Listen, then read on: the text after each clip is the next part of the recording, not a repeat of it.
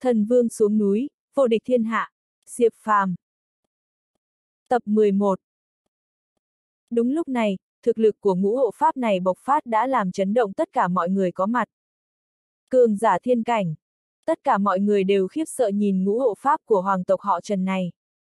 Đối với bọn họ, cường giả địa cảnh thì có thể không hiếm thấy, nhưng cường giả cấp bậc thiên cảnh thì không phải tùy tiện là có thể nhìn thấy.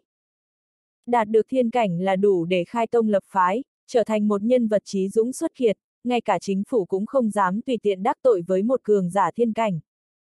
Nếu là ở nước ngoài, một cường giả thiên cảnh đủ để tạo ra một tổ chức cấp SSS. Chỉ có điều, muốn trở thành cường giả thiên cảnh cũng không dễ dàng như vậy, trong 100 cường giả địa cảnh cũng sẽ không có quá 10 người có thể đạt tới cấp độ thiên cảnh. Ngũ hộ pháp của hoàng tộc họ Trần này chính là cường giả thiên cảnh chân chính. Hắn ta vừa ra tay đã thể hiện rõ thực lực, làm cho tất cả mọi người bên trong sơn cốc đều chấn động quá mức rồi. Ngay lập tức, bọn họ nhìn Diệp Phàm rồi lần lượt lắc đầu, cảm thấy người này chết chắc rồi. Đối mặt với công kích của cường giả thiên cảnh, trừ phi hắn cũng ở cấp độ thiên cảnh, nếu không thì không thể nào đỡ nổi. Nhưng nhìn bề ngoài của Diệp Phàm chắc chỉ mới 20 tuổi, cho dù là yêu nghiệt thì thực lực cùng lắm cũng chỉ ở địa cảnh, làm sao có thể đỡ được đòn công kích của cường giả thiên cảnh. Tuy nhiên, ngay lúc bọn họ vừa nảy sinh ý nghĩ này thì đã bị Diệp Phàm cưỡng ép phá vỡ. Diệp Phàm thấy đòn công kích của ngũ hộ pháp hoàng tộc họ Trần ập đến, hắn không hề có bất kỳ lời vô nghĩa nào mà bước ra một bước, đánh ra một quyền. ầm, um, Trong phút chốc, nắm đấm của Diệp Phàm và một trưởng của ngũ hộ pháp hoàng tộc họ Trần va vào nhau, giống như sao hỏa va vào trái đất vậy, làm vang lên tiếng nổ ầm trời. Phụt phụt. Trong giây tiếp theo, ngũ hộ pháp của hoàng tộc họ Trần bay thẳng ra ngoài, đập mạnh xuống đất rồi hộc máu. Lúc này, những người đứng xem đều ngây ngốc. Bạch Hưng Long Quân, tộc trưởng của gia tộc Cô Tô, nữ tử mặc lục y, ngọc diện thư sinh, người đàn ông mặc áo choàng cầm theo long tỷ, Hạc Huyên cùng với các cao thủ của mấy chục tông môn võ đạo đứng đầu Tây Nam đều lộ ra vẻ mặt cực kỳ kinh ngạc, sắc mặt ngơ ngác. Hắn, chẳng lẽ là cường giả thiên cảnh? Tộc trưởng gia tộc Cô Tô nhìn Diệp Phàm với vẻ mặt khó tin, nội tâm ông ta dâng lên một cơn bão. Một cường giả thiên cảnh chừng 20 tuổi. Đây là khái niệm gì thế? Nếu chuyện này truyền ra ngoài cũng đủ để chấn động toàn bộ Trung Quốc. Nhóm cao thủ của các tông môn đứng đầu nhìn Diệp Phàm, bọn họ đều âm thầm nuốt nước bọt, đồng tử giãn ra đến cực điểm. Bọn họ chưa từng nhìn thấy một võ giả trẻ tuổi nào mà lại mạnh mẽ như vậy. Thực lực này, ngay cả những người thiên kiêu trong danh sách xanh cũng khó có thể so sánh được. Giờ phút này, cơ như yên và hoa hồng đỏ nhìn Diệp Phàm thể hiện thực lực, trong lòng hai người cũng vô cùng chấn động. Đôi mắt phượng xinh đẹp của cơ như yên nhìn chằm chằm Diệp Phàm, ánh mắt long lanh. Mà ánh mắt hoa hồng đỏ cũng chớp chớp ngưỡng mộ nhìn Diệp Phàm. Người này thế mà đã đạt đến thiên cảnh rồi. Bạch ưng long quân nhìn Diệp Phàm, ánh mắt lóe lên tinh quang. Giờ phút này, có lẽ chỉ có Hắc Huyên là không lộ ra quá nhiều vẻ kinh ngạc. Trong trận đánh trước đó với Diệp Phàm, anh ta đã đoán được thực lực của đối phương rồi.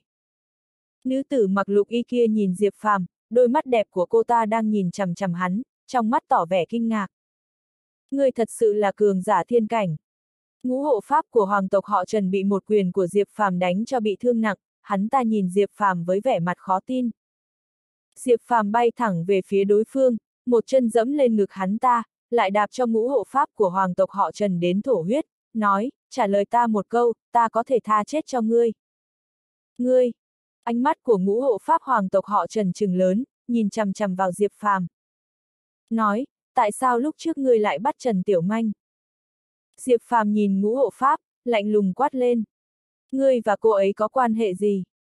Ngũ hộ pháp cau mày, nhìn chằm chằm Diệp Phàm. Bây giờ là ta hỏi ngươi. Diệp Phàm lạnh lùng nói. Ngươi tốt nhất đừng can thiệp vào chuyện của hoàng tộc họ Trần ta, nếu không cho dù ngươi là thiên tài có thực lực thiên cảnh thì cũng phải chết. Ngũ hộ pháp nhìn Diệp Phàm, quát lên. Rắc rắc. Giây tiếp theo, Diệp Phàm dùng sức đạp mạnh lên ngực ngũ hộ pháp một cái, trái tim hắn ta vỡ vụn ngay tại chỗ. Ngũ hộ pháp của hoàng tộc họ Trần này mở to mắt nhìn Diệp Phàm, hắn ta chết không nhắm mắt. Còn đám người bạch ưng long quân, nữ tử mặc lục y, Hắc Huyên nhìn Diệp Phàm giết chết ngũ hộ pháp của hoàng tộc họ Trần này, trong lòng bọn họ đều chấn động. Một số hoàng tộc lớn của Long Quốc đều là thế lực cổ xưa được truyền thừa từ lâu, nội tình thâm sâu, một khi trêu chọc vào họ thì hậu quả sẽ vô cùng nghiêm trọng. Nhưng Diệp Phàm cũng không hề cấm kỵ. Sau khi tiêu diệt ngũ hộ pháp của hoàng tộc họ Trần này, ánh mắt Diệp Phàm lại quét về phía Ngọc Diện Thư Sinh và nói, ngươi là người của ác nhân cốc. Đúng vậy, tại hạ là một trong 10 ác nhân hàng đầu của ác nhân cốc. Ta không muốn nghe những lời nói nhảm. Ta đã giết hai người của ác nhân cốc các ngươi rồi, người muốn trở thành người thứ ba không? Ngọc Diện Thư Sinh này còn chưa nói xong, Diệp Phàm đã lạnh lùng quát lên. Diệp Phàm vừa nói xong, sắc mặt Ngọc Diện Thư Sinh thay đổi, hắn ta nhìn Diệp Phàm với vẻ mặt kinh ngạc, chẳng lẽ đường Thiên Phong và lãng đãng công tử kia đều là bị ngươi giết? Đúng vậy. Diệp Phàm lạnh lùng nói. Mà lúc nghe tin Diệp Phàm đã giết chết đại ác nhân của ác nhân cốc, những người khác đều sửng sốt. Lúc này, ánh mắt của Ngọc Diện Thư sinh lóe lên, hắn ta cúi đầu nhìn Diệp Phàm nói, hai người bọn họ đắc tội công tử, theo lý thì phải chết, Long tỷ này cũng chỉ có công tử mới xứng, tại hạ cáo tử. Sau khi Ngọc Diện Thư sinh nói xong, bóng dáng của hắn ta lập tức biến mất trước mặt mọi người. Ánh mắt Diệp Phàm quét mắt về phía người đàn ông mặc áo choàng một tay đang cầm đao, tay kia cầm hộp, nói, để lại Long tỷ rồi đi đi. Thanh cổ đao màu đen trong tay người mặc áo choàng chỉ thẳng vào Diệp Phàm, một khí tức lạnh lẽo phát ra từ cơ thể hắn ta. Ngươi không phải là đối thủ của ta. Diệp Phàm nhìn chằm chằm đối phương, bước ra một bước, một luồng khí thức vô hình bộc phát ra, trực tiếp khóa chặt đối phương. Ngay lập tức, người đàn ông mặc áo choàng thay đổi sắc mặt. Những người khác bên trong sơn cốc đều có cảm giác nghẹt thở, như thể đang bị ai đó bóp chặt cổ, tất cả đều nhìn Diệp Phàm với ánh mắt sợ hãi. Giờ phút này, ở trong mắt bọn họ, Diệp Phàm không giống một thanh niên ngây thơ mới ra đời chút nào, mà là một bá chủ vô thượng đầu đầy mưu kế, đứng ở đỉnh kim tự tháp. Người này thật đáng sợ. Đưa thì sống, không đưa thì chết. Diệp Phàm nhìn người đàn ông mặc áo choàng, lạnh lùng quát lên. Lúc này, không khí xung quanh giường như hoàn toàn đóng băng. Cuối cùng, người đàn ông mặc áo choàng ném chiếc hộp trong tay cho Diệp Phàm, hắn ta ngẩng đầu lên, lộ ra một đôi con ngươi xám xịt nhìn chằm chằm Diệp Phàm, "Long tỷ, ta sẽ lấy lại. Ta sẽ luôn đợi ngươi." Diệp Phàm liếc mắt nhìn đối phương, mỉm cười giễu cợt. Không hiểu vì sao, hắn lại có thêm mấy phần hứng thú về người này. Khi người đàn ông mặc áo choàng nói xong, bóng dáng của hắn ta cũng biến mất tại chỗ. Diệp Phàm mở chiếc hộp ra, bên trong có một ấn cổ được làm bằng đá cẩm thạch trắng, trên đó khắc chín đầu rồng, tỏa sáng rực rỡ, lộ ra khí phách hoàng tộc vô hình. Ngay lập tức, Diệp Phàm lấy nó ra, phía dưới ấn ký này khắc tám chữ lớn là thụ mệnh ư thiên, ký thọ vĩnh xương. Nghĩa là nhận mệnh trời ban, tồn tại mãi mãi. Đây là ngọc tỷ truyền quốc của Long Quốc Long Tỷ. Lúc này, tất cả mọi người trong sơn cốc đều nhìn chằm chằm vào Long Tỷ trên tay Diệp Phàm, ánh mắt của mỗi người đều nóng rực. Nghe đồn, có được Long Tỷ sẽ là chúa tể thiên hạ. Bởi vậy, với bất kỳ ai, Long Tỷ đều có sức hấp dẫn rất lớn. Nhưng lúc này, không người nào dám cướp Long Tỷ. Dù sao thì thi thể hộ pháp hoàng tộc họ Trần vẫn còn đang nằm đó. Diệp, nếu như tôi đã lấy được, vậy thì thứ đồ này chính là của tôi. Lúc này, Hạc Uyên nhìn Diệp Phàm đang định nói gì đó thì hắn đã lên tiếng. Vốn dĩ Diệp Phàm chỉ tò mò về Long Tỷ, hắn muốn mở mang kiến thức về biểu tượng của Hoàng Quyền. Nhưng khi cầm được Long Tỷ, trong lòng lại thay đổi. Không biết vì sao, Diệp Phàm lại cảm thấy Long Tỷ này có tác dụng rất lớn với hắn. Mặc dù không đoán được Long Tỷ này có ảnh hưởng như thế nào, nhưng nếu đã có loại trực giác này thì hắn sẽ không đưa Long Tỷ cho người khác. Long Tỷ ở đây, mấy người muốn lấy cứ việc tới cướp. Ánh mắt Diệp Phàm liếc nhìn những người khác rồi nói. Tất cả mọi người đều cúi đầu, im như thóc. Nếu các người không muốn, vậy tôi cầm đi nhé. Diệp Phàm đường đường chính chính nói. Phụt. Hoa đồng đỏ nghe Diệp Phàm nói vậy thì không nhịn được mà cười ra tiếng. Thiếu chủ đúng là biết đùa. Diệp Phàm dẫn hai người ra khỏi sơn cốc, ở bên ngoài, một trong cửu đại long vệ của long hồn, thiết thủ và quân đao vội vàng chạy tới. Là cậu. Lúc trước, cảm ơn cậu. Quân đao sửng sốt nhìn Diệp Phàm. Sao các người lại tới đây? Hắc Huyên đi ra, hắn nhìn thiết thủ và quân đao nói. Theo những gì quân đao báo cáo, tôi điều tra được, ở phía bên kia dãy núi Thiên Xuyên có dấu vết của số lượng lớn quân Thiên Lang, hình như bọn họ đang khai thác cái gì trong núi, hơn nữa còn có cả vết tích của người Anh Quốc. Thiết thủ nói, quân Thiên Lang và người Anh Quốc thông đồng với nhau. Hắc Uyên nhíu mày. Không sai, lúc trước Long Soái để tôi dẫn tiểu đội Long Hồn tới đây cũng là để điều tra chuyện này, kết quả lại gặp cường giả tám nước, tôi nghi ngờ có liên quan tới bọn họ. Quân đao lạnh giọng nói. Nếu chuyện của tiểu đội Long Hồn bị cường giả tám nước bao vây liên quan tới bọn họ, tôi muốn tự tay vặn đầu Chu Thiên Lâm xuống để tế bái những anh em đã chết. Thiết thủ nói với vẻ mặt lạnh như măng, ánh mắt ông tràn ngập sát ý. Chu Thiên Lâm chính là quân chủ của quân Thiên Lang. Đi xem thử đã rồi tính. Hắc Uyên nghiêm túc nói, hắn quay sang nhìn Diệp Phàm, Diệp Thiếu, có thời gian đi cùng không? Tôi đi làm gì? Diệp Phàm bĩu môi. Hôm nay Diệp Thiếu lấy đi Long Tỷ, tới khi đó bên trên nhất định sẽ truy cứu, nếu Diệp Thiếu lại lập thêm công, Long Soái cũng dễ nói thay cho cậu. Hắc Uyên thản nhiên nói. Hơn nữa theo tôi được biết, quân thiên lang vẫn luôn muốn chiếm lấy quân thiên sách, trước kia thì chèn ép quân thiên sách khắp nơi, lẽ nào Diệp Thiếu không định nhân cơ hội này xả giận cho quân thiên sách sao? Lúc này, ánh mắt Hắc Uyên tràn đầy ánh sáng, nhìn chằm chằm Diệp Phàm. Vậy thì đi thôi. Nghe quân thiên lang chèn ép quân thiên sách, vẻ mặt Diệp Phàm chợt lạnh đi. Lập tức, bọn họ đi về một bên khác của dãy núi Thiên Xuyên. Dãy núi Thiên Xuyên này cực kỳ to lớn. Chỗ đám người Diệp Phàm là phía nam của dãy núi Thiên Xuyên, lúc này ở một nơi nào đó tại phía bắc chính là nơi đóng quân của chiến sĩ quân Thiên Lang. Đằng sau nơi họ đóng quân là một hang động khổng lồ. Lúc này, quân Thiên Lang không ngừng vận chuyển những chiếc dương lớn ra khỏi hang động. Những chiếc dương lớn này cực kỳ nặng, rõ ràng đồ vật bên trong không hề nhẹ. Quân đoàn trưởng thứ hai của quân Thiên Lang, Đỗ Quân đang hô hào với những chiến sĩ, tốc độ nhanh lên, đêm nay nhất định phải vận chuyển toàn bộ lượt quảng sắt thứ hai ra ngoài. Đỗ Quân đoàn trưởng, cần gì phải gấp gáp như vậy chứ? Lúc này, một người đàn ông để dâu mép đứng cạnh Đỗ Quân, nói bằng tiếng Long Quốc bập bẹ. Lúc trước người của gia tộc Ito ngoài ý muốn phát hiện ra một nhóm khoáng thạch hiếm có ở vùng núi Thiên Xuyên, giá trị vô cùng chân quý, vậy nên mới nảy ra ý định này. Nhưng việc khai thác quặng sắt và vận chuyển ra ngoài là vô cùng khó khăn. Dù sao đây cũng là lãnh thổ Long Quốc, mà chính phủ Long Quốc quản chế rất nghiêm ngặt. Nhất là loại khoáng thạch hiếm có thì càng không thể nào cho phép bọn họ khai thác. Cuối cùng, tộc trưởng gia tộc Ito đã nghĩ ra một cách, liên hệ với quân chủ Thiên Lang đang đóng quân ở Tây Nam, thông qua đủ các loại thủ đoạn, đưa ra lợi ích to lớn mới thuyết phục được đối phương, nhờ quân Thiên Lang đến khai thác rồi vận chuyển quặng sắt ra ngoài. Có quân Thiên Lang hỗ trợ và yểm hộ, mỏ quặng sắt đã được khai thác thuận lợi, hơn nữa còn không có ai phát hiện.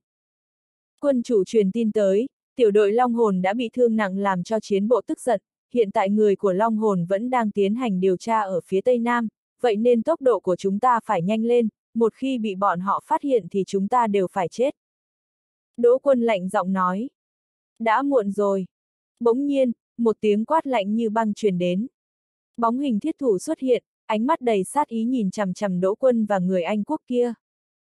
Mà đám người Diệp Phàm, Hạc Uyên cũng xuất hiện ngay sau đó. Soạt! Ngay lập tức, vẻ mặt của đám quân thiên lang đều thay đổi. Đỗ quân và người Anh quốc nhìn thấy đám người Diệp Phàm thì khựng lại. Mấy người là ai? Đỗ quân lạnh giọng quát. Một trong cửu đại long vệ của long hồn, Hắc Uyên. Hắc Uyên bước lên, lạnh lùng nói. ầm, um. Nghe được thân phận Hắc Uyên, Đỗ quân run lên, vẻ mặt cực kỳ khó coi. Các người. Lúc này, Đỗ quân nhìn đám người Hắc Uyên, bỗng dưng không biết trả lời như thế nào. Thiết thủ trực tiếp vọt lên, mở một cái dương ra, bên trong chất đầy một đống quặng sắt màu đen. Là quặng sắt hiếm có. Thiết thủ cầm lấy một quặng sắt xem thử, vẻ mặt ông trầm xuống rồi nhìn chằm chằm đỗ quân, quân thiên lang vậy mà cấu kết với người ngoại quốc tự ý khai thác trộm quặng sắt hiếm, các người đây là đang bán nước. Thân là quân đoàn của Long Quốc lại làm ra loại chuyện như vậy, đúng là ô nhục bốn chữ quân nhân Long Quốc. Hạc Huyên nói với vẻ mặt lạnh như băng. Đỗ quân đang định giải thích thì người Anh quốc kia đã lên tiếng.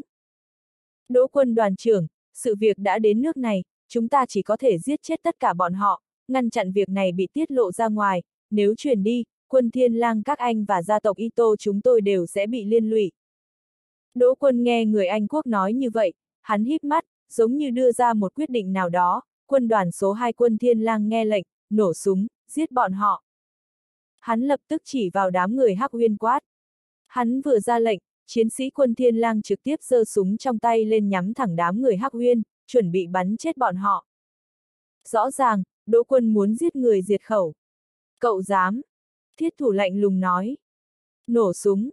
Đỗ quân lại ra lệnh, đám chiến sĩ kia chuẩn bị bóp cò. ầm, um. Diệp Phàm tiến lên một bước, một cỗ lực lượng vô hình bộc phát, trực tiếp đánh bay quân thiên lang. Lúc này, vẻ mặt của Đỗ Quân và người Anh quốc thay đổi, nhìn Diệp Phàm với vẻ khiếp sợ. Mày là người của gia tộc Ito. Diệp Phàm chằm chằm người Anh quốc. Cậu, cậu là ai? Vị kia sợ hãi nhìn Diệp Phàm. Trước kia gia tộc Ito cho phái Koga tới giết tôi là vì lý do gì? Diệp Phàm lạnh lùng nhìn đối phương. Bộp. Lời nói của Diệp Phạm khiến vẻ mặt người đàn ông thay đổi, liếc nhìn Đỗ Quân. Chuyện này có liên quan gì tới quân thiên lang của các anh không? Lúc này, ánh mắt lạnh lẽo của Diệp Phàm nhìn về phía Đỗ Quân. Tôi không biết cậu đang nói gì. Đỗ Quân đáp. Không nói, tôi sẽ khiến anh phải nói. Diệp Phàm đi về phía đối phương. Đoàng, đoàng. Đột nhiên, hai tiếng súng vang lên. Hai viên đạn bất ngờ xuất hiện và xuyên thẳng vào cơ thể người của gia tộc Ito và Đỗ Quân. Máu phun ra từ trước ngực hai người đàn ông, bọn họ trợn trừng mắt rồi ngã trên mặt đất. Vẻ mặt của Hắc Uyên, thiết thủ, quân đao thay đổi. Bọn họ nhìn qua nơi phát ra tiếng súng thì phát hiện một đám người vào tới. Dẫn đầu là quân chủ quân Thiên Lang, Chu Thiên Lâm và quân đoàn trưởng số 1, Mạc Lâm. Chu Thiên Lâm, hai phát súng vừa rồi là do ông bắn. Thiết thủ nhìn chằm chằm Chu Thiên Lâm. Là tôi bắn. Mạc Lâm nói. Anh có ý gì? Quân đao hỏi Mạc Lâm. Đỗ quân thông đồng với người nước ngoài muốn giết hết thành viên Long Hồn, tội ác tài trời, tôi vì bảo vệ sự an toàn cho các vị thế nên mới ra lệnh cho Mạc Lâm nổ súng giết chết bọn họ. Ba người các vị đều là người của chiến bộ, nếu có chuyện thì Thiên Lâm không biết phải ăn nói thế nào với Long Soái. Chu Thiên Lâm nhìn Hắc Uyên, thiết thủ, quân đao nói. Tôi nghĩ ông đang muốn giết người diệt khẩu thì có. Chu Thiên Lâm, ông cấu kết với người Anh quốc, tự ý khai thác mỏ sắt hiếm ở lãnh thổ Long Quốc, ông đang phản quốc. Còn nữa, lúc trước tôi và tiểu đội Long Hồn bị vây giết cũng liên quan tới các người đúng không?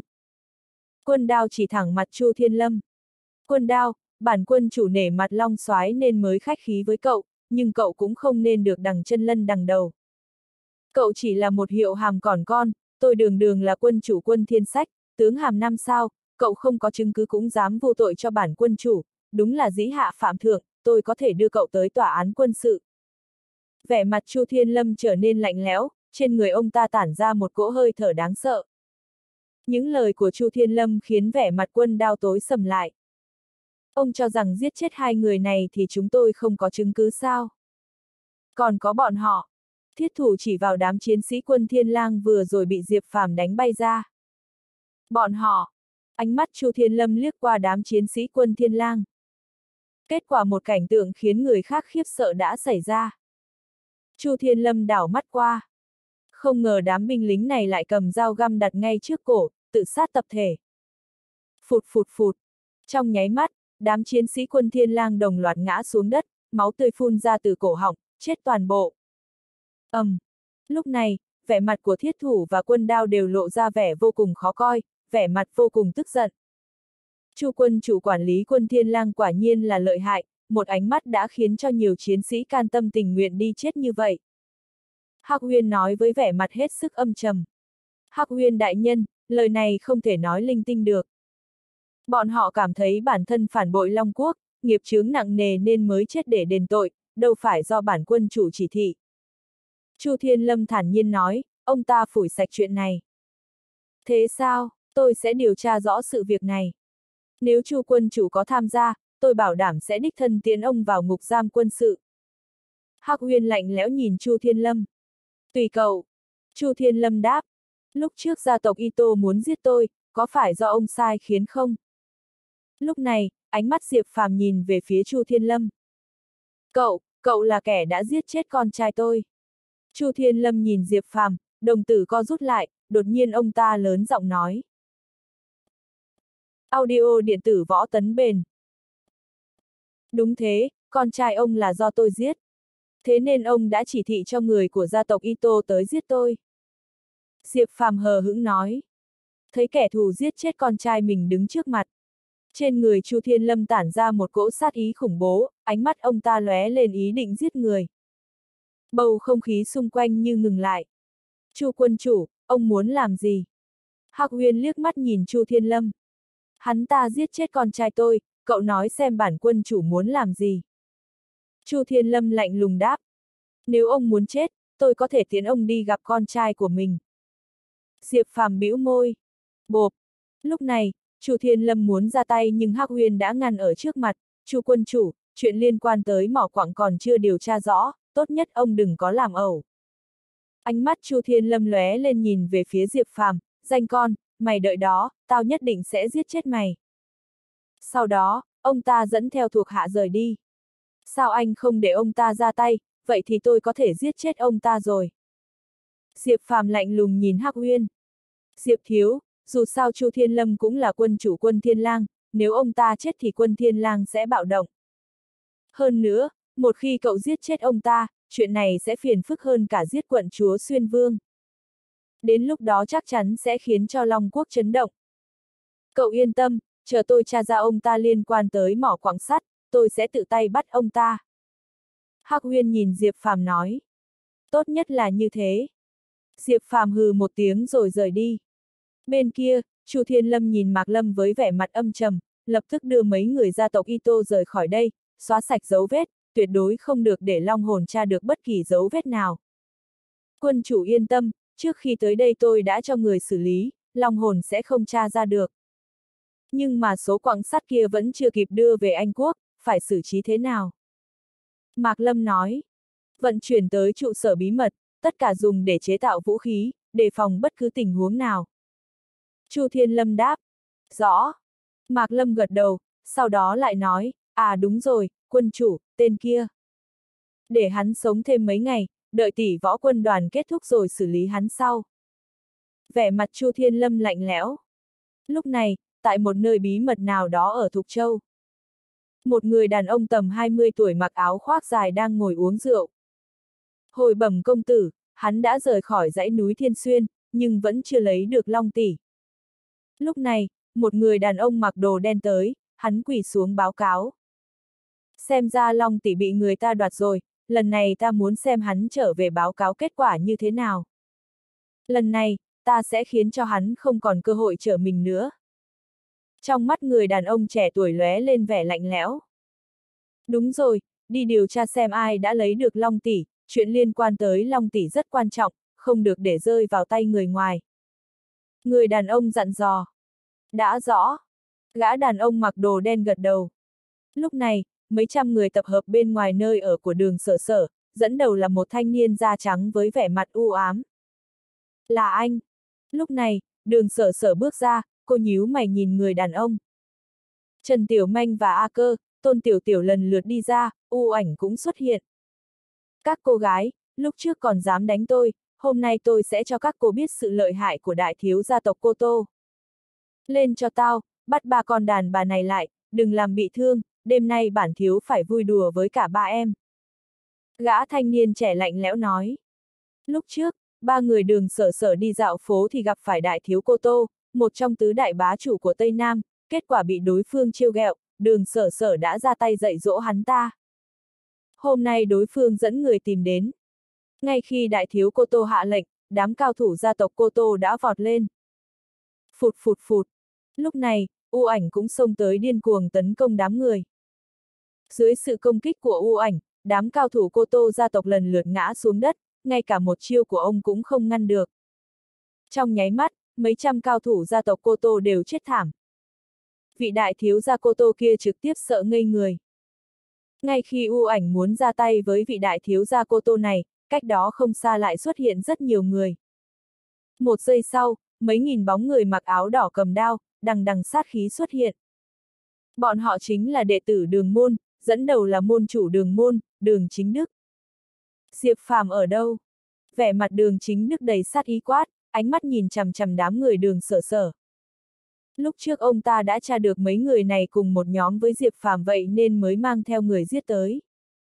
Ông tìm anh Tiểu Phàm làm gì? Tôi muốn giết chết hắn, bảo hắn lăn ra đây. Nếu không thì tất cả các người đều phải chết. Đường chính đức tức giận quát. Dựa vào ông mà cũng muốn giết thiếu chủ. U ảnh khinh bỉ nhìn đường chính nhân.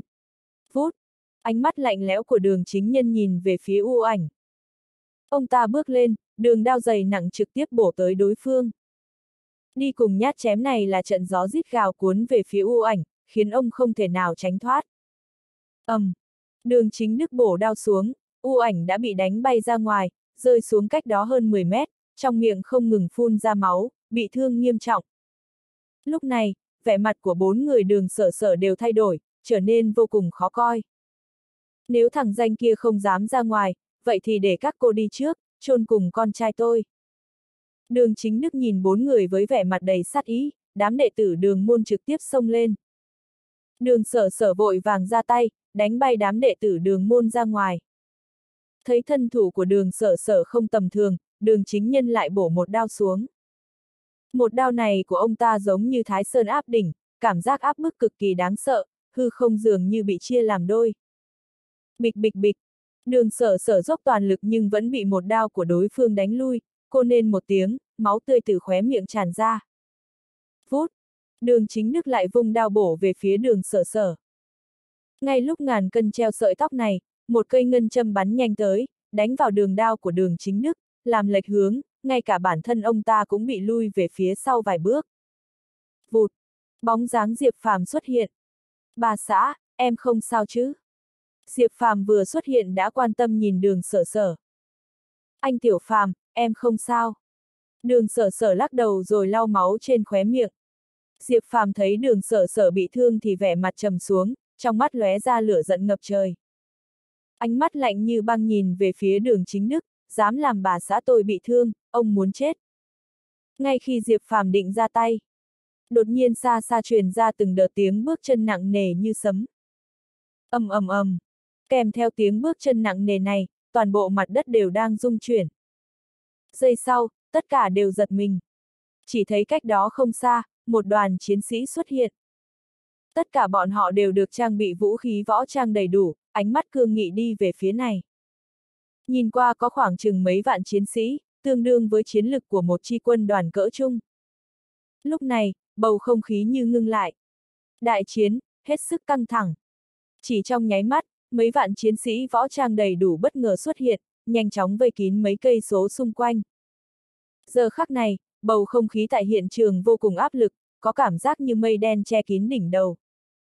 Diệp Phàm, đường sở sở, đường chính đức và đám người thiếu gia nhà họ cô tô nhìn chằm chằm vào đại quân mấy vạn người, trong mắt lộ rõ vẻ chấn động.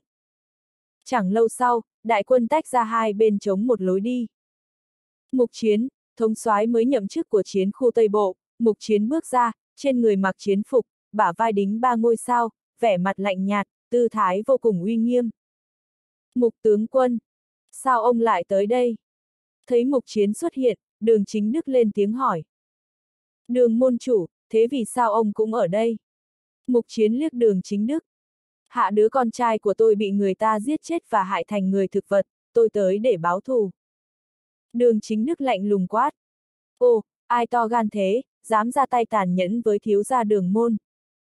Mục chiến kinh ngạc hỏi. Chính là người này. Đường chính đức lạnh lùng lia mắt về phía Diệp Phàm, bên trong lập lòe sát ý băng lãnh. Lại là cậu. Nhãi con, tới Thục Châu rồi tùy ý làm bậy nhỉ. Có điều ngày lành của cậu đã kết thúc rồi, hôm nay bổn thống soái sẽ trừ hại vì dân, tử hình tên oát cả gan làm loạn, phớt lờ luật pháp của Long Quốc ngay tại chỗ. Mục chiến nhìn Diệp Phàm, uy nghiêm quát. Thống soái, ông thăng chức rồi. Diệp Phàm liếc đối phương. Không sai, hiện tại bản tướng quân đã là thống soái của chiến khu Tây Bộ, thống soái Nguyên Hạo từng cứu cậu lúc trước đã bị bên trên gọi về tiếp nhận điều tra. Hôm nay không ai có thể cứu cậu, kể cả Long Hồn. Mục chiến lạnh băng quát. Vậy nên ông triệu tập đại quân của chiến khu Tây Bộ tới vây giết tôi. Ông đang lạm dụng quân quyền đấy, có biết hậu quả của hành động này là thế nào không? Diệp Phàm lạnh nhạt hỏi. Hừ, cậu giết thiên kim của xuyên vương, bên trên đã ra lệnh phải nghiêm trị hung thủ, hôm nay bổn thống soái điều binh tiến đến là vì đối phó tên hung phạm cực ác là cậu, lạm dụng chức quyền chỗ nào. Mục chiến nhìn Diệp Phàm, lạnh lùng quát. Giết! Ngay sau đó, ông ta ra lệnh cho đại quân. Trong phút chốc, mấy vạn chiến sĩ chiến khu Tây Bộ lập tức giơ cao súng ống trong tay, nhắm thẳng vào Diệp Phàm chuẩn bị bóp cò. Đường chính nước vội vàng dẫn người đường môn tránh sang một bên, đại thiếu gia cô Tô cũng vội vã chạy theo. Thấy một màn này, Trần Tiểu Manh và Tôn Tiểu Tiểu sợ tới mức sắc mặt tái nhợt, nói không nên lời. Đường sở sở khẽ nhíu mày, còn A cơ vẫn giữ nguyên vẻ lạnh nhạt như cũ. Chỉ bằng bọn họ cũng muốn giết tôi. Diệp Phàm lạnh lùng quát. Uỳnh! Lúc mấy vạn chiến sĩ muốn bóp cò súng, bắn Diệp Phàm thành cái sàng, hắn bất ngờ dậm chân một cái. Ngay sau đó, một tiếng gầm rú chói tai vang lên. Mặt đất bùng phát một nguồn sức mạnh khủng bố, lấy Diệp Phàm là trung tâm, lan ra mấy ngàn mét xung quanh với xu thế thổi bay mọi thứ. Chớp mắt, tất cả những sự vật nằm trong phạm vi đó đều nổ tan tác. Mấy vạn chiến sĩ kia còn chưa kịp bóp cò súng đã bị nổ bay xa ra ngoài. Chỉ trong mấy giây, toàn bộ chiến sĩ của chiến khu Tây Bộ mà mục chiến dẫn đến đều bị đánh bay ra ngoài, ngã mạnh xuống đất, rối tinh rối mù. Ngay cả bản thân mục chiến cũng bị nổ bay ra xa, đập mạnh xuống mặt đất hộc máu, non vô cùng chật vật. Giây phút đó, thấy một màn này, đường chính đức và các đệ tử đường môn đều kinh ngạc đến chết đứng. Diệp Phàm lạnh nhạt tiến về phía mục chiến. Cậu! Mục chiến trợn trừng hai mắt. Diệp Phàm dẫm một chân lên người ông ta, lạnh nhạt hỏi, ông muốn chết thế nào? Tôi là thống soái chiến khu Tây Bộ, thiếu tướng ba sao, cậu dám giết tôi? Vẻ mặt mục chiến đầy khinh thường. Quân hàm chia từ 1 đến 9 sao, từ 1 đến 3 là thiếu tướng, 4 đến 6 là trung tướng, 6 sao trở lên là đại tướng chân quốc. Mục chiến là thiếu tướng 3 sao, lại còn là thống soái một chiến khu, thân phận địa vị này rất có sức ảnh hưởng ở Long Quốc. Nếu ông ta bị giết, chắc chắn sẽ tạo thành ảnh hưởng và hậu quả mà cả phủ quận chúa Xuyên Vương không thể gánh vác. Đến lúc đó, toàn bộ Long Quốc đều rung chuyển, giấy lên mưa gió bão bùng. Bởi vậy mục chiến tin Diệp Phàm không dám giết mình, dù sao thì không một ai có thể thừa nhận hậu quả của việc đó. Thế nhưng, ông ta đã quá xem nhẹ lá gan của Diệp Phàm. Đối với Diệp Phàm, trên đời này ngoại trừ cha mẹ, vợ và bảy vị sư phụ ra, không ai là không thể giết. Thiếu tướng ba sao? Thống soái chiến khu? Thì tính sao?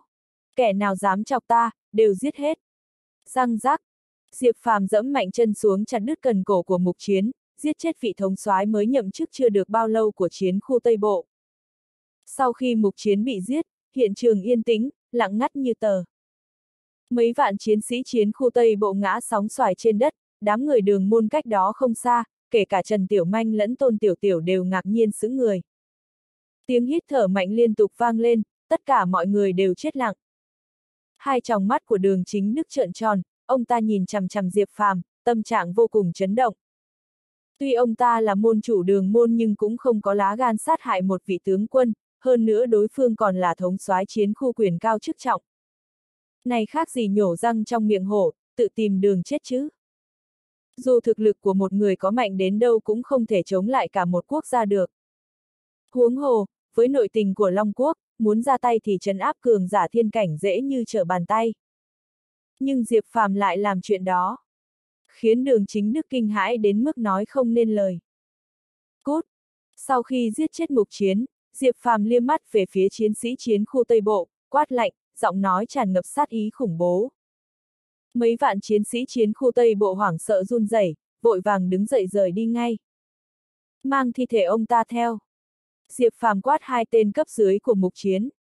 Trong mắt hai người kia lộ vẻ sợ hãi sâu sắc, cả hai nhanh chóng nhấc thi thể mục chiến lên rồi bỏ chạy. Tạch! Diệp Phàm lại rời mắt về phía đường chính đức, trọng thương cấp dưới của tôi, xúc phạm người phụ nữ của tôi, ông muốn chết thế nào? Đối mặt với sự chất vất của hắn, đường chính đức âm u nói, oát con, mày giết mục tướng quân, bên trên sẽ không tha cho mày đâu, mày chết chắc rồi. Yên tâm, chắc chắn ông sẽ chết trước khi tôi chết. Diệp Phàm lạnh nhạt nói. Quỳnh! Con người đường chính đức khẽ co rút, bộc phát toàn bộ sức mạnh, tay cầm đường đao bổ về phía Diệp Phàm. Một đao này không hề nương tay. Từ biểu hiện vừa rồi của Diệp Phàm, ông ta có thể nhìn ra người này vô cùng mạnh, bởi vậy không dám có chút khinh thường nào. Thấy đối phương bổ đao tới, Diệp Phàm không thèm chớp mắt lấy một cái, búng tay. Keng! Răng rắc! Tiếng kim loại va chạm thanh thúy vang lên. Thanh đao dày rộng trong tay đường chính đức lập tức bị một ngón tay của Diệp Phàm búng nát. Không đợi ông ta phản ứng lại, hắn đã bóp chặt yết hầu đối phương, nhấc lên. Ông có thể đi gặp mặt con trai mình rồi. Răng rắc! Dứt lời, hắn bóp nát cổ họng đường chính đức. Giây phút đó, đôi mắt ông ta trừng lớn, hai con người tràn ngập vẻ không cam lòng, chết không nhắm mắt. Thấy môn chủ nhà mình bị giết, người đường môn tức khắc dại ra. Vụt, vụt, cơ như yên và hoa hồng đỏ đi theo Diệp Phàm cũng ra tay, chém giết đệ tử đường môn. Diệp Phàm thì lại tiến tới trước mặt u ảnh, huy động ngân châm trị liệu cho ông ta. Dưới sự chữa trị của Diệp Phàm, thương thế của u ảnh nhanh chóng khôi phục. Đa tạ thiếu chủ. U ảnh lên tiếng. Cậu chính là Diệp Phàm. Bỗng nhiên, một giọng nói lạnh nhạt vô tình truyền đến. Một người áo đen đeo kiếm xuất hiện tại đây, lạnh lùng nhìn chằm chằm Diệp Phàm. Ông là vị kia. Diệp Phàm quan sát đối phương. Hạng 17 hắc bảng, kiếm khiếu. Người áo đen kia lạnh lùng quát. Người hắc bảng. Diệp Phàm chớp mắt, ai phái ông tới. Hiện giờ nhà họ hạng đã diệt vong, giải thưởng lúc trước cũng bị hủy bỏ, sao người hắc bảng lại tìm đến nữa? Có người muốn lấy mệnh cậu. Vị cường giả xếp hạng 17 hắc bảng lạnh lùng quát. Vèo vèo vèo. Kế tiếp, một đám người ồ ạt chạy tới nơi này. Hầu hết trong số này đều là người nước ngoài, tay cầm đủ loại vũ khí, cả người tỏa ra hơi thở khát máu lạnh băng. Tổ chức Thiên U cấp A. Tổ chức ảnh sát cấp S. Song binh đoàn huyết đồ cấp S. Tổ chức hồn diệt cấp SS. Còn có. U ảnh quan sát đám người kia, khiếp sợ nói. Tất cả những người này đều đến từ các tổ chức sát thủ của thế giới ngầm, trong đó mấy chục cấp A, gần 10 cấp S, thậm chí còn có một vài tổ chức cấp SS. Cộng hết lại, nhân số vượt 1.000 người. Sức chiến đấu của hơn 1.000 người này khủng bố đến mức có thể sánh ngang một quân đoàn vạn người. Dù sao thì bọn họ đều là tinh anh của các tổ chức ở thế giới ngầm, mỗi một tên đều trải qua vô số huấn luyện và giết chóc, chiến lực vượt trội. Ngoài ra, còn có rất nhiều cường giả hắc bảng xuất hiện. Giờ phút này, bọn họ đều tụ tập tại đây, cả đám lạnh lùng nhìn chằm chằm Diệp Phàm không chớp mắt. Mấy người đều được thuê tới giết tôi. Diệp Phàm đánh giá đám cường giả đến từ thế giới ngầm. Quát con, xem ra người cậu đắc tội rất xem trọng cậu, thế mà lại thuê nhiều người như vậy tới xử lý cậu. Hạng 17 hắc bảng kiếm khiếu hử lạnh. Đã là kiến hôi thì nhiều đến mấy vẫn chỉ là kiến hôi. Diệp phàm bĩu môi, khinh thường nói. Tạch. Hắn vừa dứt lời, sắc mặt mấy cường giả thế giới ngầm lập tức trầm xuống, trong mắt tràn ngập vẻ tức giận. Bọn họ không ngờ Diệp phàm dám khiêu khích như thế, đây không phải tự tìm chết à. Danh con sắc sược, đi chết đi. Một cường giả thế giới ngầm nhịn không được, vọt thẳng đến trước mặt Diệp phàm. Phụt! Đúng lúc này, một bàn tay ngọc ngà thò ra, xuyên thủng lồng ngực người kia, máu me bắn tung tóe. Tên cường giả thế giới ngầm kia chưa kịp phản ứng đã đi chầu Diêm Vương. Người ra tay là cơ như yên. Chết! Đôi mắt xinh đẹp của cơ như yên đầy sát ý, miệng thốt ra một chữ, sau đó lao về phía đám cường giả thế giới ngầm. Tuy đó thực lực những người kia mạnh nhưng ở cơ như yên trước mặt lại chẳng thấm vào đâu, bị cô ấy giết như ngoé. Hạng 17 hắc bảng rút kiếm chém về phía Diệp Phàm. Phụt! Có điều đối phương chỉ vừa rút kiếm ra thì nơi cổ họng đã phun trào máu tươi. Diệp Phàm nắm đoàn kiếm đứng trước mặt ông ta, đoàn kiếm đen nhánh tỏa ra quang mang băng lãnh, tràn đầy cảm giác chấn nhiếp. Cường giả hạng 17 hắc bảng quỳ dạp xuống đất, chết không nhắm mắt. Chẳng lâu sau, hơn một ngàn cường giả thế giới ngầm đã bị cơ như yên và hoa hồng đỏ liên thủ giết đến mức tan rã. Nguyên một đám đều là tinh anh của thế giới ngầm, lượng người từng giết đều vượt qua ba con số nhưng khi đối mặt với hai cô gái cơ như yên và hoa hồng đỏ lại hoàn toàn rơi xuống thế yếu, không thể chống cự. Vèo, vèo. Ngay thời khắc mấu chốt, hai bóng đen bỗng vụt ra, bay thẳng về phía Diệp Phàm. Toàn thân hai kẻ này tràn ngập tà khí lạnh lẽo, đôi mắt bọn chúng đằng đằng sát khí, trong tay cầm chặt lưỡi dao sắc bén nhuốm đậm máu tươi, giống như hai sát thần vừa giáng thế. Sát khí trên người bọn chúng mang đến cảm giác áp bức cực kỳ đáng sợ. Sự áp bức này cũng đủ để khiến một chiến sĩ không vững ý chí mất đi khả năng chiến đấu. Thế nhưng khi Diệp Phàm đối mặt với hai kẻ này, hắn nhanh chóng vung con dao găm màu đen trong tay lên. Phụt, phụt, bọn chúng lập tức cứng đờ, máu từ cổ họng phun ra không ngừng. Bọn chúng không tin nổi mở to mắt nhìn chằm chằm vào Diệp Phàm. Phút phút. Giây tiếp theo, hai âm thanh chói tai chợt vang lên, lại có thêm hai kẻ xuất hiện sau lưng Diệp Phàm, toàn thân tỏa ra sát khí lao nhanh về phía hắn. Với tốc độ tấn công kinh người của bọn chúng, ngay cả những chiến binh địa cảnh cấp 9 cũng khó mà kịp thời tránh thoát. Nhưng sau lưng Diệp Phàm tựa như có mắt, ngay lúc lưỡi dao sắc bén của bọn chúng sắp đâm vào người Diệp Phàm thì bóng dáng của hắn đột nhiên biến mất. Vẻ mặt của hai kẻ này liền thay đổi, đang tính rút lui thì bọn chúng lại cảm thấy đằng sau lưng của mình như có bóng ma đang đòi mạng, khiến bọn chúng cảm giác như vừa rơi vào hầm băng. Ngay lập tức, xuất hiện hai bàn tay to lớn từ phía sau tóm lấy cổ bọn chúng rồi nâng lên. Chủ nhân của đôi bàn tay to lớn này chính là Diệp Phàm. Các người là ai? Diệp Phàm lạnh lùng hỏi. Trong lòng bọn chúng run rẩy không ngừng, bọn chúng sao có thể ngờ được mục tiêu mà mình phải đối phó lần này lại mạnh như vậy, hắn chỉ cần vung tay đã có thể chém chết hai hung thần hơn nữa còn nhẹ nhàng hạ gục hai người bọn họ. Năng lực và thủ đoạn như thế quả thực khiến người ta phải kinh ngạc. Từ khi nào một yêu nghiệt cường đại như thế này lại xuất hiện trên thế giới chứ? Trong lòng hai kẻ đó cực kỳ chấn động. Nhưng kinh ngạc thì đã sao, đối mặt với câu hỏi của Diệp Phàm, hai kẻ đó đều không trả lời. Răng rắc, răng rác Thấy bọn chúng im lặng, Diệp Phàm cũng không lãng phí thời gian, trực tiếp bóp cổ chúng. Bịch, bịch. Sau đó Diệp Phàm tùy tiện ném xác bọn chúng vào chung với hai cái xác vừa nãy. Hắn lạnh lẽo nhìn chằm chằm vào bốn tên này. Bọn chúng cho dù là sức chiến đấu hay thân thủ đều rất mạnh, vượt xa những chiến binh bóng tối. Đặc biệt là luồng sát khí trên người bọn chúng, chứng tỏ thân phận không hề đơn giản. Không ngờ rằng ngay cả người của Đồ Long Sơn Trang cũng đã ra tay rồi. Công tử quả nhiên đã đắc tội không ít người. Lúc này, một tiếng thở dài vang lên. Chính là nữ tử mặc lục y đã từng xuất hiện ở thung lũng trước đây. Là cô. Làm sao, cô còn muốn long tỷ à? Diệp Phàm liếc nhìn cô ta, lạnh lùng hỏi. Công tử, tôi xin tự giới thiệu, tôi là Đoan Mộc Cẩn, đến từ một trong những cửu đại môn phiệt của Long Quốc Đoan Mộc Phiệt. Cô ta nhìn Diệp Phàm và nói. Cô ta chính là Đoan Mộc Cẩn, người đứng đầu hiện tại của Đoan Mộc Phiệt. Đoan Mộc Phiệt. Sao nào? Cô muốn ỉ thế hiếp người sao? Diệp Phàm lạnh lẽo quát. Công tử ngay cả người của hoàng tộc còn dám giết, thì đoan mộc phiệt nhỏ bé của tôi sao có thể hiếp đáp được anh đây? Tối nay tôi tới đây vì muốn cùng công tử thương lượng một chuyện. Đoan mộc cần nhìn Diệp Phàm, nhẹ giọng nói. Thương lượng, chuyện gì? Ánh mắt Diệp Phàm khẽ lóe lên.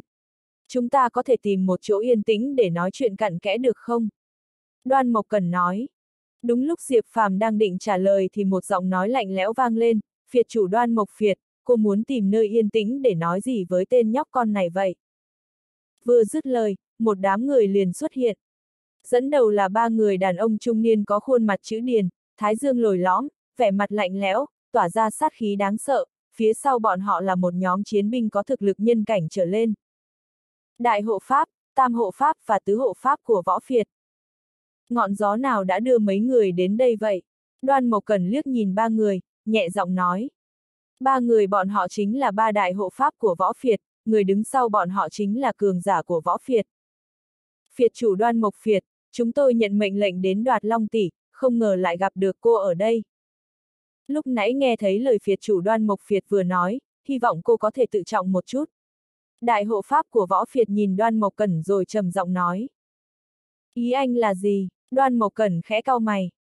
Đoan mộc cẩn, cô chính là người phụ nữ mà phiệt chủ của chúng tôi thích, đương nhiên không thể có quan hệ với người đàn ông khác, vừa nãy cô còn muốn làm gì với tên nhóc con này. Tam hộ pháp của võ phiệt trực tiếp hét lên. Xoạt! Sắc mặt của đoan mộc cần lập tức tối sầm lại, trong mắt lóe lên tia lạnh lẽo nói, đoan mộc Cẩn này muốn làm gì, không đến lượt anh can thiệp vào. Còn võ thiên khiếu muốn có được tôi, thì cứ chờ kiếp sau đi, kiếp này đừng có mơ. Đoan mộc Cẩn, tuy rằng cô bây giờ đã ngồi lên vị trí phiệt chủ, thế nhưng một bàn tay làm sao vỗ thành tiếng. Nếu như không có sự giúp đỡ của phiệt chủ chúng tôi, e rằng chức vị này của cô cũng không ngồi vững được. Lần này cô một mình đến Tây Nam cũng vì muốn lấy được Long Tỷ, nhân cơ hội này nắm vững vị trí phiệt chủ của mình. Vậy tại sao không trực tiếp nhờ phiệt chủ của chúng tôi giúp đỡ? Chỉ cần một câu nói của phiệt chủ chúng tôi, mấy lão già trong đoan mộc phiệt đó còn có thể dám không phục tùng cô sao? Việc gì phải vất vả như vậy? Đại hộ pháp của võ phiệt nhìn đoan mộc cẩn rồi nói. Không cần. Đoan mộc cẩn nói thẳng, liếc nhìn Diệp Phàm, công tử, đừng để ý đến bọn họ, chúng ta hãy tìm một nơi nào đó nói chuyện đi. Nhóc con, mau giao long tỷ ra rồi tự sát đi, chúng tao có thể cho mày được toàn thây. Đại hộ pháp của võ phiệt khinh thường liếc nhìn Diệp Phàm.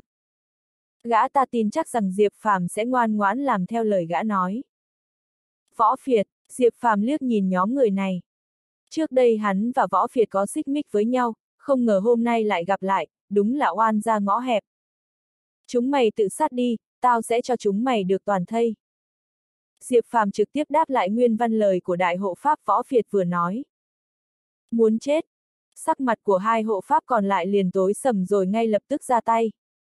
Xoẹt, xoẹt, xoẹt. Võ phiệt các người cứ việc giết hắn, nhưng Long tỷ phải giao cho lâm phiệt chúng ta. Lúc này, một giọng nói lạnh lẽo khác chợt vang lên. Lại một nhóm người khác xuất hiện ở đây, dẫn đầu là một ông già. Tứ trưởng lão của Lâm Phiệt, đại hộ pháp của võ Phiệt liếc nhìn đối phương. Lão già này không ai khác chính là tứ trưởng lão của Lâm Phiệt. Bây giờ, người của Lâm Phiệt, võ Phiệt và đoan mộc Phiệt đều có mặt ở đây. Đoan mộc cần nhìn người của Lâm Phiệt và võ Phiệt, ánh mắt chợt lóe lên. Lâm Phiệt, cơ như yên là người đã giết chết những chiến binh bóng tối trước đó, lúc này lại nhìn người của Lâm Phiệt, trong mắt lóe lên tia sát ý. Diệp Phàm cũng nhìn tứ trưởng lão của Lâm Phiệt, lạnh lùng nói, hôm nay nếu như đã đến đông đủ rồi thì cùng nhau lên đi.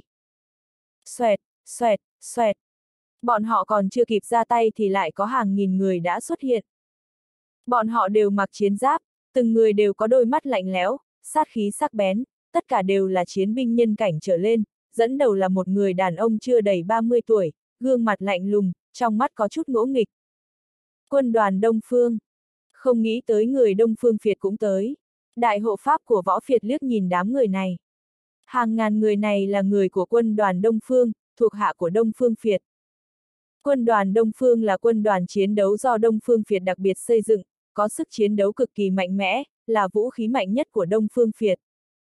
Trong số cửu Phiệt, thì vị trí của Đông Phương Phiệt cũng đứng thứ ba. Trong đám người có mặt ở đây, có lẽ chỉ có võ phiệt mới có thể đấu lại đông phương phiệt, còn lâm phiệt và đoan mộc phiệt không đáng nhắc tới. Các vị, đông phương phiệt đã muốn long tỷ này rồi, vậy nên mấy người hãy quay về đi. Người đứng đầu của quân đoàn đông phương kiêu ngạo liếc nhìn đám người, lạnh lùng nói. Đông phương phiệt các người nói muốn là có thể lấy được sao, còn thật sự cho rằng mình đứng đầu cửu phiệt à. Tam hộ pháp của võ phiệt bất mãn nói. Tuy rằng đông phương phiệt các người cường đại, nhưng muốn lâm phiệt chúng ta thoái lui cũng không dễ dàng như vậy đâu. Tứ trưởng lão của lâm phiệt nói thẳng. Rõ ràng bọn họ chẳng ai muốn từ bỏ long tỷ. Chỉ dựa vào mấy người mà cũng muốn cướp long tỷ từ tay công tử sao, đúng là nằm mơ giữa ban ngày. Các người tốt nhất nên ngoan ngoãn cút khỏi đây đi, nếu để công tử ra tay, các người đều phải chết. Lúc này đoan mộc cần liếc nhìn đám người rồi nói. Vừa dứt lời, sắc mặt của Đông Phương Phiệt, Võ Phiệt và Lâm Phiệt đều tối sầm lại, hiển nhiên đã cực kỳ tức giận. Lời nói của đoan mộc cẩn rõ ràng là coi thường bọn họ, bọn họ làm sao có thể bị sỉ nhục như vậy. Vậy nên bọn họ đều lạnh lẽo nhìn chằm chằm vào Diệp Phàm, sẵn sàng ra tay bất cứ lúc nào. Bọn họ không hề biết của Diệp Phàm đã ra tay như thế nào ở thung lũng dãy núi xuyên, bọn họ chỉ mới nhận được tin tức Long Tỷ nằm trong tay Diệp Phàm. Nếu bọn họ biết ngũ hộ pháp của hoàng tộc họ Trần chết như thế nào, e rằng bọn họ sẽ chẳng dám ra tay với Diệp Phạm. Diệp Phạm liếc mắt đoan mộc cẩn, rồi nhìn về đám người, muốn chết thì sẽ được toại nguyện, còn muốn sống thì mau cút ra ngoài. Nhóc con, mày cũng mạnh miệng ghê nhỉ. Hôm nay tao thật sự muốn xem mày mạnh như thế nào. Quân đoàn Đông Phương nhận lệnh, giết. Tên đàn ông đứng đầu quân đoàn Đông Phương hét lên. Lập tức, hàng ngàn người của quân đoàn Đông Phương lao lên bao vây Diệp Phàm. Nhóm người này được đào tạo bài bản, có tổ chức và cực kỳ mạnh mẽ, xứng đáng là quân đoàn mạnh nhất của Đông Phương Việt. Đây chỉ là một phần nhỏ của quân đoàn Đông Phương, sức chiến đấu của toàn bộ quân đoàn càng đáng sợ hơn nữa. Thế nhưng quân đoàn này vẫn bị Diệp Phàm dễ dàng tấn công lại. Hắn lao ra rồi lại vung con dao găm màu đen, lưỡi dao chém đến đâu người ngã chết ra đến đó. Trong nháy mắt, hàng ngàn người của quân đoàn Đông Phương lần lượt bị Diệp Phàm giết chết, thất bại vô cùng thảm hại. Cuối cùng, mấy ngàn người này đều bị một mình Diệp Phàm giết chết, chỉ còn sót lại nên tên đàn ông. Mày, mày làm sao có thể mạnh như vậy? Tên đàn ông đó nhìn Diệp Phàm với vẻ mặt không thể tin nổi. Diệp Phàm có lẽ cũng trạc tuổi hắn ta, hắn ta dù sao cũng là thống lĩnh của một nhánh quân đoàn, hắn ta tưởng rằng mình đã mạnh lắm rồi, nhưng bây giờ xem ra so với Diệp Phàm, hắn ta chẳng là gì cả. Là do chúng mày quá yếu. Diệp Phàm nhếch môi, rút dao ra, giết chết tên đàn ông đó. Thế là toàn bộ người của Đông Phương Phiệt cử đến đều bị tiêu diệt. Lúc này, những người của Võ Phiệt và Lâm Phiệt có chút hoảng sợ nhìn Lâm Phàm. Họ không bao giờ nghĩ rằng một tên nhóc con trẻ tuổi lại có sức mạnh như vậy, có thể sánh ngang với thiên tài mạnh nhất của bọn họ, thật sự rất mạnh. Lộc cộc lộc cộc. Đột nhiên, có tiếng bước chân nặng nề như tiếng sấm vang lên. Cách đó không xa có một quân đoàn khổng lồ xuất hiện. Toàn bộ binh lính trong quân đoàn này đều mặc áo giáp màu vàng kim, trong tay cầm trường mâu vàng kim, ánh mắt lạnh lùng, khí thế hùng mạnh. Bọn họ chính là thành viên của đoàn thánh kỵ sĩ mà thánh điện phái tới. Trước đoàn thánh kỵ sĩ này, đã có một đoàn khác do trưởng thánh kỵ sĩ Dêm dẫn đầu đến đối phó Diệp Phàm, kết quả bị diệt hết khiến thánh điện giận dữ. Lần này thánh điện thậm chí còn điều ra ba vị trưởng thánh kỵ sĩ khác thống lĩnh ba vạn thánh kỵ sĩ tới đây chính là vì để hoàn toàn tiêu diệt Diệp Phàm.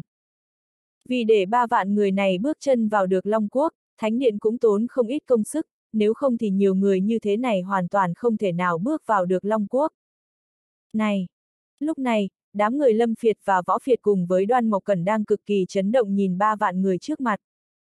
Đoàn thánh kỵ sĩ ba vạn người này bước chân nhịp nhàng và thống nhất, dẫm trên mặt đất gây ra tiếng vang không nhỏ, khiến cho toàn bộ mặt đất đều xuất hiện vết nứt, dường như có thể sụp đổ bất cứ lúc nào.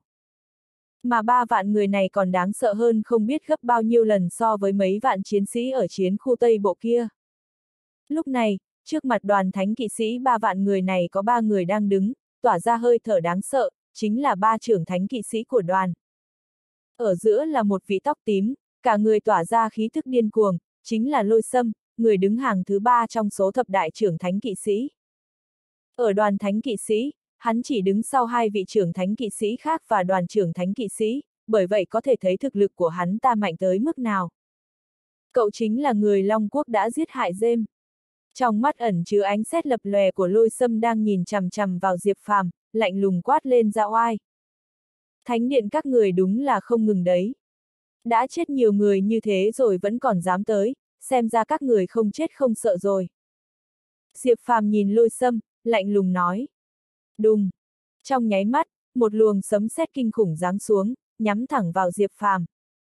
Diệp Phàm khua kiếm một cái, chém đôi luôn tia sét kia ra. Tia sét vừa rồi đến từ lôi sâm, hắn ta chính là một thuật sĩ cường đại, đương nhiên ở ngoại quốc, người như bọn họ được gọi là dị năng giả. Lôi sâm là một dị năng giả cấp 4. Ở nước ngoài, dị năng giả được chia ra làm 9 cấp bậc, cấp bậc càng cao thì thực lực càng mạnh. Lôi sâm thân là dị năng giả cấp 4, hắn ta cũng có thực lực tương đương với võ giả trung thiên cảnh ở Long Quốc. Hắn ta điều khiển lực lượng thiên nhiên thuộc tính lôi, hóa thành sấm sét không ngừng đánh về phía Diệp Phàm. Đùng đùng. Trong lúc nhất thời, trước mặt Diệp Phàm không ngừng vang lên âm thanh sấm sét nổ, từng tia sét bổ về phía hắn, trận chiến này thật sự quá khủng bố. Đường sở sở, Trần Tiểu Manh bọn họ nhìn ngây cả người. Ngay cả đoan mộc cẩn, lâm phiệt, võ phiệt cũng cực kỳ chấn động. Còn Diệp Phàm khi đối mặt với những tia sấm sét này, kiếm trong tay hắn không ngừng chém ra, phá hủy hết tất cả, sau đó hắn bay thẳng về phía lôi sâm. Lôi sâm thấy Diệp Phàm đi tới, ánh mắt lập tức nghiêm túc hơn, hắn ta lùi về phía sau đồng thời ra lệnh, toàn bộ hai vị trưởng thánh kỵ sĩ còn lại và ba vạn chiến sĩ của đoàn thánh kỵ sĩ đều đánh về phía Diệp Phàm. Bất kể là thuật sĩ hay dị năng giả, đại bộ phận đều chỉ có thể đánh tầm xa, một khi bị võ giả tới gần thì họ sẽ nguy hiểm.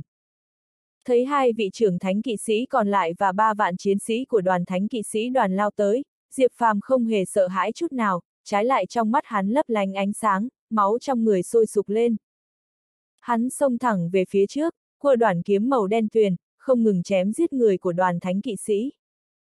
Giờ khắc này, Diệp Phàm hóa thân thành thần chết, giống như vừa chui lên từ địa ngục, không ngừng gặt hái sinh mệnh của đám người này. Dù đối mặt với ba vạn quân tinh nhuệ của đoàn thánh kỵ sĩ đẳng cấp thế giới, Diệp Phàm cũng không lùi nửa bước, điên cuồng chém giết. Còn lôi sâm đứng ở đằng xa, không ngừng điều khiển sấm xét công kích Diệp Phàm, nhưng hình như không có tác dụng. Sau một hồi chém giết, đoàn thánh kỵ sĩ ba vạn người bị giết chỉ còn lại phân nửa, hai vị trưởng thánh kỵ sĩ đều chết trong tay Diệp Phàm, chỉ còn lại một mình lôi sâm.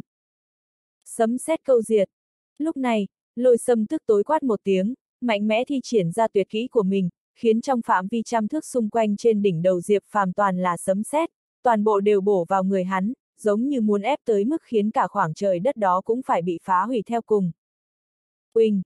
Diệp Phàm thấy thế, vẫn huy động kiếm trong tay, hủy diệt toàn bộ.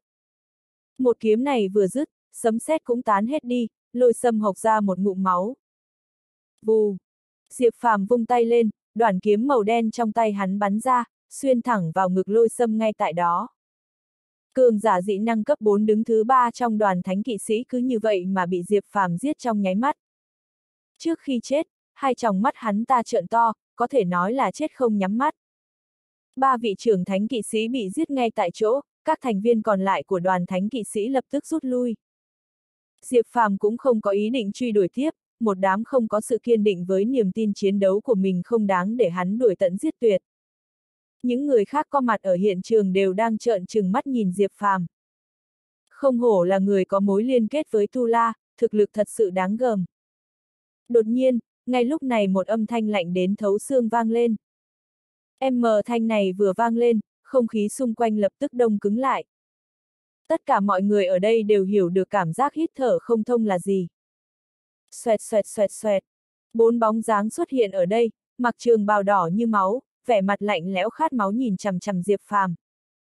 Các người là ai? Diệp Phàm nhìn bốn người họ, lãnh đạm hỏi. Bốn người này đều tỏa ra khí tức sát phạt khiếp người, thực lực mạnh mẽ đã vượt quá thiên cảnh. Điện thiên thần, tứ đại chiến thần. Bốn người họ lạnh nhạt nói. a à, ba chữ điện thiên thần vừa vang lên, sắc mặt u ảnh lập tức thay đổi, trong mắt tràn ngập sự sợ hãi, hiển nhiên rằng ba chữ này có lực công kích rất lớn đối với ông ta. Về phần những người khác, khi nghe thấy ba chữ điện thiên thần thì đều đứng im bất động, bọn họ chưa từng nghe thấy cái tên này. Điện thiên thần, cái quái gì thế? Diệp Phàm bĩu môi, hừ lạnh nói.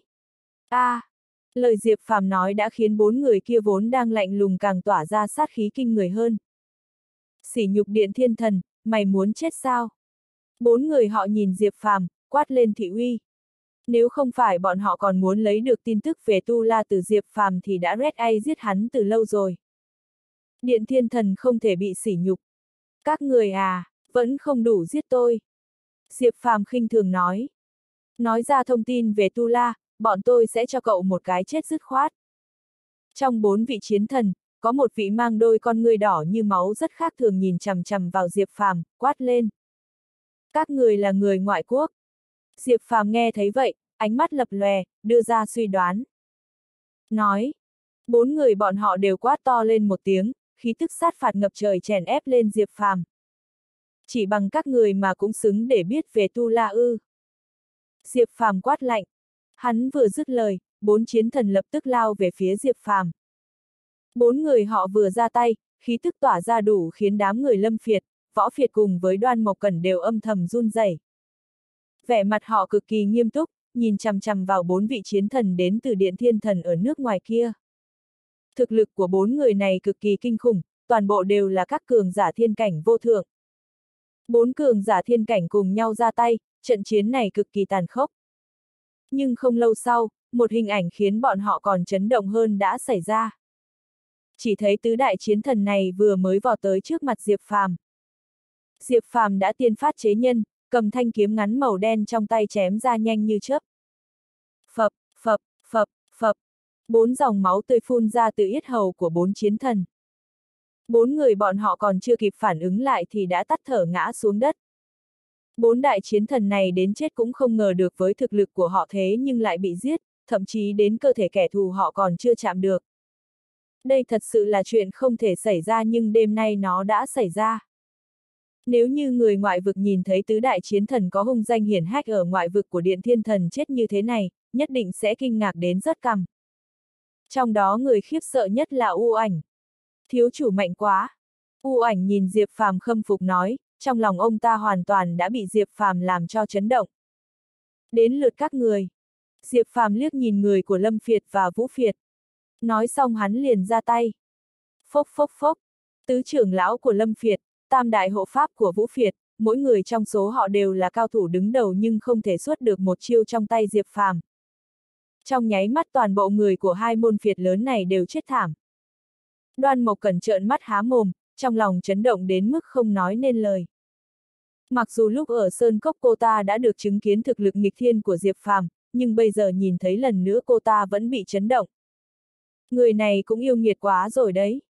Sau khi diệt hết người của hai môn phiệt, Diệp Phàm nhìn về phía đoan mộc cần, chỉ thấy người này run rẩy, vẻ mặt đầy nghiêm trọng. Công tử lợi hại quá, anh thật sự là thiên tài ngàn năm khó gặp. Đoan Mộc Cẩn vội vàng khen Diệp Phàm. Vừa rồi cô nói những lời kia là cố ý khơi mào mâu thuẫn giữa tôi và bọn họ, muốn chúng tôi lưỡng bại câu thương để cô dễ dàng cướp lấy Long tỷ đúng không? Diệp Phàm nhàn nhạt nói. Đoan Mộc Cần nghe vậy, sắc mặt khẽ đổi, nói, công tử, tôi tuyệt đối không có ý này, xin anh làm rõ. Cút đi. Diệp Phàm trực tiếp quát lên. Đoan Mộc cần tuy rằng khá xinh đẹp nhưng Diệp Phàm lại không thích loại phụ nữ tâm cơ như vậy. Công! Cô chưa cút là muốn đi chết với bọn họ à? Đoan Mộc cần vừa muốn mở miệng, Diệp Phàm đã lạnh lùng nhìn cô ta một cái. Ánh mắt lạnh băng của Diệp Phàm khiến Đoan Mộc Cẩn run lên, cô ta chỉ có thể nuốt những lời muốn nói xuống rồi ngoan ngoãn rời đi. Sau đó, Diệp Phàm nhìn u ảnh, ông biết bốn người tự xưng là chiến thần vừa rồi là ai không? Lúc nãy, Diệp Phàm chú ý thấy vẻ mặt của u ảnh thay đổi. Thưa thiếu chủ, trước đây khi còn lang thang ở thế giới ngầm tôi có nghe được một ít tin tức về Điện Thiên Thần ở ngoại vực. Điện Thiên Thần hiện giờ là tổ chức đứng đầu ngoại vực, sức chiến đấu cực kỳ đáng sợ. Nghe nói bất kỳ một vị cường giả nào của Điện Thiên Thần cũng đủ sức càn quét thế giới ngầm. Sự lớn mạnh của thần điện hiện giờ thậm chí có thể làm cho các quốc gia trên thế giới phải kiêng dè. U ảnh nhìn Diệp Phàm nói. Điện thiên thần này lợi hại thế à? Ánh mắt Diệp Phàm lóe lên. Đúng vậy, nhưng e rằng chỉ có người ngoại vực mới biết được điện thiên thần mạnh tới mức nào. U ảnh trầm giọng nói. Bọn họ muốn biết tung tích của tứ sư phụ, chẳng lẽ bọn họ có thủ oán với tứ sư phụ? Người ngoại vực lúc trước chẳng lẽ cũng là người điện thiên thần? Diệp Phàm âm thầm suy đoán. Xem ra điện thiên thần này có mâu thuẫn gì đó với tứ sư phụ của hắn, nếu không đối phương đã không nóng lòng muốn biết tung tích của tứ sư phụ như vậy. Đáng tiếc bọn họ gặp phải yêu nghiệt Diệp Phàm, chỉ có thể nói do họ xui xẻo. Đồ Long Sơn Trang. Ngay sau đó, Diệp Phàm nhìn về bốn người trước đó muốn tập kích hắn, cả người tràn ngập sát khí. Lúc trước hắn nghe Đoan Mộc Cần nói hình như bọn họ đến từ Đồ Long Sơn Trang gì đó. Cơ Như Yên, cô biết Đồ Long Sơn Trang không? Diệp Phàm liếc nhìn Cơ Như Yên. Thiếu chủ, Đồ Long Sơn Trang là một tổ chức sát thủ cực kỳ cổ xưa và thần bí ở Long Quốc. Chỉ cần trả được giá họ đưa ra, bất kỳ ai của Đồ Long Sơn Trang cũng dám giết, kể cả quan viên Long Quốc, tướng quân, thậm chí là người của môn phiệt thế gia bọn họ cũng dám giết và đều có thể giết chết được. Chỉ cần là người mà Đồ Long Sơn Trang muốn giết thì chỉ có một con đường chết. Nhiều năm như vậy Đồ Long Sơn Trang chưa từng thất bại, nhưng hôm nay sự tích bất bại này đã bị thiếu chủ phá vỡ rồi. Cơ như yên nhàn nhạt nói. Đồ Long Sơn Trang mạnh như thế à? Diệp Phàm kinh ngạc nói. Hắn thật sự không ngờ Long Quốc còn ẩn giấu một tổ chức sát thủ mạnh như vậy. Thiếu chủ, tôi sẽ nhanh chóng cho người đi điều tra xem ai đã mời Đồ Long Sơn Trang giết anh. Cơ như yên trầm giọng nói. Ừm. Diệp Phàm gật đầu rồi nhìn về phía đại thiếu gia của gia tộc Cô Tô đã bị dọa cho ngu người cách đó không xa. U ảnh lập tức nói những gì đại thiếu Cô Tô đã làm trước đây cho Diệp Phàm. Đại thiếu Cô Tô. Trong mắt Diệp Phàm lóe lên sát ý lạnh lẽo nhìn chằm chằm vào đối phương. Đại thiếu cô tô nhìn Diệp Phàm cơ thể không tự chủ mà run rẩy. Giết!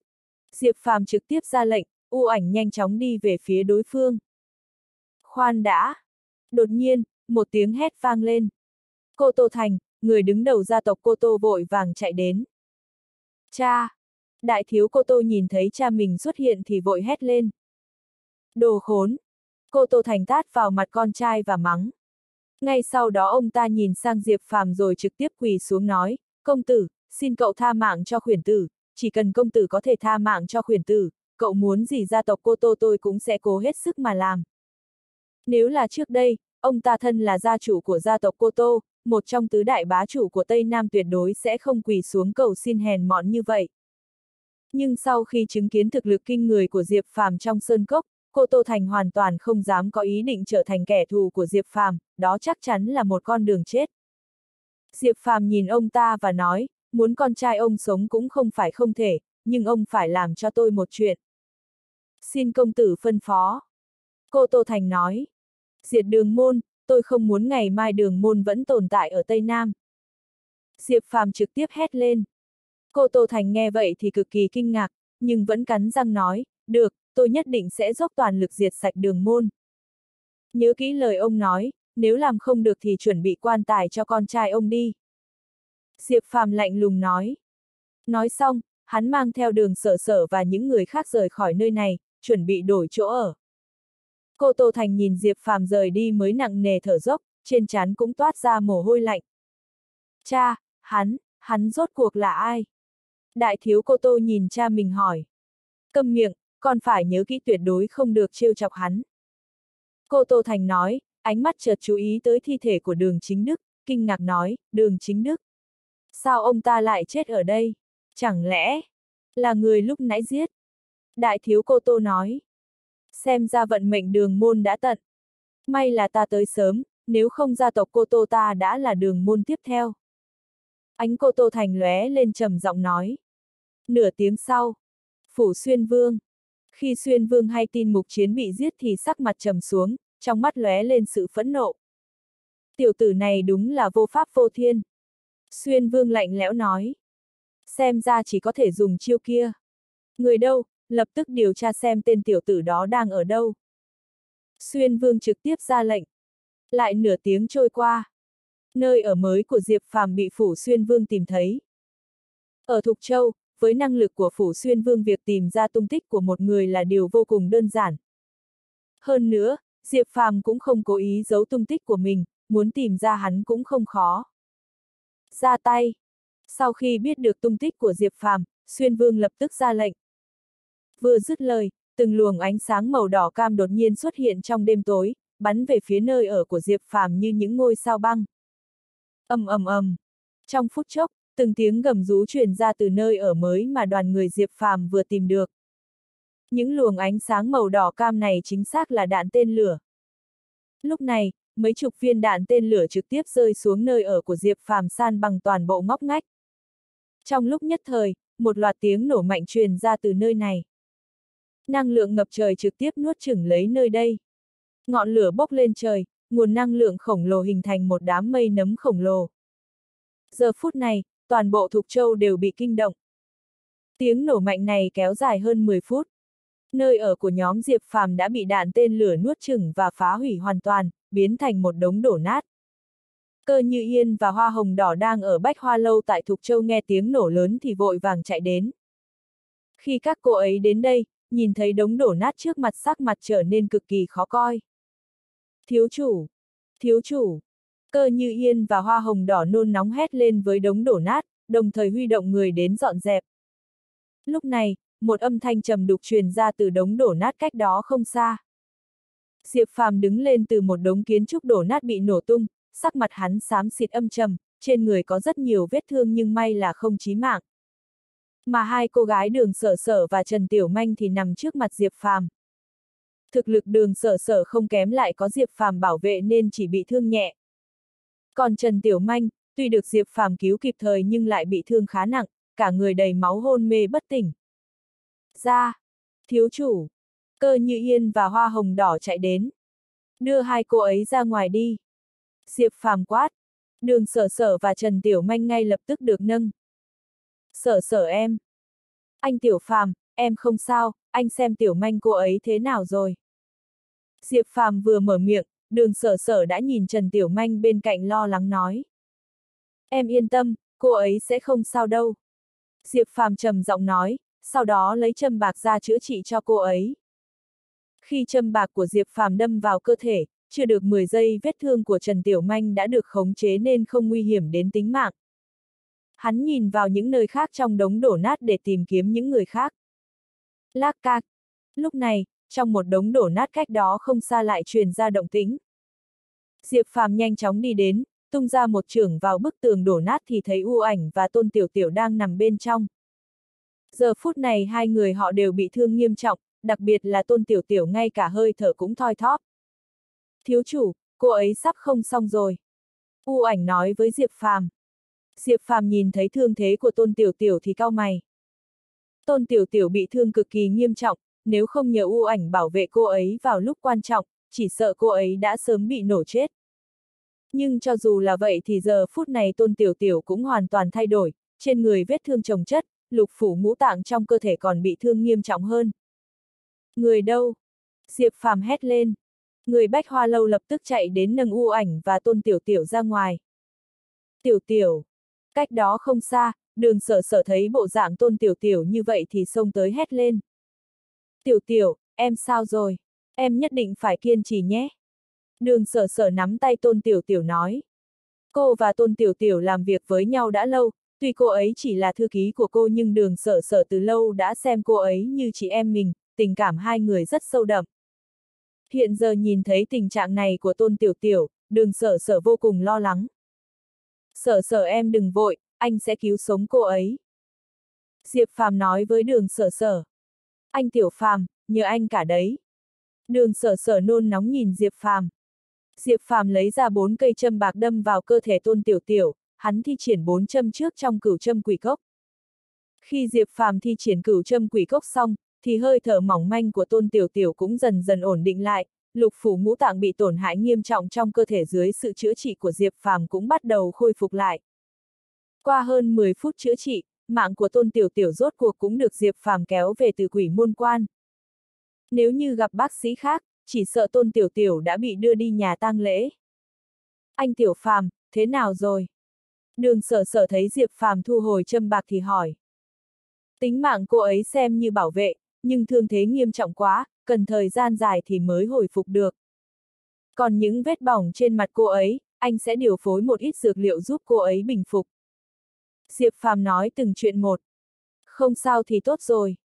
Nghe Diệp Phàm nói xong, trái tim luôn treo lơ lửng của đường sợ sợ cũng rơi xuống. Diệp Phàm lại chữa trị thương thế cho u ảnh một phen. Dưới sự chữa trị của Diệp Phàm, vết thương của u ảnh cũng không còn gì đáng lo nhưng cũng phải tính dưỡng cẩn thận. A cơ đâu?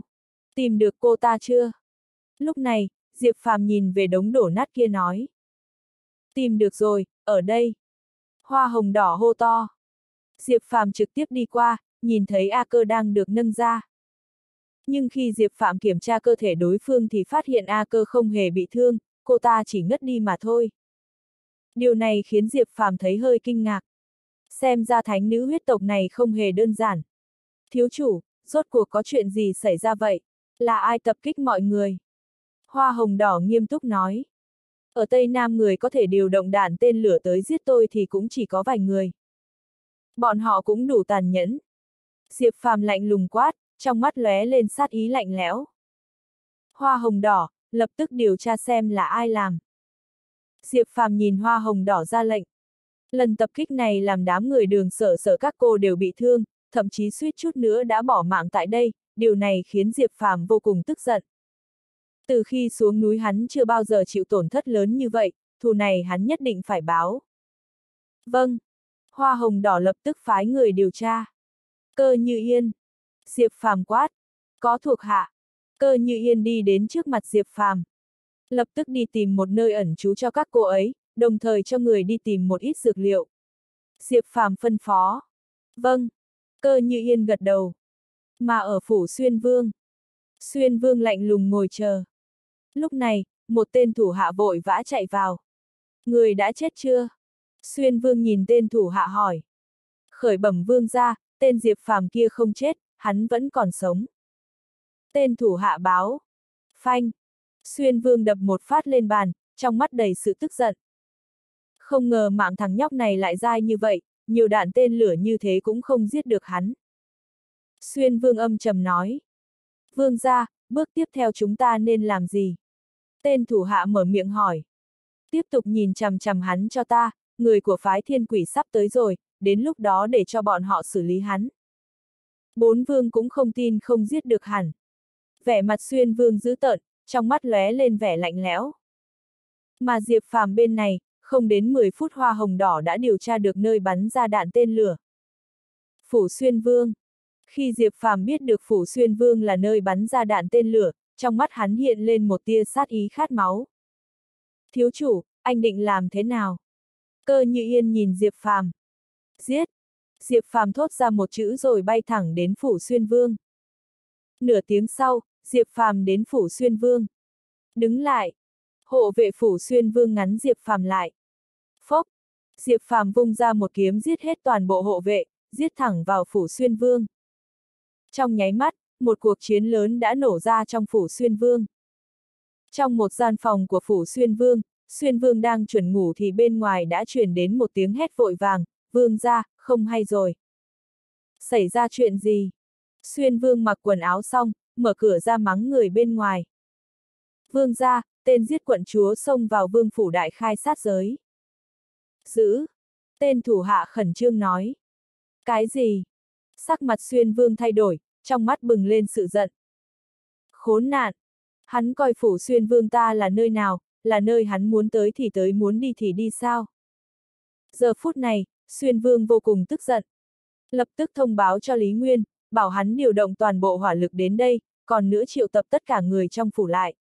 Bất kể giá nào, đêm nay ta cũng sẽ để tên tiểu tử này chết ở đây.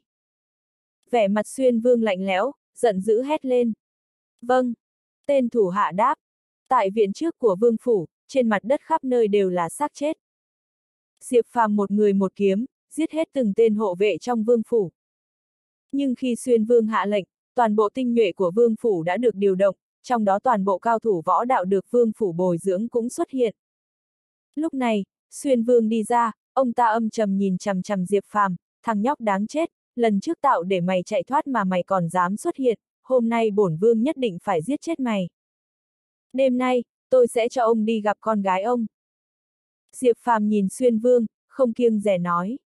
Nếu lời nói của hắn bị truyền ra, nó cũng đủ làm cả nước chấn động. Giết vương gia, đây chính là tội chết.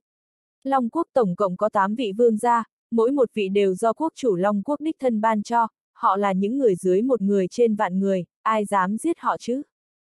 Nhưng đêm nay, Diệp Phàm lại nói thẳng là muốn giết xuyên vương, có thể nói là cực kỳ to gan. Giết! Ai giết được hắn, bổn vương thưởng cho người đó 100 triệu. Xuyên vương giận dữ hét lên. Xuyên vương vừa nói những lời này, toàn bộ hộ vệ và cao thủ võ đạo đều trở nên điên cuồng bắt đầu giết chết Diệp Phàm. Nhóm hộ vệ và cao thủ võ đạo này đều được Xuyên Vương triệu tập chiêu mộ đến sau khi Diệp Phàm giết chết vị quận chúa kia, do vậy bọn họ căn bản không chứng kiến được biểu hiện của Diệp Phàm ở phủ Xuyên Vương hôm đó, nếu không bọn họ cũng không dám ra tay với Diệp Phàm chỉ vì 100 triệu. Sau sự việc đó, Xuyên Vương trực tiếp chiêu mộ hơn 3.000 người chấn thủ phủ Xuyên Vương, trong đó có hơn 20 cao thủ huyền cảnh và hơn 100 cao thủ nhân cảnh. Hiện tại, những người này đều hướng về phía Diệp Phàm chém giết, trong đầu chỉ nghĩ đến 100 triệu, điên cuồng đến cùng cực. Nhưng thật đáng tiếc, đến chết họ vẫn không được 100 triệu này. Diệp Phàm cầm thanh kiếm ngắn màu đen trong tay, hắn tựa như một sát thần, không ngừng chém giết người trong phủ xuyên vương, vẻ mặt lãnh đạm, ánh mắt lạnh lùng, cực kỳ máu lạnh vô tình. Rất nhanh, xác chết dưới chân Diệp Phàm đã chất cao mấy thước, máu tươi nhuộm đỏ phủ xuyên vương. Cuối cùng, toàn bộ hộ vệ và cao thủ võ đạo của phủ xuyên vương đều chết thảm trong tay Diệp Phàm. La! Mấy ngàn xác chết nằm trên mặt đất, tựa như địa ngục tu. Mà xuyên vương đã hoàn toàn kinh ngạc đến sững người. Về phần Diệp Phàm, trong mắt hắn tràn ngập sát ý, đi về phía đối phương. Diệp Phàm, cậu định làm gì? Lúc này, Lý Nguyên dẫn đầu một lượng lớn quân quận vệ cầm vũ khí hạng nặng xông vào. Lý Nguyên nhìn Diệp Phàm quát. Ông cũng muốn chết. Diệp Phàm liếc nhìn Lý Nguyên một cái. To gan, cậu dám dĩ hạ phạm thượng, ra tay với xuyên vương là phạm vào tội lớn, tội không thể tha, nổ súng. Lý Nguyên chỉ vào Diệp Phàm hét lên. Phanh phanh phanh. Trong phút chốc, tất cả quân quận vệ ông ta mang tới trực tiếp nổ súng vào Diệp Phàm. Tất cả vũ khí trong tay những người này đều là vũ khí hạng nặng, sức sát thương của chúng đáng sợ hơn súng ống thông thường hàng chục lần. Giờ phút này, vô số viên đạn tạo thành một tấm lưới dày đặc bao phủ lấy Diệp Phàm. Những viên đạn này đã khủng bố nay còn dày đặc như vậy, cho dù là tường đồng vách sắt chúng cũng có thể phá vỡ. Diệp Phàm nhìn thấy cảnh này, trong mắt hắn hiện lên tia sáng lạnh lẽo. Âm! Trên người hắn bùng phát ra một nguồn năng lượng vô hình, nguồn năng lượng này trực tiếp chạm vào vô số viên đạn. Ngay lập tức, tất cả những viên đạn này quay trở lại đường cũ và lao về phía quân quận vệ. Phốc phốc phố. Giây tiếp theo, tất cả quân quận vệ do Lý Nguyên mang đến đều bị bắn chết bởi chính viên đạn của họ. Ngay cả Lý Nguyên cũng bị trúng mấy chục viên đạn, hai mắt mở to, ngã xuống đất chết không nhắm mắt. Vậy, đường đường là quận trưởng của một quận lại chết như. Xuyên Vương thấy Lý Nguyên chết thảm thì sắc mặt cực kỳ khó coi. Tới lượt ông. Diệp Phàm nhìn Xuyên Vương lạnh nhạt nói. Mày dám giết tao. Mày dám giết tao.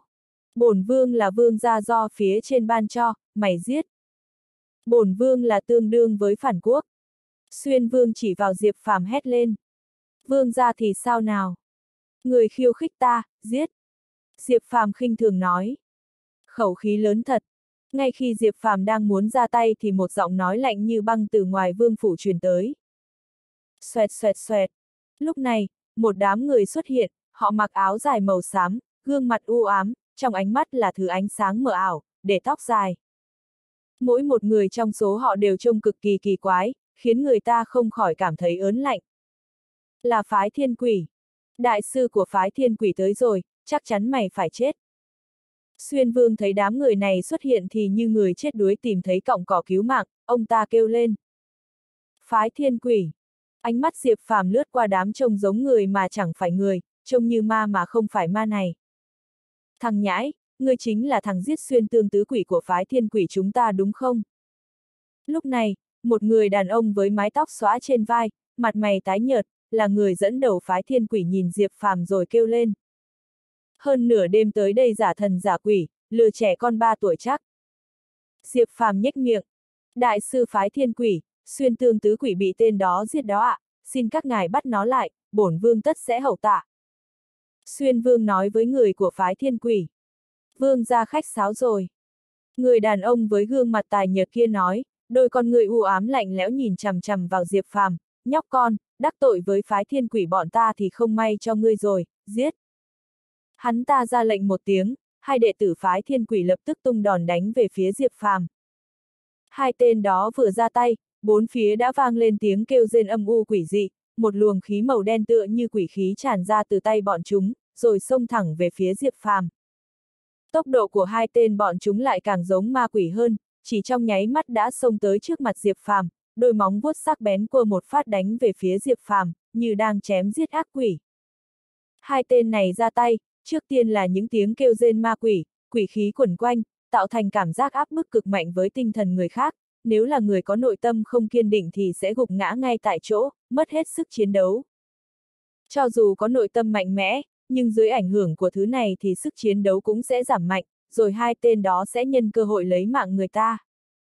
Đòn đánh của phái thiên quỷ này quả đúng là rất lợi hại. Nếu là người khác thì chỉ sợ rằng đã gục ngã luôn rồi. Nhưng với Diệp Phàm mà nói thì cũng chỉ là chút tài vặt mà thôi. Đối mặt với tiếng kêu rên ma quỷ, quỷ khí bao vây, biểu cảm của hắn không thay đổi chút nào, mãi đến khi hai tên kia cua móng vuốt sắp vào tới trước mặt hắn, cuối cùng hắn cũng nhúc nhích. Vù, vù. Đoàn kiếm màu đen trong tay Diệp Phàm vung lên, cùng với đó là một luồng khí lạnh bất chợt xuất hiện ngay trước mặt hai tên đệ tử phái thiên quỷ, sau đó thì bọn chúng chẳng hay biết gì nữa, trên cổ chúng chợt phụt ra hai luồng máu. Lúc này cả hai tên cùng ngã xuống đất, khiến những tên thuộc phái thiên quỷ khác thấy mà giật mình. Xông hết lên. Người đàn ông có vẻ mặt tái nhợt dẫn đầu phái thiên quỷ kia hét lên, những đệ tử còn lại của phái thiên quỷ cùng xông lên đánh Diệp Phàm. Đám người này, kẻ nào cũng tỏa ra quỷ khí âm u, truyền ra từng tiếng kêu rên ma quỷ, chúng ra tay như ác ma, khiến người ta có cảm giác như tự đưa thân vào địa ngục. Đã thích giả thần giả quỷ thì để tao cho chúng mày thành ma thật luôn. Diệp Phàm khinh thường hừ một tiếng. Thanh đoạn kiếm màu đen trong tay hắn không ngừng vung lên, biến tất cả bọn chúng thành ma thật. Những đệ tử của phái thiên quỷ đã bị giết hết sạch, chỉ còn lại tên kia với sắc mặt đen thui như mực, nhìn chòng chọc vào hắn. Bộp! Người đàn ông này vung tay một cái, một lá cờ màu đen xuất hiện trong tay hắn ta. Hắn ta phun một ngụm máu tươi lên lá cờ, trong miệng lẩm bẩm mấy câu thần chú khó hiểu.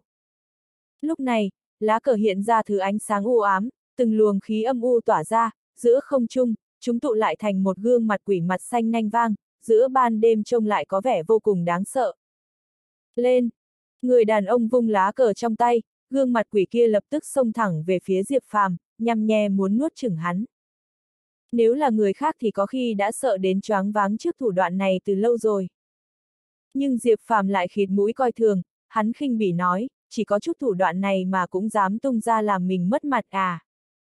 Diệp Phàm nói xong thì lạnh lùng quát lên, cút. Uỳnh.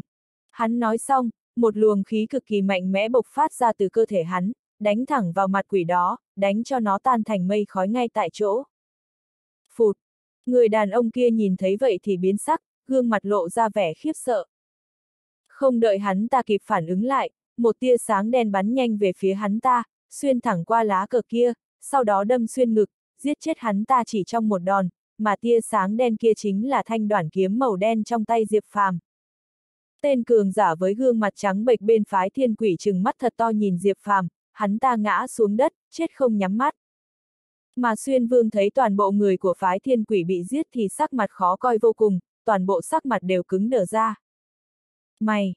Xuyên Vương trợn tròn mắt nhìn Diệp Phàm, trong thoáng chốc ông ta không biết phải nói gì. Đi với con gái ông đi. Diệp Phàm nói xong thì phất tay bóp cổ họng Xuyên Vương. Răng rác, cổ họng Xuyên Vương bị Diệp Phàm bóp nát ngay tại chỗ, hai mắt trợn tròn xoe, chết không nhắm mắt. Có đến chết ông ta cũng không ngờ rằng Diệp Phàm lại dám giết chết ông ta thật. ầm, um, Diệp Phàm quăng tay ra xa, thi thể của Xuyên Vương bị tùy ý ném xuống đất. Xuyên Vương, một trong tám bậc vua của Long Quốc cứ vậy mà chết đi, cái chết cực kỳ đơn giản, khiến người ta không thể tin nổi. Mà sau khi Diệp Phàm giết Xuyên Vương thì hắn đi qua đó, rút đoạn kiếm màu đen ra, rồi rời khỏi phủ Xuyên Vương. Tối nay, Tổng chỉ huy của chiến khu Tây Bộ bị giết chết, Thục Châu nổ tung, quận trưởng quận Thiên Thục chết thảm, Xuyên Vương bị giết, một loạt chuyên này chắc chắc đã khiến vô số người mất ngủ. Hôm sau, sau khi tin tức tân tổng chỉ huy của chiến khu Tây Bộ, quận trưởng quận Thiên Thục và cả Xuyên Vương đều bị giết bị lan truyền ra đã chấn động toàn Tây Nam, thậm chí là cả Long Quốc cũng bị rúng động. Cả ba vị này đều là chùm ở địa khu Tây Nam, một người là tướng quân Tam Tinh, một người là đứng đầu một quận, một người là vua của Long Quốc. Bất kỳ một ai trong số họ cũng là người quyền cao chức trọng, bây giờ lại cùng bị giết chỉ trong một đêm, đối với bất cứ ai mà nói thì đây cũng là một tin khiến người ta không thể tin nổi. Trên dưới Long Quốc, nơi nơi đều chấn động. Khi tin tức kia được lan truyền tới đế đô, trong đế đô, các nhà giàu có, nhà làm quan, các đơn vị quyền lực lớn, tam ti, nội các, người trong chiến bộ, ai ai cũng khiếp sợ. Bọn họ không tài nào tin nổi đến tột cùng lên tên nào dám ra tay với ba ông lớn này, mà sau khi một tin tức khác được truyền ra thì lại càng chấn động hơn. Cả ba người gồm tân tổng chỉ huy của chiến khu Tây Bộ, quận trưởng quận Thiên Thục và Xuyên Vương đều chết dưới tay một người. Người này tên là Diệp Phàm, chính là người trước đây đã giết chết quận chúa của phủ Xuyên Vương. Tin tức này vừa lan ra thì đã gây rúng động khắp nơi một lần nữa. Trước đó chuyện quận chúa của phủ Xuyên Vương bị giết đã gây huyên náo sôi sùng sục. Trong đế đô thì lại phái cả Tam Ti và người của quân ngự lâm tiến đến bắt hung thủ, nhưng cuối cùng lại quay về tay trắng, thế mà bây giờ tên hung thủ này gan lại càng lớn hơn, dám giết cả ba ông lớn này, hắn điên rồi chắc. Như này cũng quá điên cuồng, quá không e rè rồi. Vô liêm sỉ. Mà trong nội các, lúc này các vị trưởng lão nội các nghe được tin tức thì tức giận đến đập bàn, những quan chức cấp 1 và cấp 2 đó thậm chí còn yêu cầu trừng trị nghiêm khắc hung thủ. Rất nhanh, các trưởng lão trong nội các đã ra lệnh cho chiến khu Tây Bộ, không tiếc bất cứ giá nào cũng phải bắt được hung thủ, nếu hắn phản khác thì giết chết không cần luận tội, thậm chí nội các còn phái một vị quan chức cấp một đích thân tiến đến Tây Nam phụ trách chuyện này. Sở giám sát, sở tuần tra và sở hộ long thì lại còn phái hàng chục hàng trăm huyền cảnh và cao thủ địa cảnh tiến về Tây Nam, do đó có thể thấy phía trên rất xem trọng và phẫn nộ về chuyện này.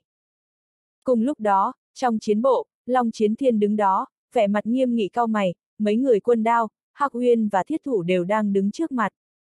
Thằng khốn này đúng là làm loạn rồi, chỉ trong một đêm mà giết chết nhiều người như thế. Long Chiến Thiên nói với giọng điệu trầm trọng. Long soái, bây giờ nên làm gì đây? Quân đao mở miệng nói. Trước đây tôi muốn dùng công lao cậu ta đối chọi với cường giả tám nước, bảo vệ căn cứ quân sự Tây Nam để bù đắp tội ác giết chết quận chúa Xuyên Vương, nhưng không ngờ rằng cái thằng nhóc này lại giết chết cả mục chiến, Lý Nguyên, Xuyên Vương, lần này thì có công lao gì cũng vô ích cả. Sốt cuộc là tên thiên tiêu này sao lại bồi dưỡng ra được một tên đồ đệ coi trời bằng vung như thế? Long Chí Thiên bất đắc dĩ nói. Long soái, chẳng lẽ không có cách gì thật sao? Nếu ông không ra tay cứu cậu ta thì cậu ta toi thật rồi. Lần này không chỉ có cậu ta mà e rằng cả căn cứ quân sự Tây Nam cũng sẽ bị phá hủy, nhưng cậu ta lập công lớn mà, chúng ta không thể không cứu được. Quân đao vội vàng nói. Long soái, với thiên phú và thực lực của thằng nhóc này thì tương lai thành tựu sẽ nhiều vô kể, nếu chúng ta cứu nó, đối với Long Quốc mà nói thì cũng là một chuyện rất tốt. Với lại liên quân tám nước sắp bị đột kích, chúng ta muốn chống cự cũng phải dựa vào chiến thần thiên tiêu, nếu lúc này chúng ta giết đệ tử của hắn ta, vậy e rằng. Hắc Huyên nhìn Long Chiến Thiên, nhỏ giọng nói. Hắc Huyên, cậu theo tôi vào cung. Long Chiến Thiên nói thẳng. Cùng lúc đó, trong số cử phiệt ở Long Quốc, Đông Phương Phiệt, Lâm Phiệt, Võ Phiệt, Tam Phiệt Phiệt chủ biết được chuyện tối hôm qua đều cực kỳ tức giận. Lập tức chém chết tên này, giành lại Long Tỷ. Tam Phiệt Phiệt chủ này lập tức ra lệnh, phái ra một lượng lớn cường giả đi vào, muốn giết luôn Diệp Phàm, đoạt lại Long Tỷ. Cùng lúc đó ở đoan Mộc Phiệt. Phiệt chủ, hôm nay chúng ta không lấy được Long Tỷ, vậy phải đối phó thế nào với mấy lão già kia đây? Đoan Mộc Cần ngồi ở đó, trước mặt cô ta là một cô gái khác đang có vẻ rất lo lắng. Ai ra, có lẽ là ý trời rồi, nhất định phải khiến tôi chạm mặt một yêu nghiệt tuyệt thế như thế. Tâm trạng đoan mộc cần phức tạp, đáp lời. Khởi bẩm phiệt chủ, có tin tức báo lại. Lúc này, một người làm vội vàng đi vào nơi này, quỳ xuống nói với đoan mộc cần. Tin tức gì? Đoan mộc cần nhìn đối phương hỏi. Người này báo lại từng tin tức Diệp Phàm chém giết ba vị đại lão, nội các đang giận dữ muốn bắt giữ hắn lại cho đoan mộc cần. Hả? Nghe thấy tin tức này, ánh mắt đoan mộc cần sáng ngời, trong mắt như lóe ra ánh sáng, khóe miệng nhếch lên cười cười, xem ra hôm nay muốn canh giữ ở ngoài chỗ này của mình rồi. Lập tức liên hệ nội các Long Quốc giúp tôi. Đoan Mộc Cẩn kêu lên. Lúc này ở nhà họ tô ở đế đô. Cái gì, ba, lời ba nói là thật sao? Khi Tô Nhược Tuyết vừa biết được những chuyện Diệp Phàm đã làm ở Tây Nam từ miệng ba mình là Tô Uy, vẻ mặt hoảng hốt hỏi. Đúng vậy, không ngờ rằng thằng nhóc đó lại to gan làm loạn tới mức ấy, trong một đêm đã dám giết luôn một vị tướng quân, một vị quận chủ và một vương gia như thế, nó thật sự cho rằng mình là con hổ ly có 9 cái mạng sao. Lần này cho dù nó có 9 cái mạng cũng không đủ thoát chết. Tô Uy lạnh lùng hừ một tiếng. Ba, ba mau cứu anh ấy đi. Anh ấy chính là ân nhân cứu mạng của con, ba không thể ngồi im mặc kệ được. Tô Nhược Tuyết kêu lên với Tô Uy. Chuyện mà nó làm bây giờ đủ để nó chết cả trăm lần rồi, con bảo ba cứu thế nào được. Tô Uy lắc đầu. Không được, anh ấy không thể chết được, ba không cứu thì con đi xin ông nội, nhất định là ông nội có thể cứu anh ấy. Tô Nhược Tuyết nói xong thì lập tức chạy đi tìm ông nội. Ai, con nhóc này. Tô Uy nhìn theo con gái, bất đắc dĩ lắc đầu. Lúc này ở đế đô, có người lo lắng vì việc Diệp Phàm làm, nhưng cũng có người vì chuyện này mà vui vẻ, ví dụ như Hoàng Bộ Quyền, Công Tôn Hằng, người của Âu Dương Thế Gia và Mộ Dung Thế Gia. Sau khi biết những chuyện Diệp Phàm đã làm, bọn họ đều có vẻ hả hê nói, thằng oát con này, lần này chết chắc, không ai cứu được nó nữa rồi. Cùng lúc đó, trong một sơn trang thần bí ở Long Quốc, một giọng đầy ngạc nhiên vang lên, vậy mà lại thất bại ư. Đồ Long Sơn Trang của chúng ta ngần ấy năm chưa từng có thất bại, thế mà bây giờ lại bị tên nhóc con làm hủy hoại danh tiếng. Đây quả thực là sự sỉ nhục đối với Đồ Long Sơn Trang. Lập tức thông báo với địa sát thủ lĩnh, để hắn ta điều động nhân lực. Bằng mọi giá phải giết chết tên nhóc con này cho tôi. Nếu đầu Long Sơn Trang chúng ta đã nhận nhiệm vụ này, thì tuyệt đối không được thất bại. Tên nhãi này cho dù có thân phận hay thực lực thế nào đi chăng nữa, đều phải chết. Chủ nhân của giọng nói này hét lên giận dữ. Một luồng tà khí chết chóc đáng sợ tràn ngập cả Sơn Trang. Trong ác nhân cốc, một giọng nói âm trầm bất chợt vang lên. Thông báo với người của tứ đại ác, dẫn trăm ác quỷ mang long tỷ về đây, kẻ nào dám ngăn cản, giết không cần thương tiếc. Vừa dứt lời, một đám hung hãn tàn bạo lũ lượt ra khỏi ác nhân cốc. Lão gia hỏa, người phái nhiều người như vậy đi như vậy, lẽ nào đã quên lúc trước người đó từng cảnh cáo rồi sao? Nếu như ác nhân cốc còn dám làm sằng làm bậy ở Long Quốc, thì hắn sẽ hủy diệt luôn của ác nhân cốc chúng ta. Lúc này, từ sâu trong ác nhân cốc vang lên một giọng nói lạnh nhạt, chất vấn chủ nhân của giọng nói âm trầm vừa rồi. Hừ, người đó đã biến mất hơn 10 năm rồi, nói không chừng đã chết từ lâu rồi. Chẳng lẽ ác nhân cốc của chúng ta chỉ vì một lời cảnh cáo mà thật sự phải ở trong cốc này cả đời hay sao?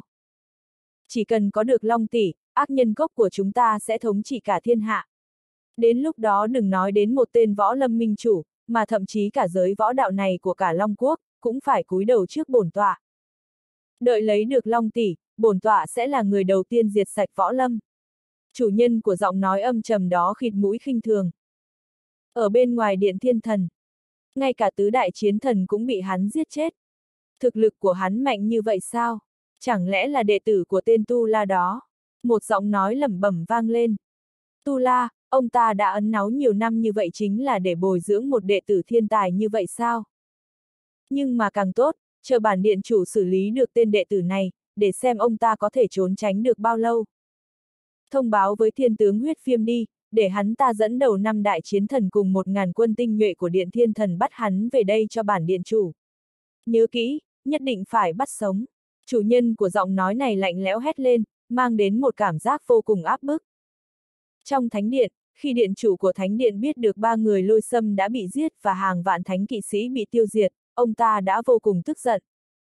Ngoài việc phải đối mặt với huyết tộc, thánh điện của bọn họ chưa bao giờ phải chịu một đòn nặng nề như vậy. Thông báo với Quang Tư, để hắn ta xuất quan, giết chết tên Long Quốc này. Điện chủ thánh điện hét lớn. Và Quang Tư mà ông ta nhắc đến chính là đoàn trưởng của sĩ đoàn thánh kỵ sĩ. ầm, um, Khi điện chủ vừa hạ lệnh, một tiếng gầm lớn đột nhiên phát ra từ sâu bên trong thánh điện, một luồng khí tức cực kỳ đáng sợ tràn ngập trong không khí.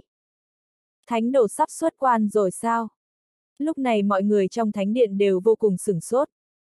Một khi thánh đồ xuất quan, vậy thì thánh nữ của huyết tộc nhất định sẽ bị hạ gục. Đương nhiên, thánh đồ không những là đệ tử thân truyền của thánh chủ, mà còn được năm vị thánh lão đích thân bồi dưỡng, thánh nữ huyết tộc làm sao có thể bì được. Lúc này, người trong thánh điện sôi nổi bàn tán. Long tỷ xuất hiện rồi. Lập tức đi thông báo, bằng mọi giá phải lấy được Long tỷ. Một mệnh lệnh được trực tiếp ban xuống trong tổ chức thiên võng. Khi các thế lực khác nhau đang thảo luận về Diệp Phàm, thì hắn lúc này đang ăn sáng với đường sở sở. Còn Trần Tiểu Manh và Tôn Tiểu Tiểu vẫn đang hồi phục vết thương. A cơ còn đang mê man, Diệp Phạm làm thế nào cũng không thể lay tỉnh được cô ta, nhưng thấy cô ta có vẻ vẫn bình thường, nên hắn cũng không quá chú ý. Tiểu Phạm ca ca, anh đã giết tên vương gia kia rồi, sẽ không có chuyện gì chứ? Hay là chúng ta lập tức rời khỏi nơi này đi? Đường sở sở lo lắng nhìn Diệp Phạm. Không sao đâu, đừng lo. Diệp Phàm khẽ mỉm cười. Thiếu chủ, chúng ta phải nhanh chóng rời đi. Lúc này, cơ như yên và hoa hồng đỏ đi tới, sắc mặt nghiêm trọng nói. Chuyện gì vậy? Diệp Phàm nhàn nhạt hỏi. Vừa mới nhận được tin bên trên vô cùng phẫn nộ trước cái chết của mục chiến tướng quân ở chiến khu Tây Bộ, Lý Nguyên quận trưởng của quận Thiên Thục và Xuyên Vương. Vậy nên nội các đã hạ lệnh cho chiến khu Tây Bộ bắt được thiếu chủ bằng mọi giá. Hiện tại chiến khu Tây Bộ đã huy động 10 vạn quân, phong tỏa mọi lối ra vào của Thục Châu, đang lục soát từ nhà này đến nhà khác để tìm thiếu chủ. Chỉ sợ không bao lâu nữa sẽ tìm được nơi này. Hoa hồng đỏ nói. Thiếu chủ, để chúng tôi hộ tống anh rời khỏi đây. Cơ như yên nói với Diệp Phàm. Lúc này Diệp Phàm cao mày nói, tôi sao cũng được, vậy nên trước tiên hãy dẫn sở sở bọn họ rời khỏi Thục Châu. Diệp Phàm mặc dù không sợ chiến khu Tây Bộ, nhưng hắn lại rất lo lắng cho sự an toàn của mấy người sở sở và tiểu manh, dù sao vết thương của bọn họ còn chưa lành, không thể xảy ra thêm chuyện gì nữa. Bọn họ ngay lập tức rời đi. Kết quả bọn họ vừa ra ngoài, đã có đám binh lính từ xa lao về phía bọn họ, trong đó có số lượng lớn xe tăng. Ngay cả trên không trung cũng có hàng chục chiếc trực thăng vũ trang bay tới, mang theo vũ khí hạng nặng và bệ phóng tên lửa, tất cả đều nhằm vào đám người Diệp Phàm. Cảnh tượng này có thể gọi là thanh thế cuồn cuộn, trận chiến vô cùng khốc liệt. Khi cơ như yên và những người khác nhìn thấy cảnh này, sắc mặt của họ liền thay đổi. Ngay tức khắc tất cả binh lính này đều lao tới, bao vây đám người Diệp Phàm, vũ khí và pháo đạn của xe tăng đều nhắm thẳng vào bọn họ. Lúc này, một người đàn ông trung niên mặc quan phục đi ra, nhìn Diệp Phàm, nghiêm nghị hét lên, Diệp Phàm, mày còn muốn chạy sao? Mày cho rằng có thể chạy thoát sao? Người này là quan chức cấp một được nội các phái đến, tên là Tống Hình, quản lý toàn bộ cơ cấu hình sự của Long Quốc. Bên cạnh Tống Hình là một nhóm cường giả do Tam Ti phái đến, trong đó có Miêu Thiên, lúc này là tổng chỉ huy tạm thời của chiến khu Tây Bộ, ông ta vốn là chỉ huy của chiến khu Tây Bộ cùng với Nguyên Hạo và Mục Chiến, chỉ là ông ta thường giữ thái độ khiêm tốn, nhưng bây giờ Nguyên Hạo bị bắt đi điều tra, Mục Chiến thì bị giết, vậy nên Miêu Thiên trở thành người phụ trách tạm thời của chiến khu Tây Bộ. Các người đến cũng thật nhanh, Diệp Phàm liếc nhìn đám người, cười lạnh. Nhóc con, bây giờ mày dám cả gan giết chết xuyên vương, mục tướng quân, lý quận trưởng, quả thực là vô pháp vô thiên, mày quá xem thường pháp luật của Long Quốc rồi phải không? Hôm nay tao được lệnh đến bắt mày, tốt nhất mày nên đầu hàng chịu trói, nếu không sẽ bị giết không thương tiếc. Tống hình nhìn Diệp Phàm rồi hét lên. Ông ta vừa dứt lời, vũ khí trong tay của hàng vạn binh lính ở chiến khu Tây Bộ đều chĩa vào Diệp Phàm, sẵn sàng bóp cò ngay lập tức. Các xe tăng và trực thăng cũng đã sẵn sàng để khai hỏa. Còn những cường giả của Tam Ti nắm chặt vũ khí và sẵn sàng ra tay bất cứ lúc nào. Lúc này, bầu không khí tựa hồ vô cùng u ám, không khí dường như đông cứng lại. Tôi là người phụ trách bách hoa lâu, các người muốn làm gì? Lúc này, cơ như yên đứng dậy, hét lớn. Người của bách hoa lâu. Cái gì, cô định trở thành kẻ thù của Long Quốc vì tên nhãi con này à? Bách hoa lâu các cô mặc dù rất có bản lĩnh, nhưng nếu đắc tội với triều đình, vẫn phải chết. Tống hình nhìn cơ như yên, lạnh lẽo đáp. Vẻ mặt của cơ như yên thức thay đổi, ngay khi cô ấy định ra tay thì bị Diệp Phàm ngăn lại. Cô hãy chăm sóc sở sở bọn họ thật tốt. Chờ tôi quay lại, Diệp Phàm nói với cơ như yên. Sau đó hắn liếc nhìn Tống Hình, người mày muốn bắt là tao, hãy để bọn họ đi, tao sẽ đi với mày. Dù vũ khí của đám người này rất lợi hại, nhưng muốn đối phó với hắn vẫn còn kém lắm. Nhưng hiện tại hắn không chỉ có một mình, bên cạnh còn có đám người sở sở. Một khi cuộc chiến bắt đầu, hắn khó có thể bảo vệ được sở sở và những người khác. Vậy nên vì sự an toàn của bọn họ, Diệp Phàm chỉ có thể đi theo đám người này. Về phần an nguy của hắn, hắn cũng chẳng thèm lo lắng. Hắn trước đây đã từng đi đến chiến khu Tây Bộ. Xem như mày biết điều. Bắt lại, Tống Hình nhìn Diệp Phàm, hét lớn. Diệp Phàm ngay lập tức bị bọn họ giải đi. Tiểu Phàm ca ca, đường sở sở vội vàng nhìn Diệp Phàm. Chờ anh quay lại, Diệp Phàm nhìn đường sở sở nói. Còn vẫn muốn quay lại, đừng mơ nữa. Tống hình hừ lạnh một tiếng. Diệp Phạm liền bị bắt đi. Khi Diệp Phạm bị bắt đi, sắc mặt của đường sở sở, cơ như yên và hoa hồng đỏ trở nên rất khó coi.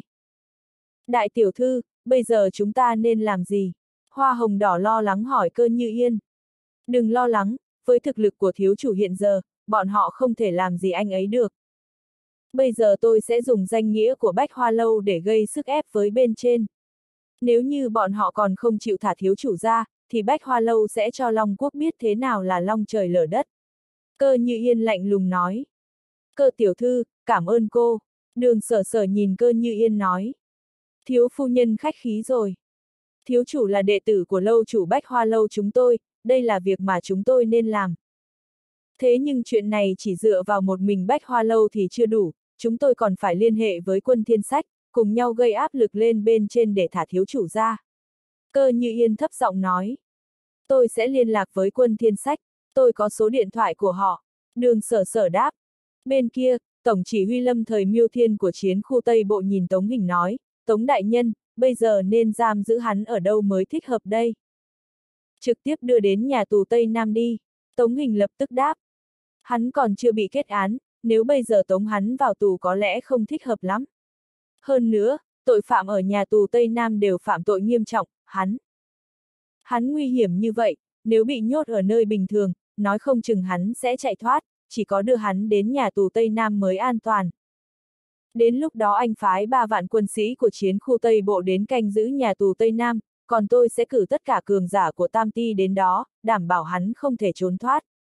Miêu Thiên vừa mở miệng, Tống Hành liền lạnh lùng quát lên. Vâng, Miêu Thiên lập tức gật đầu. Sau đó, bọn họ trang bị đầy đủ vũ khí áp giải Diệp Phàm đến nhà tù Tây Nam, cũng là nơi đáng sợ nhất của vùng Tây Nam. Trong phân điện của Điện Long Vương ở quận Thiên Thục, phân điện chủ từ xuyên nhanh chóng đi tới trước mặt Bạch Ưng Long Quân, Long Quân đại nhân, vừa rồi chiến khu Tây Bộ đã điều động hàng vạn binh sĩ, thiết giáp xe tăng và trực thăng vũ trang cùng các trang vũ khí hạng nặng để bắt giữ Diệp Phàm đi rồi. Xem ra bên trên đã thực sự tức giận rồi. Bạch ưng Long quân nhàn nhạt nói. Nhóc con này đã giết chết tướng quân của chiến khu Tây Bộ, quận trưởng của Thiên Thục và Xuyên Vương chỉ trong một đêm. Lần này e rằng hắn chết chắc rồi, phía trên nhất định sẽ không bỏ qua cho hắn. Từ Xuyên trầm giọng nói. Hắn không thể chết được. Trong mắt của Bạch ưng Long quân khẽ lóe lên một tia sáng. Long quân đại nhân, ngài có muốn cứu hắn sao? Từ Xuyên kinh ngạc nhìn ông ta. Tên nhóc này không phải người bình thường, nếu như có thể giúp hắn một lần, để hắn phải nợ ân tình, đây không phải là chuyện tốt sao? Bạch ưng Long Quân vui vẻ nói. Ở một nơi khác, khi hòa Ân, Khương Vân Hy và Lý Tử Huyên chuẩn bị rời khỏi Thục Châu thì biết được Diệp Phàm đã bị bắt. Diệp Phàm bị bắt đi rồi. Sắc mặt Hoa Ân thay đổi. Diệp Thần Y đã bị bắt, bây giờ anh ấy thế nào rồi? Khương Vân Hy và Lý Tử Huyên lo lắng hỏi. Đừng lo lắng, trước tiên hỏi rõ ràng cái đã. Hoa Ân vừa nói vừa gọi điện thoại trực tiếp để tìm hiểu tình hình. Sau khi gọi điện xong, lông mày của ông ấy nhíu lại, vẻ mặt rất nghiêm nghị. Ông nội Hoa, thế nào rồi? Khương Vân Hy nhìn Hoa Ân, lo lắng nói. Hoa Ân trực tiếp kể lại những gì Diệp Phàm đã làm tối qua, cả Khương Vân Hy và Lý Tử Huyên đều kinh ngạc khi nghe thấy điều này. Bọn họ không ngờ rằng Diệp Phàm lại có thể liên tiếp giết chết ba nhân vật lớn như vậy chỉ trong một đêm, cũng quá mạnh rồi. Sự việc này khiến một vài trưởng lão trong nội các vô cùng tức giận. Một số quan chức thậm chí kiến nghị trừng phạt nghiêm khắc Diệp Phàm. Hiện tại bên trên đã phái Tống Hình là một quan chức cấp một phụ trách cơ cấu hình sự đến để xử lý việc này. Hoa Ân nói, chúng ta nên làm gì đây? Diệp Thần Y sẽ không bị giết đúng không? Lý Tử Huyên lo lắng hỏi. Với tội trạng như vậy, cho dù có 10 cái mạng cũng không đủ để đền tội. Hoa ân nghiêm trọng nói. Ông nội Hoa, ông phải cứu Diệp thần y. Với y thuật của anh ấy, nếu chết đi chắc chắn sẽ là một tổn thất rất lớn đối với nền y học của chúng ta. Hơn nữa anh ấy lần này đã thắng được hạng nhất cuộc thi y đạo, sao có thể chết như vậy được? Khương Vân Hy hưng phấn nói. Ông bây giờ lập tức trở về đế đô, nói chuyện với vài trưởng lão trong nội các xem có thể cứu được hắn hay không. Vân Hy, con cũng quay về tìm ông nội của con. Nếu ông ấy chịu giúp Diệp Thiếu nói chuyện, nói không chừng cơ hội cứu được sẽ càng cao. Hoa ân nhìn Khương Vân Hy nói. Vâng ạ, à, con sẽ quay về tìm ông nội. Khương Vân Hy gật đầu. Vậy con cũng sẽ quay về tìm cha con giúp đỡ. Lý Tử Huyên liền nói. Sau đó, họ liền trở về đế đô. Và trong căn cứ của quân Thiên Lang, khi Chu Thiên Lâm quân chủ của quân Thiên Lang nhận được tin Diệp Phàm bị bắt, cười lạnh nói, đúng là trời cũng giúp ta. Quân chủ, tên nhóc con này xem ra chết chắc rồi. Mạc Lâm quân đoàn trưởng quân Thiên Lang mở miệng. Bây giờ hắn bị giam giữ ở đâu? Chu Thiên Lâm lạnh lùng hỏi. Hắn đã bị chiến khu Tây Bộ áp giải tới nhà tù Tây Nam. Mạc Lâm nói. Nhà tù Tây Nam. Càng tốt, vậy hãy để hắn chết trong nhà tù Tây Nam đi. Cậu sắp xếp chuyện này, hắn nhất định phải chết. Chu Thiên Lâm lạnh lùng hét lên. Vâng, quân chủ, Mạc Lâm gật đầu. Trong căn cứ của quân thiên sách, lúc này mộ bạch quân đoàn trưởng số 3, đồ phu quân đoàn trưởng số 4, thẩm thanh y quân đoàn trưởng số 5, đoạn thiên bằng tổng đốc Thục Châu, Mục Kình Thiên quân đoàn trưởng số 7 và đoàn đao quân đoàn trưởng số 8 đều tụ tập ở chỗ này, sắc mặt mỗi người đều rất khó coi. Rõ ràng là họ đều đã biết tin về Diệp Phàm. Bây giờ tôi sẽ dẫn người đi giải cứu thiếu quân chủ. Đồ phu đập bàn, hét lớn. Tôi cũng đi. Thêm tôi nữa. Đoạn đao cùng Mục Kình Thiên nói thẳng. Đừng kích động, bây giờ nội các đã ra lệnh bắt giữ thiếu quân chủ, nếu ra tay sẽ xem như không tuân lệnh nội các, nhất định sẽ bị trừng phạt. Mộ bạch nhìn bọn họ, cố gắng khuyên can. Lẽ nào phải chịu thiếu quân chủ bị bọn họ hại chết sao? Nếu thiếu quân chủ có chuyện gì, chúng ta sẽ đối mặt với quân chủ như thế nào? Đồ phu khó chịu nói. Cái mạng này là do thiếu quân chủ nhặt về, nếu các người không đi thì ta đi một mình. Mục kình thiên lạnh lùng nói. Chúng ta trước tiên nghĩ ra biện pháp cái đã. Thẩm thanh y trầm giọng nói. Thiếu quân chủ gặp nạn, còn có thể nghĩ ra biện pháp nào hay ho. Hơn 10 năm không gặp, dũng khí của quân thiên sách các người đã bị mất hết rồi à? Tại sao bây giờ lại trở nên rụt rè như vậy? Đột nhiên, một tiếng quát lạnh lùng vang lên, giống như sấm sét, một cỗ tà khí lạnh lẽo tràn ngập không khí. Những quân đoàn trưởng của quân thiên sách đều nhìn về phía phát ra giọng nói đó. Một người đàn ông tóc dài, dâu ria xồm xoàm, mặc trường y màu xám xuất hiện ở đây, tay áo bên phải trống rỗng, chỉ còn lại cánh tay trái. Người đàn ông này có ánh mắt lạnh lùng vô cảm, toàn thân tràn ngập một loại tà khí đáng sợ, tà khí này tựa như đã ngưng tụ lại khiến người ta có cảm giác một ngạt. Hoàng bộ, mộ bạch thấy người này, trực tiếp hét lên. Đám người đồ phu cũng kích động nhìn người đàn ông này. Hoàng bộ, anh cuối cùng đã trở lại rồi. Đồ phu nhìn người đàn ông và hét lên đầy phấn khích. Người đàn ông này không ai khác chính là Hoàng Bộ Thương, quân đoàn trưởng số 2 của quân Thiên Sách. Khi đó, Hoàng Bộ Thương là một trong những chiến binh hàng đầu của quân Thiên Sách, thực lực cường đại, hơn nữa còn máu lạnh vô tình, trên chiến trường không bao giờ nương tay, khiến kẻ thù cực kỳ khiếp sợ. Tuy nhiên, trong trận chiến năm đó Hoàng Bộ Thương vì cứu một chiến sĩ của quân Thiên Sách mà bị cường giả của nước địch chặt đứt cánh tay phải, sau đó ông ta rời khỏi quân Thiên Sách và biến mất hơn 10 năm. Lúc này, đám người mộ bạch nhìn Hoàng Bộ Thương trở về, trên mặt đều lộ rõ vẻ hưng phấn.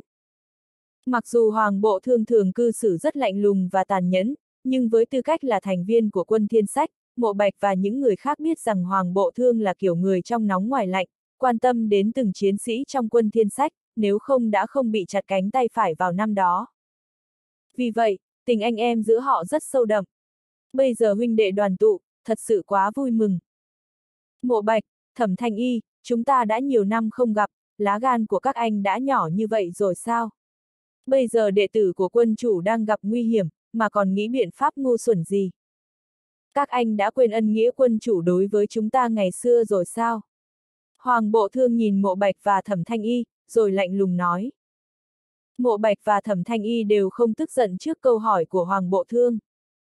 Bởi vì bọn họ đều biết tính cách của Hoàng bộ thương, luôn đi thẳng vào vấn đề và không bao giờ vòng vo. Hoàng bộ, lần này trưởng lão của nội các đã hạ lệnh truy bắt thiếu quân chủ, một khi ra tay thì chúng ta sẽ đối nghịch với phía trên.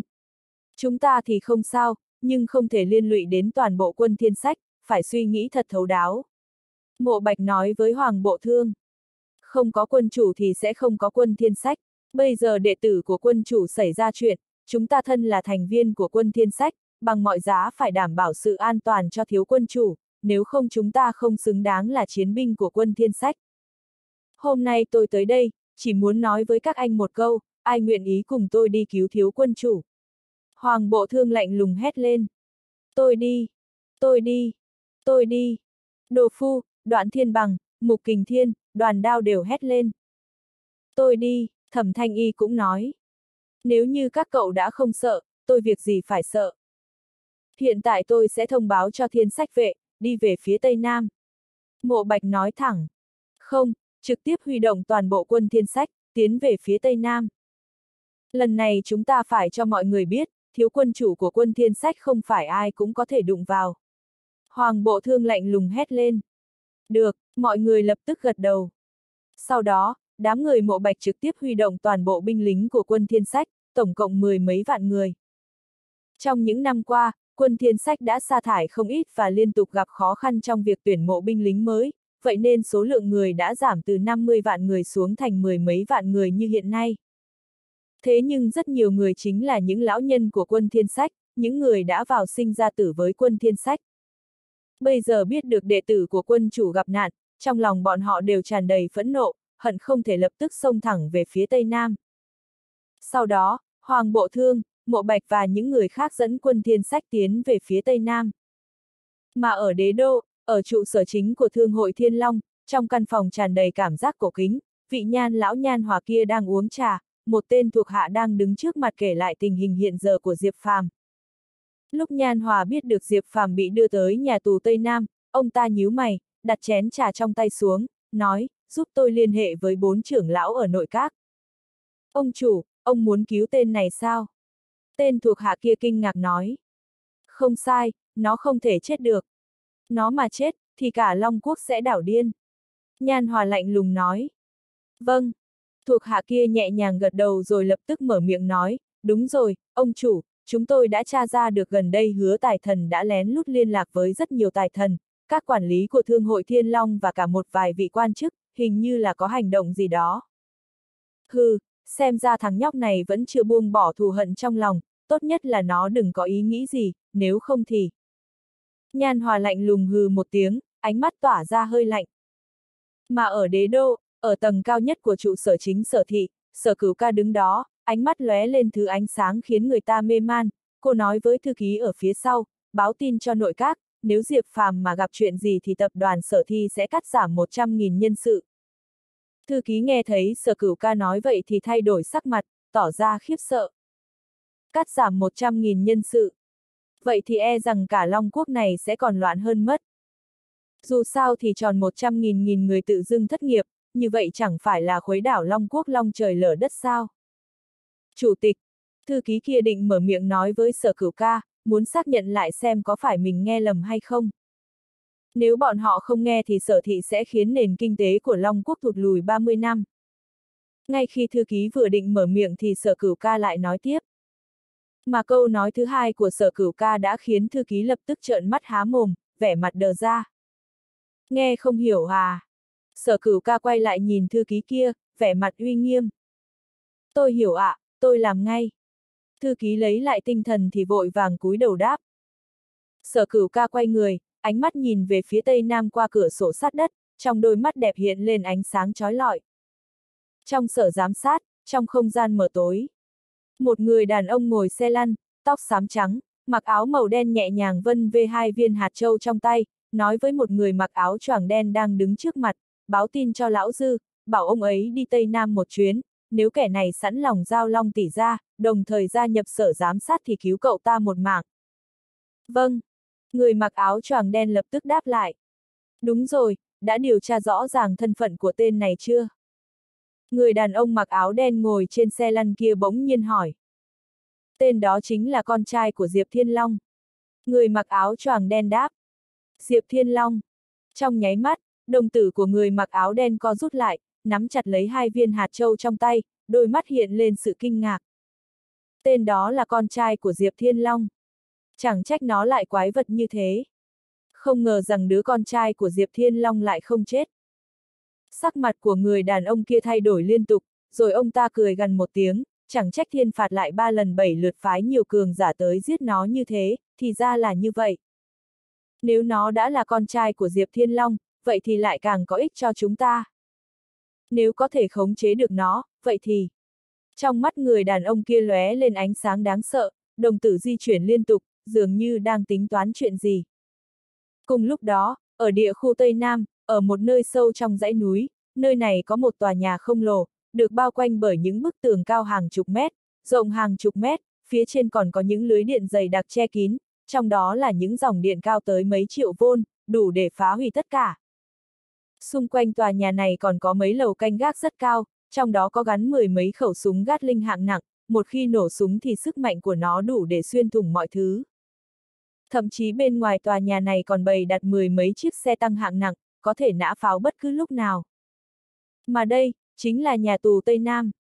Nhà tù Tây Nam là nhà tù cấp cao bậc nhất ở cả Long Quốc, chỉ đứng sau nhà tù trong truyền thuyết ở đế đô, so với nhà tù Kim Lăng thì nơi này cũng có cấp bậc cao hơn mấy cấp. Một khi bị giam tại nhà tù Tây Nam, cho dù có là cường giả thiên cảnh thì cũng chưa chắc đã có thể ra khỏi đây. Địa khu Tây Nam là một khu vực không ổn định lắm ở Long Quốc, ở nơi đây nạn trộm cướp hoành hành, lại có rất nhiều thế lực ngầm và thế lực võ đạo tung hoành, thậm chí còn có nhân viên tình báo và gián điệp từ các quốc gia đang nằm vùng ở đây. Bởi vậy, trong nhà tù Tây Nam này giam giữ rất nhiều cường giả võ đạo, những ông trùm, những tên đầu sỏ, những tên thủ đoạn tàn nhẫn, giết người không ghê tay, thậm chí còn có cả gián điệp từ các nước. Tóm lại là những kẻ bị giam giữ trong này đều là những tội phạm nghiêm trọng, tội phạm tử hình, không có khả năng nhìn thấy thế giới bên ngoài một lần nữa. Lúc này đây, Diệp Phàm bị người của địa khu Tây Nam mà dẫn đầu là Miêu Thiên áp giải tới đây. Ngục trưởng vương của nhà tù Tây Nam tham kiến tướng quân Miêu. Ở trong nhà tù, một người đàn ông với hình thể to lớn, gương mặt có dâu quai nón đang cung kính nói với Miêu Thiên. Tôi nhận lệnh đưa tội phạm Diệp Phàm tới, ông đưa hắn ta đi thu xếp đi. Miêu Thiên nói với Vương Man. Vâng. Vương Man nhẹ nhàng gật đầu, ánh mắt lướt qua phía Diệp Phàm rồi lạnh lùng nói, thằng nhóc, đi thôi. Ngục trưởng Vương, tên này không tầm thường, anh phải đối xử cẩn thận, tôi đã phái ba vạn quân đóng quân ở chiến khu Tây Bộ đến đóng quân bên ngoài nhà tù, có việc thì cứ liên hệ. Miêu Thiên nói với Vương Man. Tướng quân Miêu, chỉ một thằng nhóc con như hắn ta mà cũng đáng để mọi người xem trọng vậy sao? Lại còn cần quân lính đóng quân canh giữ nữa. Vương Man kinh ngạc nói. Nhà tù Tây Nam này vốn có hơn vạn chiến sĩ đóng quân quanh năm, trước đây khi đưa các tù nhân vào, cho dù thân phận của họ có khủng khiếp cỡ nào thì cũng chưa bao giờ cần phải huy động nhân lực như hôm nay, không chỉ khiến sĩ quan chỉ huy của chiến khu Tây Bộ đích thân áp giải tới, mà còn cần phái ba vạn quân đóng quân ở đây, đãi ngộ này chắc chắn là lần đầu trong lịch sử. Điều này khiến Vương Man không khỏi nhìn Diệp Phàm mấy lần, muốn nhìn thử xem rốt cuộc thằng nhóc này có tài cán gì mà lại có thể nhận được sự xem trọng to lớn như thế. Rất rõ ràng rằng hắn ta vẫn chưa biết những chuyện mà Diệp Phàm gây ra ngoài kia, nếu không thì hắn ta sẽ chẳng có suy nghĩ như vậy. Đây là mệnh lệnh từ phía trên. Miêu Thiên mở miệng nói. Tướng quân Miêu ngài yên tâm, cho dù thằng nhóc này có lợi hại cỡ nào thì khi vào nhà tù Tây Nam này rồi, có là rồng cũng phải cuộn mình lại, là hổ thì nằm xuống, không thể gây ra sóng gió gì lớn cả. Vương Man nói với vẻ mặt tự tin, ánh mắt hắn ta liếc về phía Diệp Phàm, nhóc con, tôi không quan tâm ở ngoài kia cậu có thân phận thế nào, nhưng vào nhà tù này rồi thì tốt nhất là cậu nên thật thá chút cho tôi, nếu không thì đừng trách tôi không khách sáo với cậu. Bộp! Ánh mắt lạnh lùng của Diệp Phàm lướt qua Vương Man, hắn ta bị ánh mắt của Diệp Phàm liếc nhìn thì nội tâm bất chợt run lên, có cảm giác như ứa ra mồ hôi lạnh. Vẻ mặt Vương Man hơi thay đổi, trong nháy mắt, hắn ta tức giận, gào lên, người đâu, đưa hắn ta vào phòng giam loại thiên số 6. Ngục trưởng, đưa vào phòng giam thiên tự số 6 sao.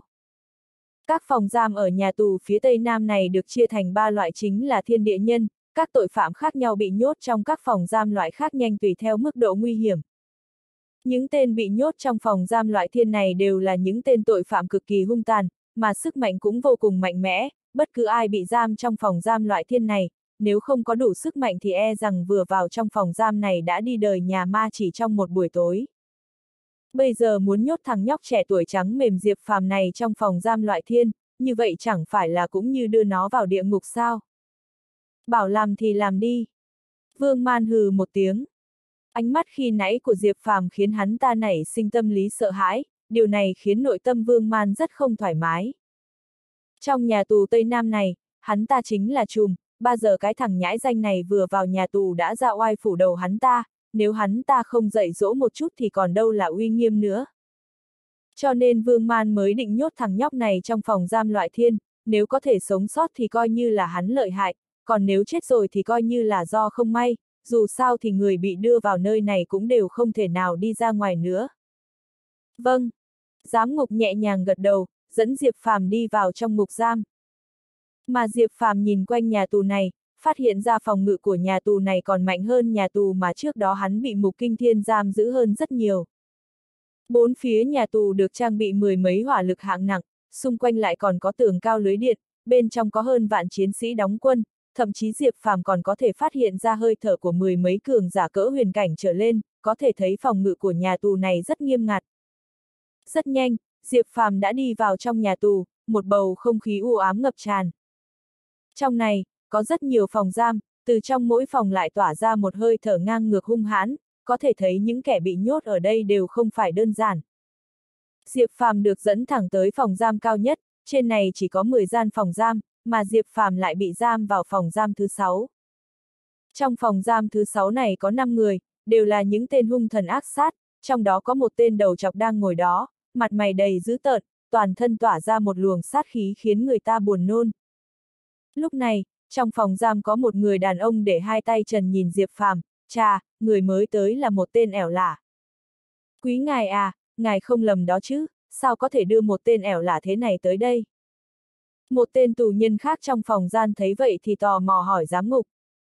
Nói nhảm nhiều thế làm gì, sau này hắn ta sẽ ở đây. Giám ngục lạnh lùng hừ một tiếng, ánh mắt liếc về phía Diệp Phàm, chỉ vào một giường ngủ còn trống không, nói, đó chính là giường ngủ của cậu, sống ở đây thật thà chút. Giám ngục nói xong thì đóng cửa phòng giam lại luôn.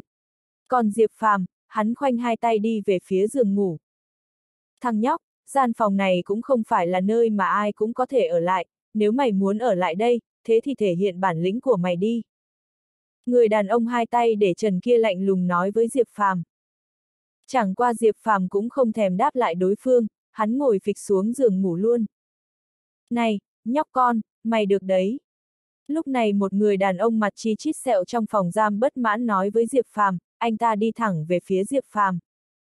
Hôm nay ông đây sẽ dạy cho mày quy củ của cái phòng giam loại thiên số 6 này. Người đàn ông này vung một nắm đấm tới phía Diệp Phàm. Vút, vừa vung nắm đấm, tiếng gió rít gào, có thể thấy nắm đấm này của đối phương rất mạnh. Răng rác, kết quả là nắm đấm của đối phương mới dừng ở trước mặt Diệp Phàm thì đã bị hắn dùng một tay bóp nát. A, à, người đàn ông này kêu lên thảm thiết. Bộp, một tay Diệp Phàm vung lên bóp lấy cổ họng đối phương, bóp nát ngay tại chỗ. ầm, um, Diệp Phàm vung tay một cái, người đàn ông mặt sẹo này đã bị ném ra ngoài, anh ta nằm trên mặt đất, chết không nhắm mắt, mà toàn bộ quá trình diễn ra chưa tới một giây đồng hồ.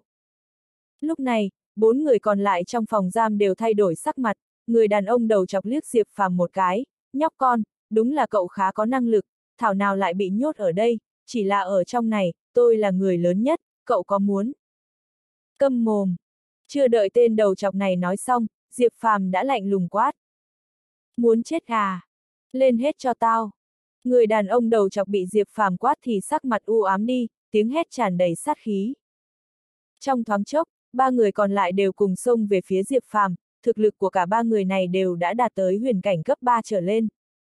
Bộp bộp bộp, Diệp Phàm tung ra liên tiếp ba nắm đấm giết chóc, thẳng tay đánh cho nổ tung thi thể của cả ba tên này. Cùng với cơ thể nổ tung của ba tên này, sắc mặt người đầu chọc hết sức khó coi. Ánh mắt hắn ta nhìn chằm chằm vào Diệp Phàm, đang định nói gì đó thì nắm đấm của đối phương đã ập tới, đập vào đầu hắn ta khiến đầu hắn ta nổ tung tại chỗ, máu tươi văng khắp nơi, cảnh tượng cực kỳ máu me. Giờ thì yên tĩnh rồi. Diệp Phàm nhếch miệng quay về giường nằm. Chẳng bao lâu sau, cảnh sát trại giam nghe thấy tiếng động thì đi tới xem xét, rồi trợn tròn mắt. Mau báo chuyện này cho ngục trưởng ngay lập tức. Giám ngục liếc nhìn Diệp Phàm một cái, nuốt một ngụm nước bọt. Gì chứ, cả năm tên kia đều đã chết hết rồi. Mà sau khi Vương Man biết được tin này, vẻ mặt hắn ta giật mình khó mà tin nổi. Năm tên trong phòng giam loại thiên số 6 này đều là những tên đầu sỏ cường giả tung hoành một phương ở thế giới ngầm Tây Nam, sức mạnh cực kỳ mạnh mẽ, bây giờ lại bị thằng nhóc này giết cả rồi, sao có thể như vậy được? Xem ra là tôi đã đánh giá thấp thực lực của thằng nhóc này rồi. Đưa nó vào phòng giam loại thiên số một ngay. Vương Man nói luôn. Mà giám ngục kia nghe thấy Vương Man nói tới phòng giam loại thiên số một thì thay đổi sắc mặt, ánh mắt hiện ra chút kinh hãi, ngục trưởng, trong phòng giam loại thiên số một, cái tên kia. Làm theo. Vương Man lạnh lùng nói. Ngay lập tức, Diệp Phàm đã bị đưa tới phòng giam ở sâu nhất bên trong ở trên tầng cao nhất. Phòng giam này vô cùng tăm tối, bên trong chỉ có một bóng người. Lúc Diệp Phàm nhìn vào bóng người này chăm chú, hắn nhíu mày. Nhà tù Tây Nam, trong phòng giam loại thiên số 1. Diệp Phàm bị áp giải vào, chỉ là trông có vẻ như giám ngục vô cùng sợ hãi căn phòng giam này, lúc mở cửa phòng giam ra tay cũng run lẩy bẩy, cứ như trong này có mãnh thú hồng hoang vậy. Sau khi giám ngục mở cửa ra thì dùng một tay đẩy Diệp Phàm vào trong, sau đó lập tức khóa cánh cửa nặng nề của căn phòng giam lại, rồi thở một hơi thật dài, có cảm giác như vừa đi dạo một vòng quỷ môn quan. Còn về phần Diệp Phàm, đứng trong căn phòng giam này, ánh mắt hắn liếc qua đã phát hiện ra bốn phía trong căn phòng giam này toàn là vách tường sắt được làm bằng sắt thép hạng nặng. Ngoài một ô cửa sổ nhỏ ở phía trên cửa phòng giam ra thì không có một cái cửa sổ nào, cả phòng giam là một màn u tối, khiến người ta có cảm giác âm u. Trong phòng giam này thậm chí còn không có cả giường và các đồ dùng hàng ngày khác, chỉ có một đống rơm dạ dải trên mặt đất, cứ như nhà tù từ thời cổ đại. Giờ phút này, ở trên đống rơm dạ kia có một bóng người. Tóc tai người này rối bù, mặc bộ quần áo tủ rách dưới, mang đến cho người ta một cảm giác ma quái.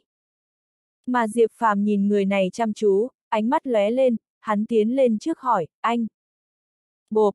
Diệp Phàm vừa mở miệng người kia đã ngẩng phát đầu lên, tóc xóa sang hai bên, để lộ ra một gương mặt đầy râu ria tràn đầy tang thương. Đôi mắt người này rực lên tia máu, nét mặt hung tợn, trông có vẻ hơi điên cuồng. Cút! Người này lập tức gầm thét lên một tiếng với Diệp Phàm. M thanh to như vậy giống như tiếng sấm sét nổ vang, đập vào màng nhĩ người ta khiến màng nhĩ như ủ đi, trên người lại còn tràn ngập một luồng sát khí khiến người ta thở không thông, cứ như một tay đao phủ vừa vượt qua núi thây biển máu. Ông là ai? Diệp Phàm nhìn đối phương, tò mò hỏi. Lúc này hai tay người kia đã nắm chặt lại, biểu cảm vặn vẹo, con người ngập màu máu, hắn ta để lộ vẻ mặt đau khổ, mạnh mẽ đánh về phía Diệp Phàm. ầm, um, người này vừa ra tay đã tạo ra một tiếng nổ giữa không khí. Nắm đấm của hắn ta làm nổ tung cả luồng không khí, một luồng sức mạnh đáng sợ lao vào mặt Diệp Phàm. Vẻ mặt Diệp Phàm đờ ra, hắn tung một nắm đấm đánh vào cùng chỗ với đối phương. ầm, um, cùng với đó là một âm thanh nặng nề vang lên. Người đàn ông kia bị Diệp Phàm đánh cho lùi về sau, đập mạnh vào bức tường sắt, khiến bức tường được làm bằng sắt thép hạng nặng cũng bị va đập làm lõm xuống. Chỉ là trông có vẻ như người đàn ông kia cũng chẳng làm sao, chỉ là, màu máu trong mắt ngày càng đậm, bộ dạng điên cuồng, tiếp tục đánh về phía Diệp Phàm. ầm, um, Diệp Phàm ra tay lần nữa, đánh cho đối phương bay ra ngoài. Phụt! Lần này, người đàn ông ngã trên mặt đất phun máu, gương mặt có vẻ đau đớn. Diệp Phàm nhìn đối phương chăm chú, ánh mắt hắn lóe lên, hắn bước tới, rút một cái kim châm bạc ra rồi cắm vào huyệt vị nào đó trên có thể người kia. Phốc! Sau đó, Diệp Phàm rút kim châm bạc ra, đập một phát lên bụng đối phương. Người đàn ông này bỗng há to mồm phun ra một con côn trùng màu đen, chính là cổ trùng. Vù! Diệp Phàm tiện thể vung tay lên dùng kim châm bạc đâm xuyên qua con cổ trùng kia. Lúc này người đàn ông kia đã tỉnh lại. Cậu! Người đàn ông này nhìn Diệp Phàm chăm chú, đồng tử đờ đẫn, tỏ ra cảnh giác. Lúc nãy ông điên cuồng như vậy chắc cũng là vì cổ trùng này. Diệp Phàm nhìn đối phương rồi thản nhiên nói. Mà người đàn ông kia chú ý tới cổ trùng đã chết ở trên mặt đất, vẻ mặt hắn ta giật thót, nói, cái này. Tôi đã giúp ông lấy cổ trùng này trong cơ thể ông ra rồi. Diệp Phàm đứng dậy thờ ơ nói. Người đàn ông kia lập tức kiểm tra cơ thể, khi hắn ta cảm thấy sức mạnh trong cơ thể mình vốn bị con cổ trùng kia áp chế mấy năm nay dần dần khôi phục lại thì ánh mắt hiện lên vẻ khiếp sợ. Cậu còn thể lấy con cổ trùng này trong cơ thể tôi ra ngoài sao? Cậu là ai? Người đàn ông này nhanh chóng bừng tỉnh, nhìn Diệp Phàm chăm chú. Tôi tên là Diệp Phàm. Diệp Phàm nói. Cảm ơn cậu. Tôi tên là Tần Thành. Người đàn ông này hạ thấp giọng đáp. Chắc hẳn ông cũng là một vị quân nhân nhỉ. Diệp Phàm nói với người kia. Vừa nãy khi đánh nhau, hắn đã nhận thấy được khí thế chiến sĩ quân nhân trên người đối phương, hơn nữa nắm đấm của hắn ta cũng là nắm đấm quân đội. Bởi vậy hắn đói đối phương chắc là một vị quân nhân. Chỉ là vì trong cơ thể đối phương có con cổ trùng này mà dẫn đến thần trí cũng không được bình thường hoàn toàn, gặp phải tình trạng vừa thấy người là nổi khùng điên cuồng. Với lại con cổ trùng này đã áp chế một phần lớn sức mạnh của đối phương, nếu không thì vừa nãy người này đã bộc phát sức chiến đấu đáng sợ hơn nhiều. Diệp Phàm cũng nể đối phương có thể là quân nhân nên mới ra tay loại bỏ con cổ trùng trong cơ thể ra ngoài. Hừm, chỉ là bây giờ không phải nữa. Bây giờ tôi chỉ là một tên tù nhân nghiệp chướng nặng nề thôi.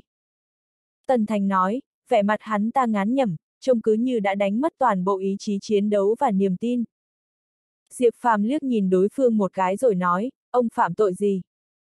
Ánh mắt Tần Thành lóe lên nhưng không nói gì mà chỉ nhìn Diệp Phàm, cậu thì sao? Cậu trẻ tuổi như thế, sao lại bị giam ở nơi này? Giết vài người. Diệp Phàm nhếch miệng. Giết vài người mà cũng bị đưa vào nhà tù Tây Nam. Tần Thành kinh ngạc nói. Người bị giam ở nhà tù Tây Nam, có ai mà không giết vài trăm mạng người trên tay chứ? Chỉ giết mấy người thì hoàn toàn không đủ tư cách bước vào nhà tù Tây Nam, nói chi là nhốt vào phòng giam loại thiên này. Đúng vậy, Tổng chỉ huy chiến khu Tây Bộ, Xuyên Vương, quận trưởng quận Thiên Thục đều là do tôi giết. Diệp Phàm nói với vẻ mặt tùy ý. Tần Thành nghe Diệp Phàm nói vậy thì đồng tử co rút lại, vẻ mặt nhìn Diệp Phàm không thể tin nổi. Cậu giết tổng chỉ huy chiến khu Tây Bộ, Xuyên Vương và quận trưởng quận Thiên Thục. Tần Thành kinh ngạc nói. Ba người này, bất kỳ một ai trong số họ cũng đều là ông lớn quyền cao chức trọng. Giết một người trong đó, thì chính tội chết. Bây giờ đối phương lại giết hết cả ba người họ, như này cũng điên cuồng quá rồi. Lúc này, Tấn Thành coi như cũng hiểu rõ vì sao Diệp Phàm lại bị giam ở nơi này. Xem ra bản lĩnh của cậu rất mạnh đó. Tần Thành nhìn Diệp Phàm chăm chú. Dù sao thì muốn giết ba người này, nếu không đủ thực lực thì không thể làm được. Hơn nữa khi nãy hắn ta so chiêu với đối phương đã bị áp đảo hoàn toàn, mặc dù lúc đó thực lực của hắn ta bị cổ trùng khống chế, nhưng cũng có thể nhận ra rằng thực lực của Diệp Phàm rất mạnh. Cũng thường thôi. Diệp Phàm khiêm tốn đáp. Cậu còn trẻ như vậy mà đã có sức mạnh khủng khiếp đến thế, tương lai chắc chắn thành tựu nhiều không đếm xuể, bây giờ lại bỏ mạng ở nơi này, thật đáng tiếc. Tần Thành nhìn Diệp Phàm mà lắc đầu. Ai nói tôi sẽ bỏ mạng ở nơi này? Tôi cũng sẽ không ở lại nơi này mãi. Diệp Phàm nhếch miệng. Nhà tù Tây Nam cũng gần bằng với nhà tù ở đế đô, phàm là đã bước vào trong này thì cả đời này không thể nào đi ra khỏi đây. Tần Thành hạ thấp giọng nói. Vậy à? Vậy tôi sẽ làm người đầu tiên đi ra khỏi cái nhà tù này. Diệp Phàm nhẹ nhàng cười một tiếng, liếc mắt nhìn Tần Thành, ông có muốn rời khỏi nhà tù này không? Muốn. Tần Thánh đáp không chút nghĩ ngợi. Vì sao? Vì tôi muốn báo thù. Đối mặt với câu hỏi của Diệp Phàm, Tần Thành lạnh lùng nói to, trong mắt lóe lên sát ý lạnh lẽo như băng, toàn thân tỏa ra một thứ sát khí kinh khủng khiếp. Diệp Phàm có thể nhìn ra nội tâm tràn đầy hận thù của đối phương, rất rõ ràng, ở ngoài kia có người mà hắn ta muốn giết. Lúc này, ở trong phòng của ngục trưởng. Vậy là thằng nhóc kia không chết. Vương Man nghe thuộc hạ báo cáo thì hơi kinh ngạc. Sở dĩ hắn ta nhốt Diệp Phàm vào trong phòng giam cao nhất là vì muốn lợi dụng cái tên điên tần thành kia xử lý thằng nhóc này, không ngờ rằng thế mà tên đó lại không chết. Hừm, với lại hình như tên tần thành kia cũng không phát điên. Tên giám ngục cấp dưới kia báo cáo. Ngay lập tức, ánh mắt Vương Man lóe sáng, không biết hắn ta đang suy nghĩ điều gì. Chẳng bao lâu sau, màn đêm đã buông xuống.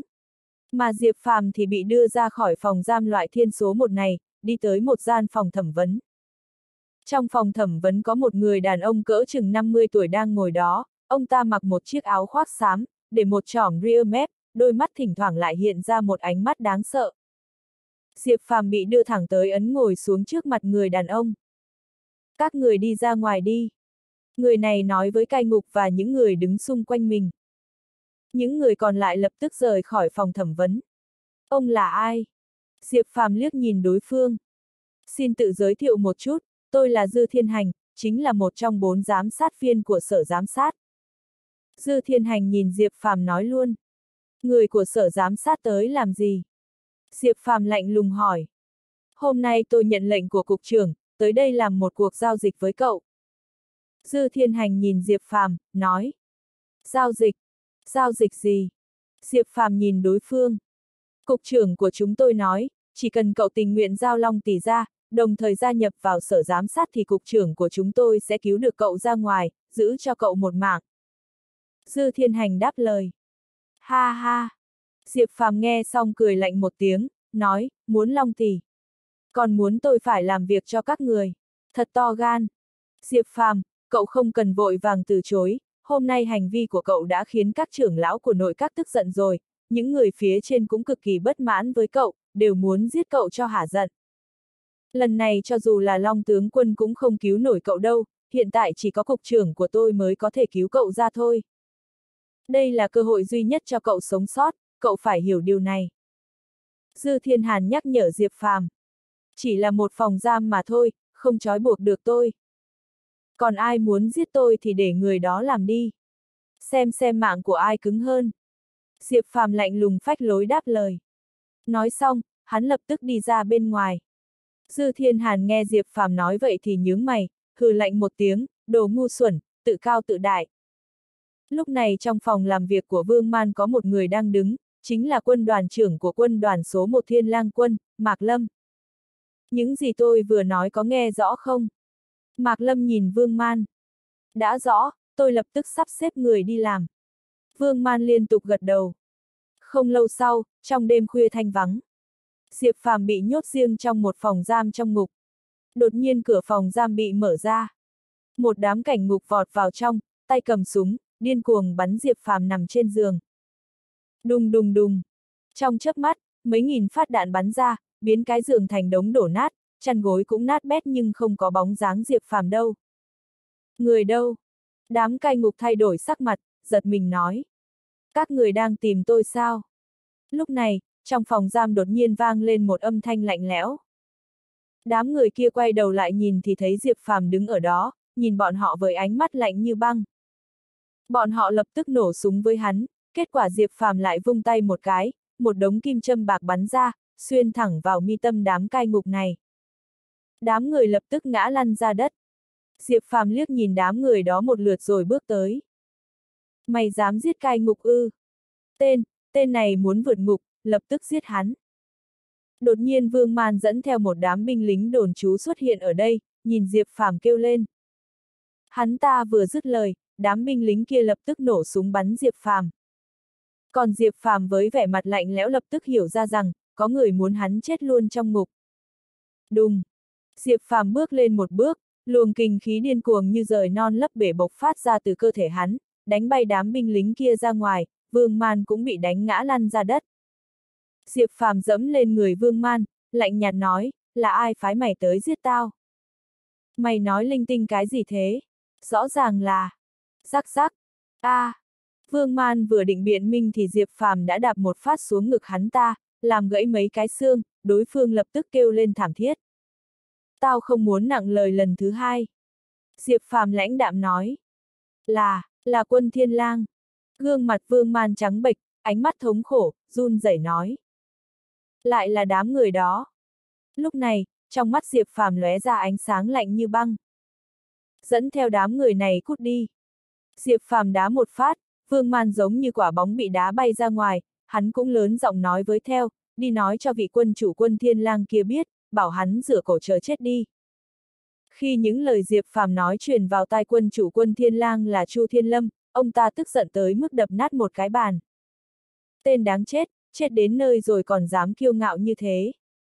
Chu Thiên Lâm phẫn nộ quát. Mạc Lâm, cậu lãnh binh theo tôi tới ngục giam Tây Nam, tôi muốn tự tay giết chết thằng nhãi đó. Quân chủ tôi đây không chờ thêm được một phút nào nữa. Chu Thiên Lâm quát lớn. Quân chủ, tuy người này đã bị nhốt trong ngục giam Tây Nam nhưng chưa bị phán tội, nếu ông... Mạc Lâm lo lắng nói. Sợ cái gì, tên đó đã giết cai ngục, ẩu đả với cai ngục trưởng, có ý đổ vượt ngục. Chúng ta là đang đi chóc nã phạm nhân vượt ngục, dù giết hắn cũng là chuyện bình thường. Chu Thiên Lâm lạnh lùng quát to. Chẳng qua trong lúc ông ta đang chuẩn bị tới ngục giam Tây Nam thì lại nhận được một cú điện thoại, trong mắt lập tức ánh lên vẻ khiếp sợ. Quân chủ, có chuyện gì vậy? Mạc Lâm tò mò hỏi. Quân thiên sách đã điều động toàn bộ và tiến về phía Tây Nam.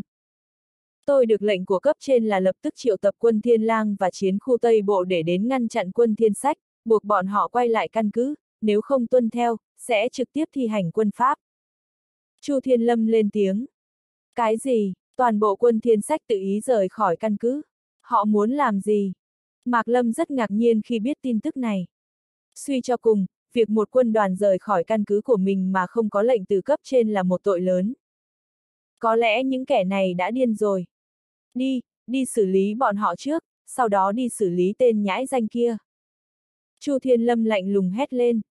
Mười phút trước, Kinh đô, nội các. Lúc này, mấy vị trưởng lão nội các đang ngồi ở đây cao mày. Không ngờ tên này lại có quan hệ rộng rãi như vậy, ông cụ nhà họ Khương, ông cụ nhà họ Tô, đám người của viện trưởng Hoa đều gọi điện thoại đến, ngay cả bạch ưng long quân của Long Vương Điện và nhan lão của Thương hội Thiên Long cũng lên tiếng thay cậu ta. Một vị trưởng lão nội các trầm giọng nói. Không chỉ vậy, tôi còn nhận được thông báo của tập đoàn sở thị, nếu chúng ta không thả người này ra, tập đoàn sở thị sẽ sa thải 100.000 người, hơn nữa khiến kinh tế của Long Quốc thụt lùi 30 năm. Một vị trưởng lão nội các khác lên tiếng. Những lời này vừa nói ra, trực tiếp làm bầu không khí tại hiện trường trở nên vô cùng áp lực. Bùm! Đột nhiên, một vị trưởng lão nội các đập bàn, hét lên, sở cửu ca, cô ta điên rồi sao? Sao dám uy hiếp chúng ta? Cô ta cho rằng mình là ai? Cô ta là chủ của Long Quốc sao? Tập đoàn sở thị của cô ta có hùng mạnh đến đâu cũng chỉ là một công ty trong Long Quốc của chúng ta, chỉ cần chúng ta nói một câu thì tập đoàn sở thị của cô ta sẽ sụp đổ, cô ta dám uy hiếp chúng ta, đúng thật là nực cười. Vị trưởng lão nội các này vô cùng tức giận nói. Đừng kích động, mọi người đều biết rõ sức ảnh hưởng và năng lực của sở thị, một khi sở thị ra tay, với tài năng của người phụ nữ sở cửu ca kia, kinh tế Long Quốc nhất định sẽ bị ảnh hưởng nặng nề, chúng ta không thể gánh nổi hậu quả này. Hơn nữa, lần này không chỉ có Bạch ưng Long quân của Điện Long Vương phát ra tin tức muốn bảo vệ mạng sống của tên này, mà ngay cả phiệt chủ đoan Mộc Phiệt cũng đã gửi tin tức đến nói muốn người này, chẳng ai là kẻ dễ chọc đâu. Lúc này, một vị trưởng lão nội các có bộ dâu và lông mày bạc phơ, nhẹ nhàng vuốt dâu nói. Chẳng lẽ thật sự phải thả tên này ra sao, lần này tên nhãi danh này đã phạm tội lớn như vậy, nếu cứ để cậu ta đi như thế, thì uy nghiêm của Long Quốc chúng ta ở đâu? Huống chi cậu ta còn là đệ tử của Tiêu Thiên Sách. Vị trưởng lão nội các đập bàn kia lạnh lùng hét lên. Trưởng lão nội các đập bàn lạnh lùng hét lên. Đúng rồi, lần này toàn bộ quân thiên sách đã được điều động tiến về phía Tây Nam, hiển nhiên là muốn cứu tên này, chúng ta nên làm sao bây giờ? Vị trưởng lão nội các đập bàn nói. Quân thiên sách, trong mắt bọn họ thực sự là không có kỷ luật quân đội, coi trời bằng vung, cũng giống như tiêu thiên sách và đệ tử của ông ta, bọn họ đều là một đám người ngang ngược, nếu giữ bọn họ lại thì chính là một mối nguy hiểm tiềm ẩn. Không thể giữ quân thiên sách lại được nữa. Một vị trưởng lão nội các có vẻ mặt lạnh lùng hét lên. Thông báo cho chiến khu Tây Bộ và quân thiên lang, lập tức huy động lực lượng chặn quân thiên sách lại, nếu bọn họ không rút lui, thì trực tiếp thi hành quân pháp. Lúc này, một vị đại trưởng lão nội các ngồi ở ghế chính lên tiếng. Vậy bây giờ nên làm gì với tên đó? Một vị trưởng lão nội các nhìn đại trưởng lão rồi hỏi. Tên này cần phải chết, báo cho Hắc Long, để hắn đi, giết chết tên này, sau đó ngụy trang thành hiện trường tự sát vì sợ nhận tội. Đại trưởng lão trực tiếp nói. Được. Những trưởng lão khác sôi nổi gật đầu. Đêm đó, ở biên giới Tây Nam, những chiếc xe tải lớn nối tiếp nhau, ước chừng có mấy ngàn chiếc, tạo thành một hàng dài, trong đó còn có một số lượng lớn xe bọc thép, trên không trung còn có hàng trăm chiếc máy bay trực thăng vũ trang bay theo sau. Những người ngồi trên những chiếc xe tải, xe bọc thép và trực thăng này đều là binh lính của quân thiên sách. Hàng trăm ngàn quân thiên sách lao về phía tây nam. Lúc này, vô số ánh đèn sáng chói đột nhiên chiếu thẳng vào phía trước bọn họ, trực tiếp đâm thẳng vào mắt những tài xế xe tải khiến họ phải phanh gấp. Cộp cộp cộp. Lúc này, từng đợt tiếng bước chân nặng nề vang lên. Một lượng lớn binh lính xuất hiện trực tiếp ở phía trước và hai bên, bao gồm một loạt xe bọc thép và xe tăng, trên không trung cũng đồng thời có hơn 500 máy bay trực thăng vũ trang bay tới. Họng súng của toàn bộ những chiếc trực thăng, xe tăng và xe bọc thép này đều nhằm vào quân thiên sách. Bọn họ đúng là những người đến từ chiến khu Tây Bộ và quân Thiên Lang. Miêu Thiên và Chu Thiên Lâm bước ra ngoài. Xuống xe. Hoàng Bộ Thương ngồi ở phía trước xe tải lạnh lùng nói. Các quân đoàn trưởng của bọn họ trực tiếp xuống xe, mà toàn bộ binh lính của quân thiên sách cũng xuống xe, xếp ngay ngắn thành đội hình vuông, đối đầu với binh lính của chiến khu Tây Bộ và quân thiên lang. Chu Thiên Lâm, ông dám cản đường của quân thiên sách sao? Hoàng bộ thương đi về phía trước, nhìn Chu Thiên Lâm, lạnh lùng hét lên. Là ông à, Hoàng bộ thương, quân đoàn trưởng thứ hai của quân thiên sách. Không ngờ là ông cũng xuất hiện. Nhưng bây giờ ông chỉ là một kẻ tàn tật, lại dám nói chuyện kiểu đó với quân chủ như tôi, ông thật to gan. Người đâu, vả miệng. Chu Thiên Lâm nhìn Hoàng Bộ Thương với vẻ mặt khinh thường. Bốp! Mạc Lâm lao thẳng về phía Hoàng Bộ Thương và tát thẳng vào mặt ông ta. Nếu là hơn 10 năm trước, Mạc Lâm nhất định không dám ra tay với Hoàng Bộ Thương. Suy cho cùng, lúc trước là thời kỳ đỉnh cao của quân thiên sách, sức chiến đấu của các quân đoàn trưởng trực thuộc quân thiên sách cũng không thua kém gì so với các quân chủ các quân đoàn lớn, với thân phận của Mạc Lâm thì làm sao dám ra tay với Hoàng Bộ Thương. Nhưng bây giờ đã khác xưa, bây giờ Hoàng Bộ Thương đã mất đi tay phải, ông ta chỉ là một kẻ tàn tật, sao Mạc Lâm có thể sợ hãi được. Về phần mộ bạch và đám người đồ phu nhìn thấy Mạc Lâm chuẩn bị công kích Hoàng Bộ Thương, sắc mặt bọn họ trở nên lạnh lùng, đang chuẩn bị ra tay thì một cảnh tượng khiến bọn họ kinh hãi đã xảy ra. Hoàng Bộ Thương nhìn Mạc Lâm lao về phía mình, với ánh mắt sắc bén lạnh lùng, một thanh kiếm gãy trượt ra khỏi tay áo bên trái, ông ta dùng tay trái cầm thanh kiếm gãy và trực tiếp phung lên. Phụt! Trong chớp mắt, Mạc Lâm dừng bước lại, hai mắt mở to, ôm lấy cổ, máu từ cổ phun trào ra. Thịch một tiếng. Tên Mạc Lâm này trực tiếp ngã xuống đất, chết không nhắm mắt. Cho đến lúc chết hắn ta cũng chưa bao giờ nghĩ đến, với tư cách là quân đoàn trưởng của quân đoàn đệ nhất trong quân thiên lang, lại bị một người tàn phế với bàn tay phải bị cụt dùng một chiêu hạ gục trong nháy mắt. Chu Thiên Lâm, Miêu Thiên và đám người mộ bạch đều vô cùng chấn động. Tốc độ hoàng bộ thường rút kiếm bằng tay trái vừa rồi nhanh đến mức tận cùng, giống như ảo ảnh vụt qua rồi biến mất, khiến người ta không thể phản ứng kịp. Tên hoàng bộ này có thực sự mạnh như vậy sao? Đoàn đao nuốt nước bọt, kinh ngạc nói. Hoàng bộ thương này vốn dĩ cầm kiếm bằng tay phải, nhưng bây giờ tay phải đã không còn, theo lý mà nói thì ông ta đã là một người vô dụng. Nhưng bây giờ, đối phương đã thành thạo việc sử dụng kiếm bằng tay trái, thậm chí tốc độ rút kiếm của tay trái còn nhanh hơn tốc độ của tay phải lúc trước. Điều này thật sự làm người ta không thể ngờ được. Mạc Lâm. Lúc này, Chu Thiên Lâm mới tỉnh táo lại, nhìn cấp dưới thân cận nhất của mình cứ vậy mà chết, vẻ mặt ông ta đau buồn hét lên. Bốp! Chu Thiên Lâm dùng ánh mắt khát máu nhìn chằm chằm Hoàng Bộ Thương, trong mắt lóe lên sát ý lạnh lùng. Hoàng Bộ Thương, ông dám giết người của tôi, tôi muốn ông phải chết. Chu Thiên Lâm tức giận gầm lên. Chu quân chủ, đừng xúc động. Miêu Thiên túm lấy Chu Thiên Lâm, nhìn đám người Hoàng Bộ Thương rồi nói, các vị, quân thiên sách của các người đã tự ý rời khỏi căn cứ, xâm nhập vào Tây Nam là đã vi phạm quân luật, chúng tôi đã nhận được mệnh lệnh từ cấp trên, đến thông báo cho các người lập tức trở về căn cứ của mình, nếu không chúng tôi sẽ phải ra tay. Hôm nay người nào cản đường tôi sẽ bị giết không thương tiếc. Hoàng bộ thương hét lên với vẻ mặt lạnh lùng vô tình. Giết! Tất cả binh lính của quân thiên sách đồng loạt hét lên, trong mắt họ tràn đầy quyết tâm, không hề nao núng. Xem ra quân thiên sách các người muốn phản bội Long Quốc, nếu đã như vậy, đêm nay quân thiên lang của tôi sẽ giúp thanh lọc tổ chức cho Long Quốc. Mọi người trong quân thiên lang nghe lệnh, giết. Chu Thiên Lâm trực tiếp gầm lên trong sự giận dữ. Ông ta ra lệnh một tiếng, hàng trăm ngàn binh lính của quân thiên lang trực tiếp hành động. Ngay khi quân thiên lang vừa hành động, những người lính của chiến khu Tây Bộ cũng chỉ có thể hành động. Ngay khi hai bên này vừa ra tay, quân thiên sách tự nhiên tấn công không chút do dự. ầm ầm ầm, cùng với hàng loạt âm thanh gầm rú truyền đến. Một cuộc chiến lớn trực tiếp nổ ra giữa quân thiên sách, quân thiên lang và chiến khu Tây Bộ. Trận chiến lớn này đã gây chấn động toàn bộ Tây Nam và thậm chí cả Long Quốc.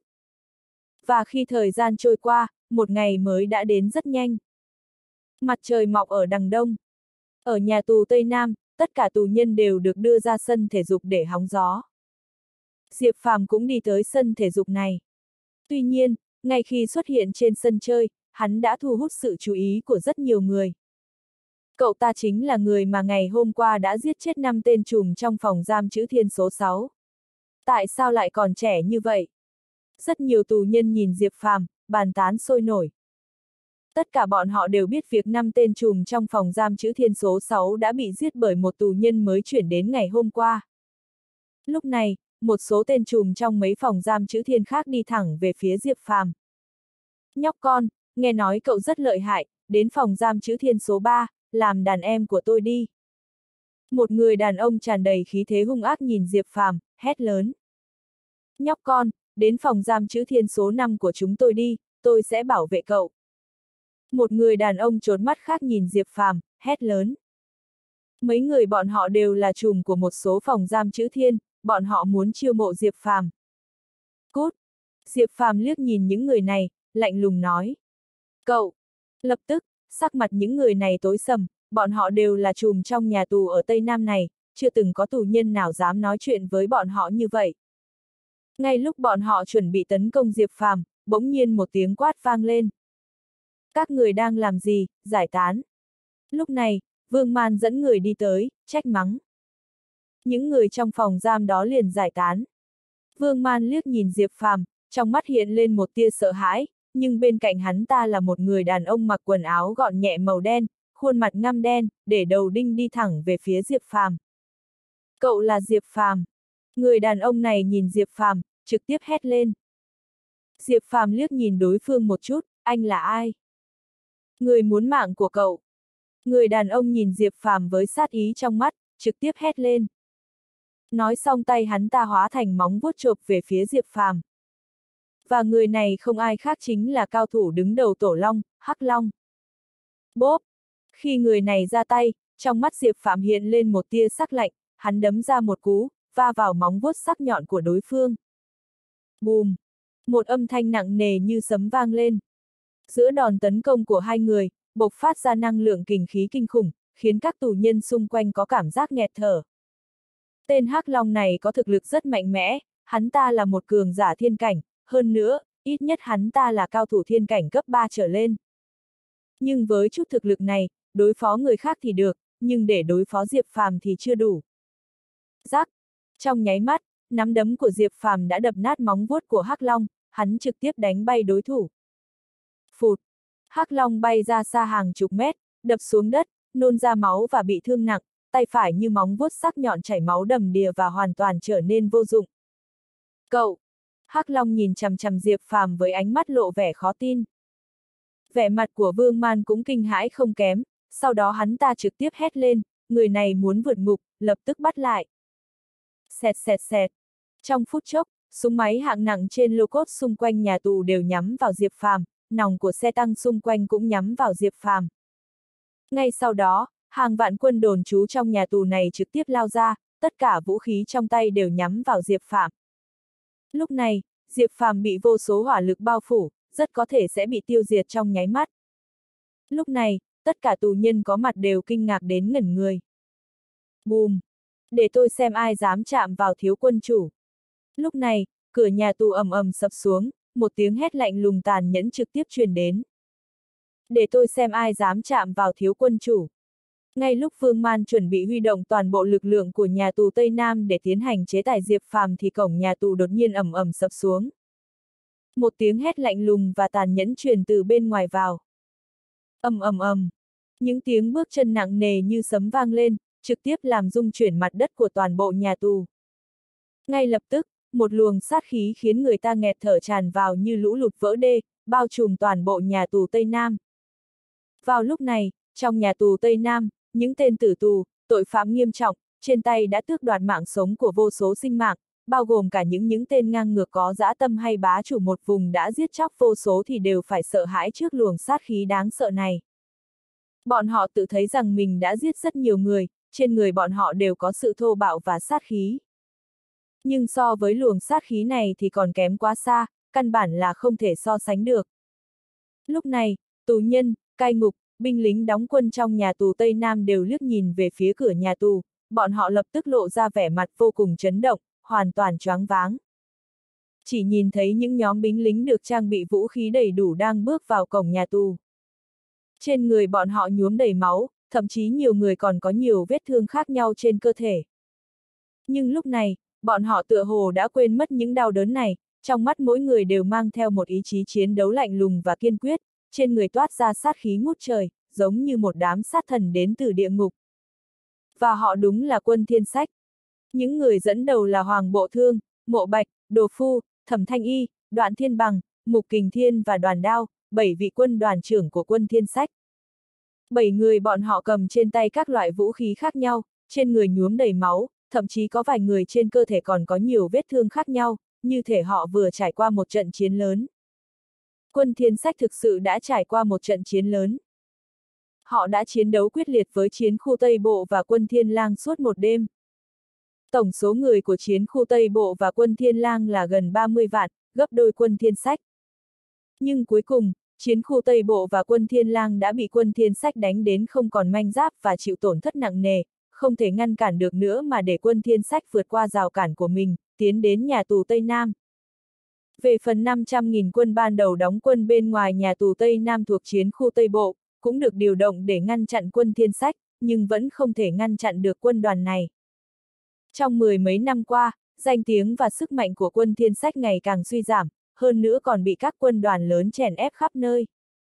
Nhưng trong một đêm này, dưới sự lãnh đạo của bảy vị quân đoàn trưởng, hơn nữa để nghĩ cách giải cứu vị thiếu quân chủ trong lòng họ, quân thiên sách đã trực tiếp bộc lộ tinh thần chiến đấu và sức mạnh thực sự của mình, áp đảo một trong năm chiến khu lớn của Long Quốc, chiến khu Tây Bộ và quân Thiên Lang, một trong chín quân đoàn lớn. Chính vì trận chiến này mà trên người của những binh lính của quân thiên sách mới có thể tràn ngập sát khí đáng sợ như vậy.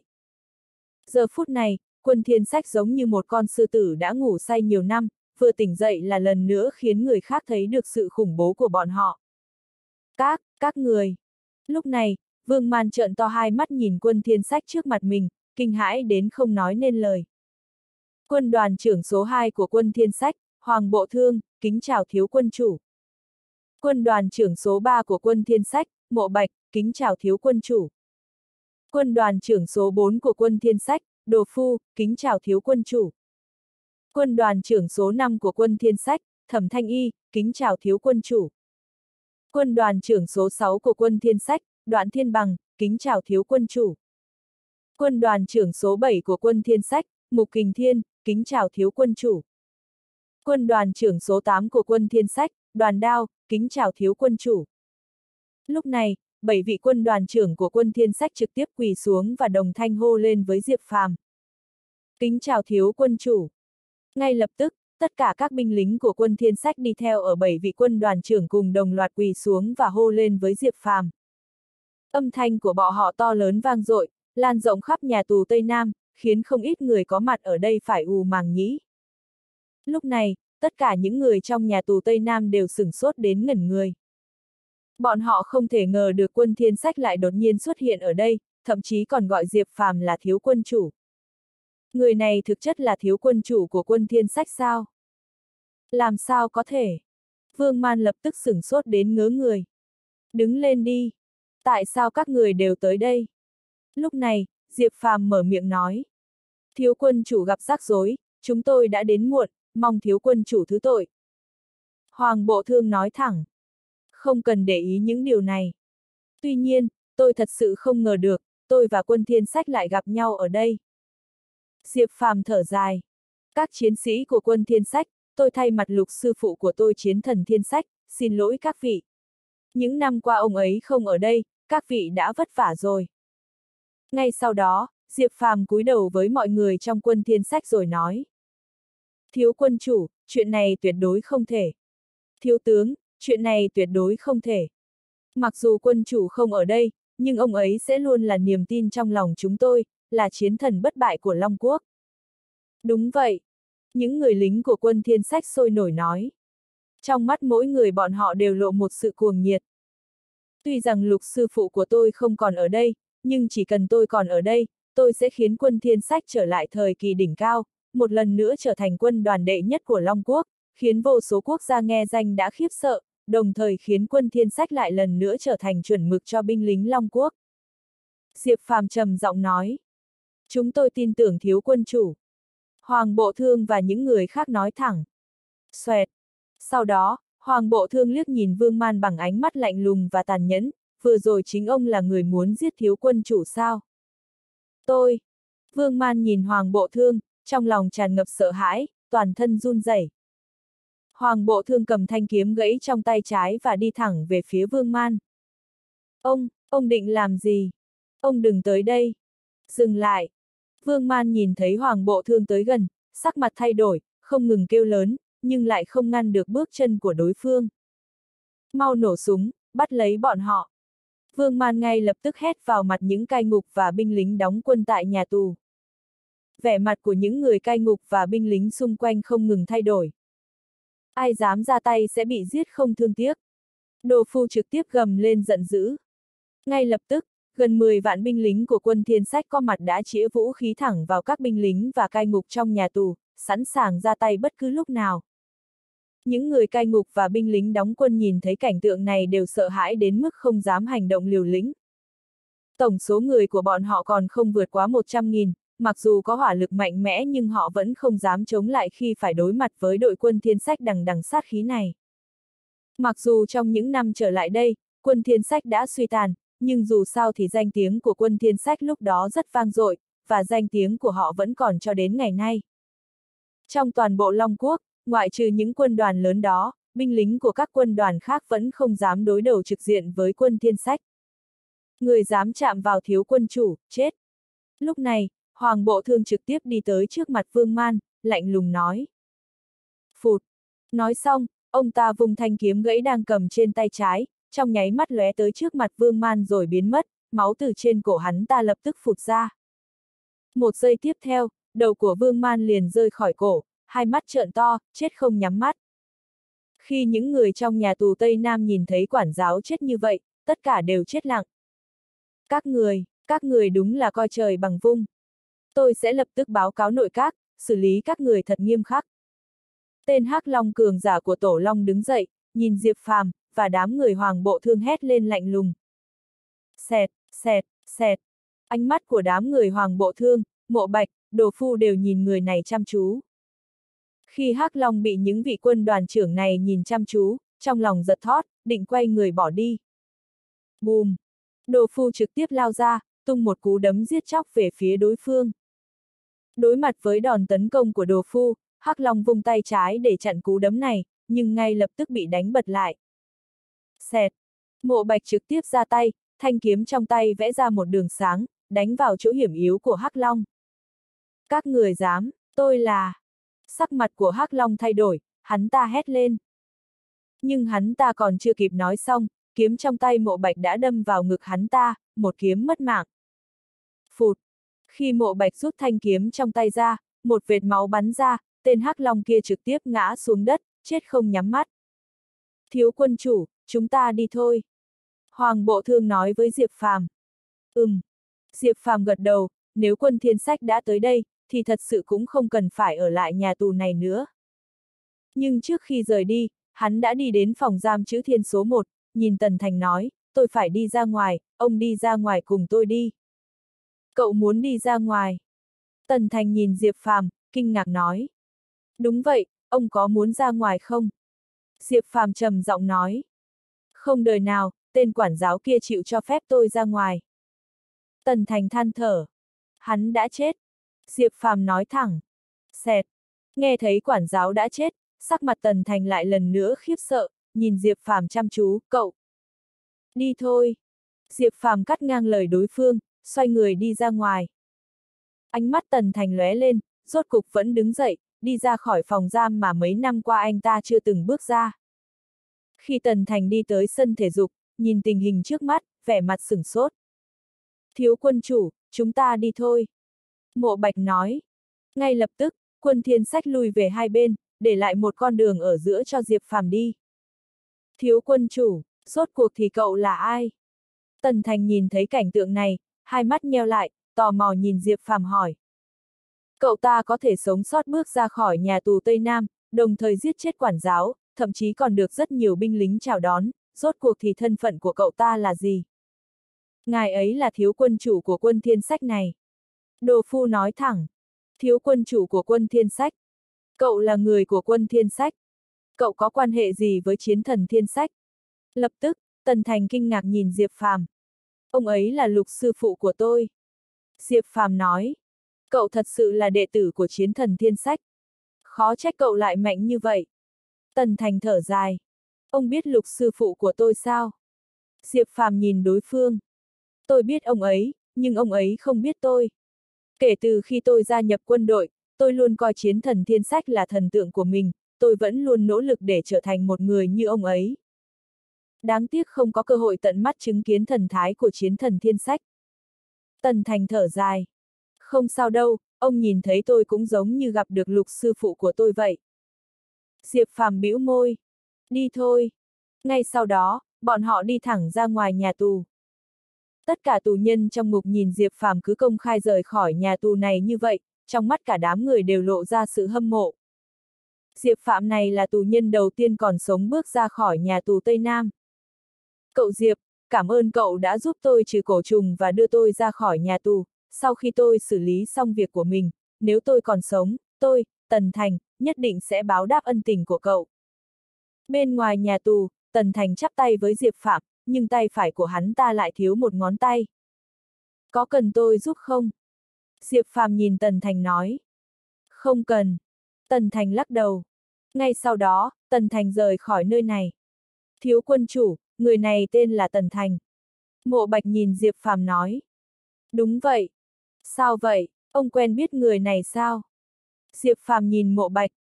Nhiều năm trước, có một người lính tài năng được sinh ra trong chiến khu Tây Bộ, người này rất mạnh mẽ trong chiến đấu và liên tiếp giành được nhiều huân chương lao động hạng nhất, thậm chí còn một mình lẻn vào nước địch để hoàn thành một nhiệm vụ cấp SSS, nổi tiếng khắp Long Quốc và được chiến bộ phong tặng danh hiệu chiến vương. Bởi vì người này chỉ có 9 ngón tay, cho nên được người khác gọi là chiến vương 9 ngón, người này tên là Tần Thành. Mộ Bạch nói. Nghe được lời này, Diệp Phàm có chút kinh ngạc. Danh hiệu chiến vương là danh hiệu vinh dự chỉ đứng sau chiến thần trong chiến bộ Long Quốc. Ở Long Quốc, chỉ có bốn vị chiến thần. Mặc dù có rất nhiều người đạt được danh hiệu chiến vương nhưng không phải ai cũng có thể giành được danh hiệu chiến vương. Suy cho cùng, chiến vương là vinh dự cao nhất trong số các chiến binh sau chiến thần, nếu không có sức mạnh và sự cống hiến nhất định thì không thể được gọi là chiến vương. Ông ta cũng có chín ngón tay, chẳng lẽ ông ta chính là chiến vương chín ngón kia? Diệp Phàm kinh ngạc nói. Trước đó tôi nhận được tin tức, vị chiến vương chín ngón kia không biết đã phạm phải chuyện gì, bị cách chức và xóa bỏ mọi chức vị và danh hiệu, cũng bị giam ở nhà tù Tây Nam, nên hẳn là người này. Mộ Bạch nói, mà trong mắt Diệp Phàm hiện lên một tia sáng. Sau đó bọn họ trở về Thục Châu, trên đường đi, Diệp Phàm cũng biết được tin tức về trận chiến giữa quân Thiên Sách, chiến khu Tây Bộ và quân Thiên Lang. Các người thực sự đã chiến đấu với chiến khu Tây Bộ và quân Thiên Lang, thật là quá điên rồ. Diệp Phàm thở dài. Bọn họ muốn ngăn cản chúng tôi cứu thiếu quân chủ, bọn họ đáng chết. Hoàng Bộ Thương nói một cách lạnh lùng và tàn nhẫn. Hiện tại thiếu quân chủ không có việc gì, chúng ta cũng phải nghĩ cách xử lý hậu quả. Những người phía trên chắc chắn sẽ tức giận vì chuyện này. Cấp trên vốn luôn muốn xóa bỏ phiên hiệu của quân thiên sách và sắp nhập chúng ta vào các quân đoàn khác, giờ đây, họ càng có thêm lý do để làm như vậy. Mộ Bạch trầm giọng nói. Họ dám. Quân thiên sách không bao giờ có thể sáp nhập vào những quân đoàn khác, không ai có thể loại bỏ phiên hiệu của quân thiên sách. Đồ phu trực tiếp hét lên. Các ông đừng vội, chuyện này tôi sẽ giải quyết, cùng lắm thì tôi sẽ mời lục sư phụ ra, có ông ở đây, ai dám đụng đến quân thiên sách. Diệp Phàm khinh thường nói. Cùng lúc đó, tin tức về trận chiến đêm qua giữa quân thiên sách và chiến khu Tây Bộ và quân thiên lang nhanh chóng lan truyền khắp Long Quốc. Trong lúc nhất thời, toàn bộ Long Quốc đều chấn động. Không ai ngờ rằng quân thiên sách vốn đã im lặng và khiêm tốn hơn 10 năm lại đột nhiên tự ý rời khỏi căn cứ và tiến vào phía Tây Nam, lại còn xảy ra một cuộc chiến lớn với chiến khu lớn và quân thiên lang, một trong chín quân đoàn lớn. Điều quan trọng nhất là quân thiên sách thực sự đã thắng trận, thậm chí còn đánh cho chiến khu Tây Bộ và quân thiên lang không còn một manh giáp, đây là điều không ai ngờ tới. Suy cho cùng, kể từ khi chiến thần thiên sách biến mất, dù là danh tiếng hay sức mạnh của quân thiên sách đều suy giảm, hiện tại họ đứng ở vị trí cuối cùng trong chín quân đoàn lớn. Vì vậy, trong mắt người ngoài, quân thiên sách đã không còn là quân đoàn siêu cấp càn quét liên quân năm nước như hồi đó nữa. Nhưng hôm nay, khi tin tức quân thiên sách đánh bại chiến khu Tây Bộ và quân thiên lang xuất hiện, ngay lập tức khiến mọi người hiểu rằng quân thiên sách tuy đã suy tàn, nhưng vẫn có thực lực mạnh mẽ như ngày nào. Hổ đã mất răng thì vẫn là hổ, không nên coi thường. Nhưng điều mà mọi người muốn biết hơn là tại sao quân thiên sách lại đột ngột tiến về phía Tây Nam, và tại sao họ lại nổ ra cuộc chiến với chiến khu Tây Bộ và quân thiên lang. Và hậu quả khi quân thiên sách làm như vậy sẽ là gì? Lúc này, ở kinh đô, trong nội các. Đồ khốn! Quân thiên sách của cậu ta muốn nổi dậy sao? Một vị trưởng lão nội các đột nhiên đập bàn, thổi dâu chừng mắt hét lên. Những trưởng lão nội các khác có mặt ở đây đều trông rất khó coi. Sau khi giết nhiều người của chiến khu Tây Bộ và quân Thiên Lang như vậy, còn xông vào nhà tù Tây Nam cứu người ra, giết chết cả quản giáo và Hắc Long, quân Thiên Sách hoàn toàn không coi trọng kỷ luật quân đội và luật pháp của Long Quốc, cần phải trừng phạt bọn họ một cách nghiêm khắc, nếu không bọn họ sẽ trở thành một khối u ác tính của Long Quốc, sẽ nguy hại cho toàn bộ Long Quốc. Một vị trưởng lão nội các khác lạnh lùng nói. Đúng vậy, tôi đề nghị lập tức hủy bỏ phiên hiệu của quân thiên sách, toàn bộ quân thiên sách phải được phân tán đến các quân đoàn lớn, về phần các vị quân đoàn trưởng đứng đầu, tất cả đều phải bắt lại và xử bắn để cảnh cáo gian đe. Vị trưởng lão nội các thứ ba nói thẳng. Các người muốn tấn công quân thiên sách, đã hỏi ý kiến của tôi chưa?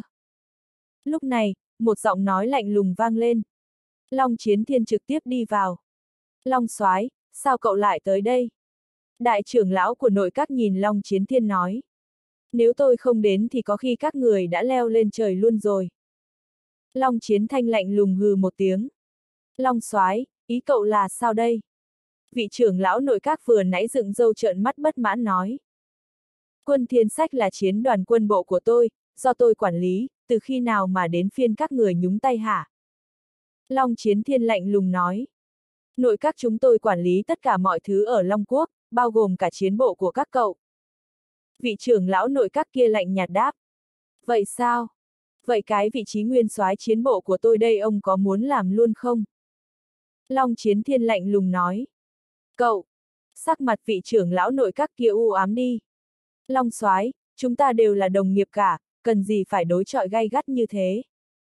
Nếu Long soái đã tới rồi, vậy hay là Long soái thử nói quan điểm của mình về chuyện này đi, dù sao thì chuyện này cũng đã tạo nên sức ảnh hưởng rất lớn, bây giờ cả nước đều biết hết rồi, nếu không có cách xử lý ổn thỏa thì e rằng khó mà làm phục lòng dân. Trưởng lão nội các nhìn Long soái rồi nói. Hơn nữa câu nói phía sau của ông ta rõ ràng là đang nhắc nhở Long Chiến Thiên phải hiểu rõ tính nghiêm trọng của chuyện này. Sở dĩ tạo nên cục diện như giờ đây chẳng phải là do các người sao, nếu không phải vì các người bắt giữ Diệp Phàm thì sao mà quân thiên sách phải dốc hết sức lực chứ? Nếu không phải vì các người phía chiến khu Tây Bộ và quân thiên lang tới ngăn chặn thì sao có thể bùng nổ một cuộc đại chiến được? Để rồi tạo nên cục diện như bây giờ. Long chiến thiên lạnh lùng quát lên. Long soái đang đổ toàn bộ trách nhiệm lên đầu chúng tôi đó sao? Chúng tôi bắt thằng nhóc đó là bởi vì nó đã giết xuyên vương, quận trưởng quận Thiên Thục và tân tổng chỉ huy chiến khu Tây Bộ, chẳng lẽ không nên làm vậy sao? Quân thiên sách tự ý rời nơi trú quân, xâm nhập vào Tây Nam, chẳng lẽ không nên ngăn cản sao? Một vị trưởng lão nội các lập tức kêu lên. Tôi không muốn tranh chấp với các người, bây giờ cách giải quyết duy nhất chính là không truy cứu tội danh của Diệp Phàm nữa, còn về chuyện của quân thiên sách, tôi sẽ tự xử phạt. Long Chiến Thiên lạnh nhạt nói. Long Chiến Thiên, cậu đang muốn bao che cho thằng nhóc đó và quân thiên sách sao? Lúc này, vị trưởng lão nội các vừa đập bàn khi nãy lại đập bàn hét lên. Bao che. Nếu không phải vì Diệp Phàm thì căn cứ quân sự Tây Nam đã không bị người của tám nước phá hủy, các người cũng phải hiểu rõ, một khi căn cứ quân sự đó bị phá hủy thì sẽ có hậu quả thế nào. Chỉ riêng chuyện này thôi đã đủ để bù đắp những tội mà hắn ta phạm phải rồi. Long chiến thiên quát lên với vị trưởng lão nội các kia, rồi nói tiếp, còn về quân thiên sách, năm đó nếu không nhờ có quân thiên sách và tiêu thiên sách thì Long quốc lấy gì ra mà chống lại liên minh năm nước chứ? Nếu không nhờ có bọn họ thì e rằng Long quốc đã thành vong quốc từ lâu rồi, sao các người còn có thể ngồi ở cái vị trí trưởng lão nội các này chứ? Ở ngoài kia, tiêu thiên sách và quân thiên sách chiến đấu đẫm máu, bảo vệ đất nước, còn các người thì đang làm cái gì hả? Các người sợ tiêu thiên sách công cao át chủ, gây ra mối đe dọa với các người, nên mới dùng kế sách nham hiểm đó đối phó với hắn ta, ép hắn ta rời quân thiên sách. Mấy năm nay thì các người lại càng chèn ép quân thiên sách ở khắp nơi, muốn khiến quân thiên sách, một đội quân đã lập nên những công lao hiển hách ở Long Quốc này cứ vậy mà biến mất. Bây giờ các người lại còn muốn ra tay với quân thiên sách và đệ tử của tiêu thiên sách, lương tâm của các người ở đâu? Long chiến thiên tôi nói rõ cho các người biết, chỉ cần có tôi ở đây, ai dám động vào Diệp Phàm và quân thiên sách, thế thì đừng trách tôi không khách sáo. Nếu các người không hài lòng thì có thể vào cung kiện cáo, tôi cũng vừa từ cung quay về đây. Nhớ kỹ lời tôi nói. Long chiến thiên quát lên, sắc mặt lạnh như băng, tràn ngập sát khí. Ông ta nói xong thì rời khỏi đó luôn. Giờ phút này, vẻ mặt của các trưởng lão nội các thay đổi liên tục. Đại trưởng lão, tên Long Chiến Thiên này quá kiêu ngạo, nó thật sự không thèm coi chúng ta ra gì. Lúc này, vị trưởng lão vỗ bàn kia nói với đại trưởng lão nội các. Đại trưởng lão nội các ngồi đó, ánh mắt lóe lên, rồi nghiêm nghị nói, trước mắt chuyện này cứ vậy đã, đừng tiếp tục ra tay với thằng nhóc kia. Đại trưởng lão, chẳng lẽ cứ buông tha cho thằng nhóc đó như vậy sao? Vị trưởng lão nội các kia vội vàng nói. Bây giờ đoan mộc phiệt, sở thị, điện long vương đều đang nói thay nó, chúng ta đã bỏ lỡ cơ hội rồi, nếu còn tiếp tục ra tay thì không chỉ quân thiên sách và long soái không chấp nhận, mà kể cả bên phía đoan mộc phiệt, sở thị và điện long vương cũng sẽ không đồng ý, đến khi đó sẽ chỉ khiến chúng ta bị động hơn. Đại trưởng lão nội các nặng nề nói. Vậy quân thiên sách thì sao? Lần này bọn họ không coi kỷ luật quân đội ra gì, nếu không phạt nghiêm thì các quân đoàn khác và chiến khu sẽ nghĩ thế nào đây? Đến khi đó từng người một bắt trước theo, chẳng phải Long Quốc sẽ hỗn loạn sao? Vị trưởng lão nội các kia không cam lòng. Đại hội đấu võ quân đoàn sắp bắt đầu rồi, chúng ta cứ mượn cuộc đấu võ lần này để khiến quân thiên sách biến mất hoàn toàn, đến khi ấy bên phía Long soái cũng chẳng có lý do gì mà nói. Đại trưởng lão nội các nói một câu. Lúc này bọn họ đã bắt đầu lên kế hoạch sử dụng đại hội đấu võ quân đoàn lần này để đối phó với quân thiên sách. Trong sở giám sát, trong căn phòng âm u kia. Cái tên này thậm chí còn vượt quá cả dự liệu của tôi. Người đàn ông mặc áo dài màu đen ngồi trên xe lăn kia thản nhiên nói. Sở trưởng, chúng ta nên làm gì tiếp theo đây? Dư thiên hành, người giám sát từ sở giám sát đứng đó, khom lưng xuống mà nói. Cho đội quân thiết giáp đen đi đi, dù thế nào cũng phải lấy được long tỷ. Người đàn ông ngồi trên xe lăn kia lạnh lùng nói. Đội quân thiết giáp đen. Dư thiên hành nghe thấy mấy chữ đội quân thiết giáp đen thì thay đổi sắc mặt, còn người co rút lại, ánh mắt lóe lên sự kinh hãi. Sở trưởng, cũng không cần thiết phải phái đội quân thiết giáp đen để đối phó với hắn ta đâu nhỉ. Lúc này, Dư Thiên Hành mở miệng nói. Đội quân thiết giáp đen này chính là quân đoàn đáng sợ nhất thần bí nhất trong sở giám sát, do sở trưởng sở giám sát đích thân tạo nên, nghe nói lực chiến đấu còn khủng bố hơn cả cửu đại quân đoàn của Long Quốc. Chính vì có sự tồn tại của quân đoàn này mà người đàn ông ngồi xe lăn trước mặt đây mới có thể ngồi vững trên vị trí sở trưởng sở giám sát, thậm chí còn không thèm coi ai ra gì. Nhớ rõ, không tiếc bất cứ giá nào, phải mang Long tỷ về đây. Người đàn ông ngồi trên xe lăn dùng ánh mắt nham hiểm liếc nhìn Dư Thiên Hành một cái, trái tim ông ta run lên, vội vàng gật đầu, vâng. Quận Thiên Thục, Thục Châu. Diệp Phàm vừa về đến đây đã gặp được đường sở sở. Anh Tiểu Phàm. Đường sở sở lao thẳng vào lòng Diệp Phàm, vui đến bật khóc. Khóc gì chứ, chẳng phải anh đã về đây rồi sao? Diệp Phàm nhẹ nhàng lau sạch nước mắt bên khóe mắt đường sở sở, mỉm cười nói. Anh Tiểu Phàm, có phải em vô dụng quá không, anh bị bắt đi, mà em lại chẳng thể làm gì được. Đường sở sở nhìn Diệp Phàm với vẻ mặt tự trách. Sao thế được chứ, trong lòng anh em là tuyệt nhất, sao có thể vô dụng được. Diệp Phàm khẽ vuốt mái tóc đường sở sở rồi đáp. Anh Tiểu Phàm, em nhất định sẽ trở thành một người có thể giúp đỡ cho anh. Đường sở sở nói, vẻ mặt kiên quyết. Sau khi trải qua chuyện lần này, tâm tính đường sở sở đã thay đổi hoàn toàn, cô bắt đầu lên kế hoạch tạo ra một thế lực mạnh mẽ, có thể giúp đỡ cho Diệp Phàm vào những thời khắc mấu chốt. Giờ phút này, đường sở sở bắt đầu có một sự lột xác vô hình. Thiếu chủ, cơ như yên và hoa hồng đỏ tiến đến gọi Diệp Phàm. Bọn họ thấy Diệp Phàm không sao thì trong lòng thở phào nhẹ nhõm. Hoa hồng đỏ, cô giúp tôi điều tra một người. Diệp Phàm nói với hoa hồng đỏ. Đúng rồi, anh Tiểu Phàm, lúc trước anh nói có thể chữa trị vết thương trên mặt Tiểu Tiểu, là thật sao? Bây giờ Tiểu Tiểu tỉnh rồi, phát hiện ra mình đã bị hủy dung, bây giờ tâm trạng đang vô cùng suy sụp. Đường sở sở lập tức nói với Diệp Phàm. Yên tâm, có anh ở đây, cô ấy sẽ không bị hủy dung đâu. Diệp Phàm bảo đảm. Hắn đi thẳng tới gặp Tôn Tiểu Tiểu. Giờ đây, vì gương mặt mình đã bị biến dạng hoàn toàn sau vụ nổ mà nội tâm Tôn Tiểu Tiểu đã hoàn toàn tan vỡ, cô ấy cúi đầu không dám nhìn ai. Vết thương trên mặt cô, tôi sẽ chữa khỏi giúp cô, cô sẽ không bị hủy dung đâu. Diệp Phàm nói thẳng với Tôn Tiểu Tiểu. Thật, thật sao? Tôn Tiểu Tiểu ngẩng đầu nhìn Diệp Phàm, có hơi không dám tin. Đương nhiên, tôi nói được thì làm được. Diệp Phàm nói, rồi hắn bắt đầu hành động luôn. Đầu tiên là hắn dùng kim châm bạc châm cứu trên gương mặt Tôn Tiểu Tiểu một lượt, sau đó dùng những dược liệu mà đã bảo nhóm cơ như yên chuẩn bị từ trước để điều chế thành thuốc bôi rồi bôi trực tiếp lên toàn bộ gương mặt của Tôn Tiểu Tiểu.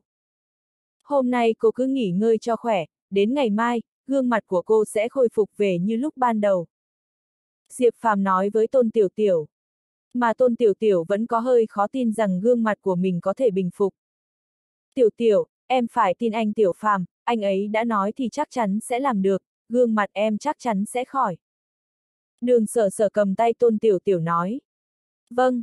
Tôn Tiểu Tiểu được cổ vũ thì trong lòng có một tia hy vọng, cô ấy nhẹ nhàng gật đầu. Quỳnh, Đột nhiên, bên ngoài vang lên một tiếng và đập chói tai. Diệp Phàm nheo mắt lại, đi thẳng ra phía bên ngoài. Giờ phút này, bên ngoài nơi ở của Diệp Phàm, ba vị quân đoàn trưởng là đoàn đao, Mục Kình Thiên, Đoạn Thiên Bằng đang chiến đấu với một người đàn ông có thân hình cường tráng, toàn thân toát ra khí tức cuồng bạo. Bốn người hoàng bộ thương, mộ bạch, đồ phu, thẩm thanh y đứng một bên xem chiến.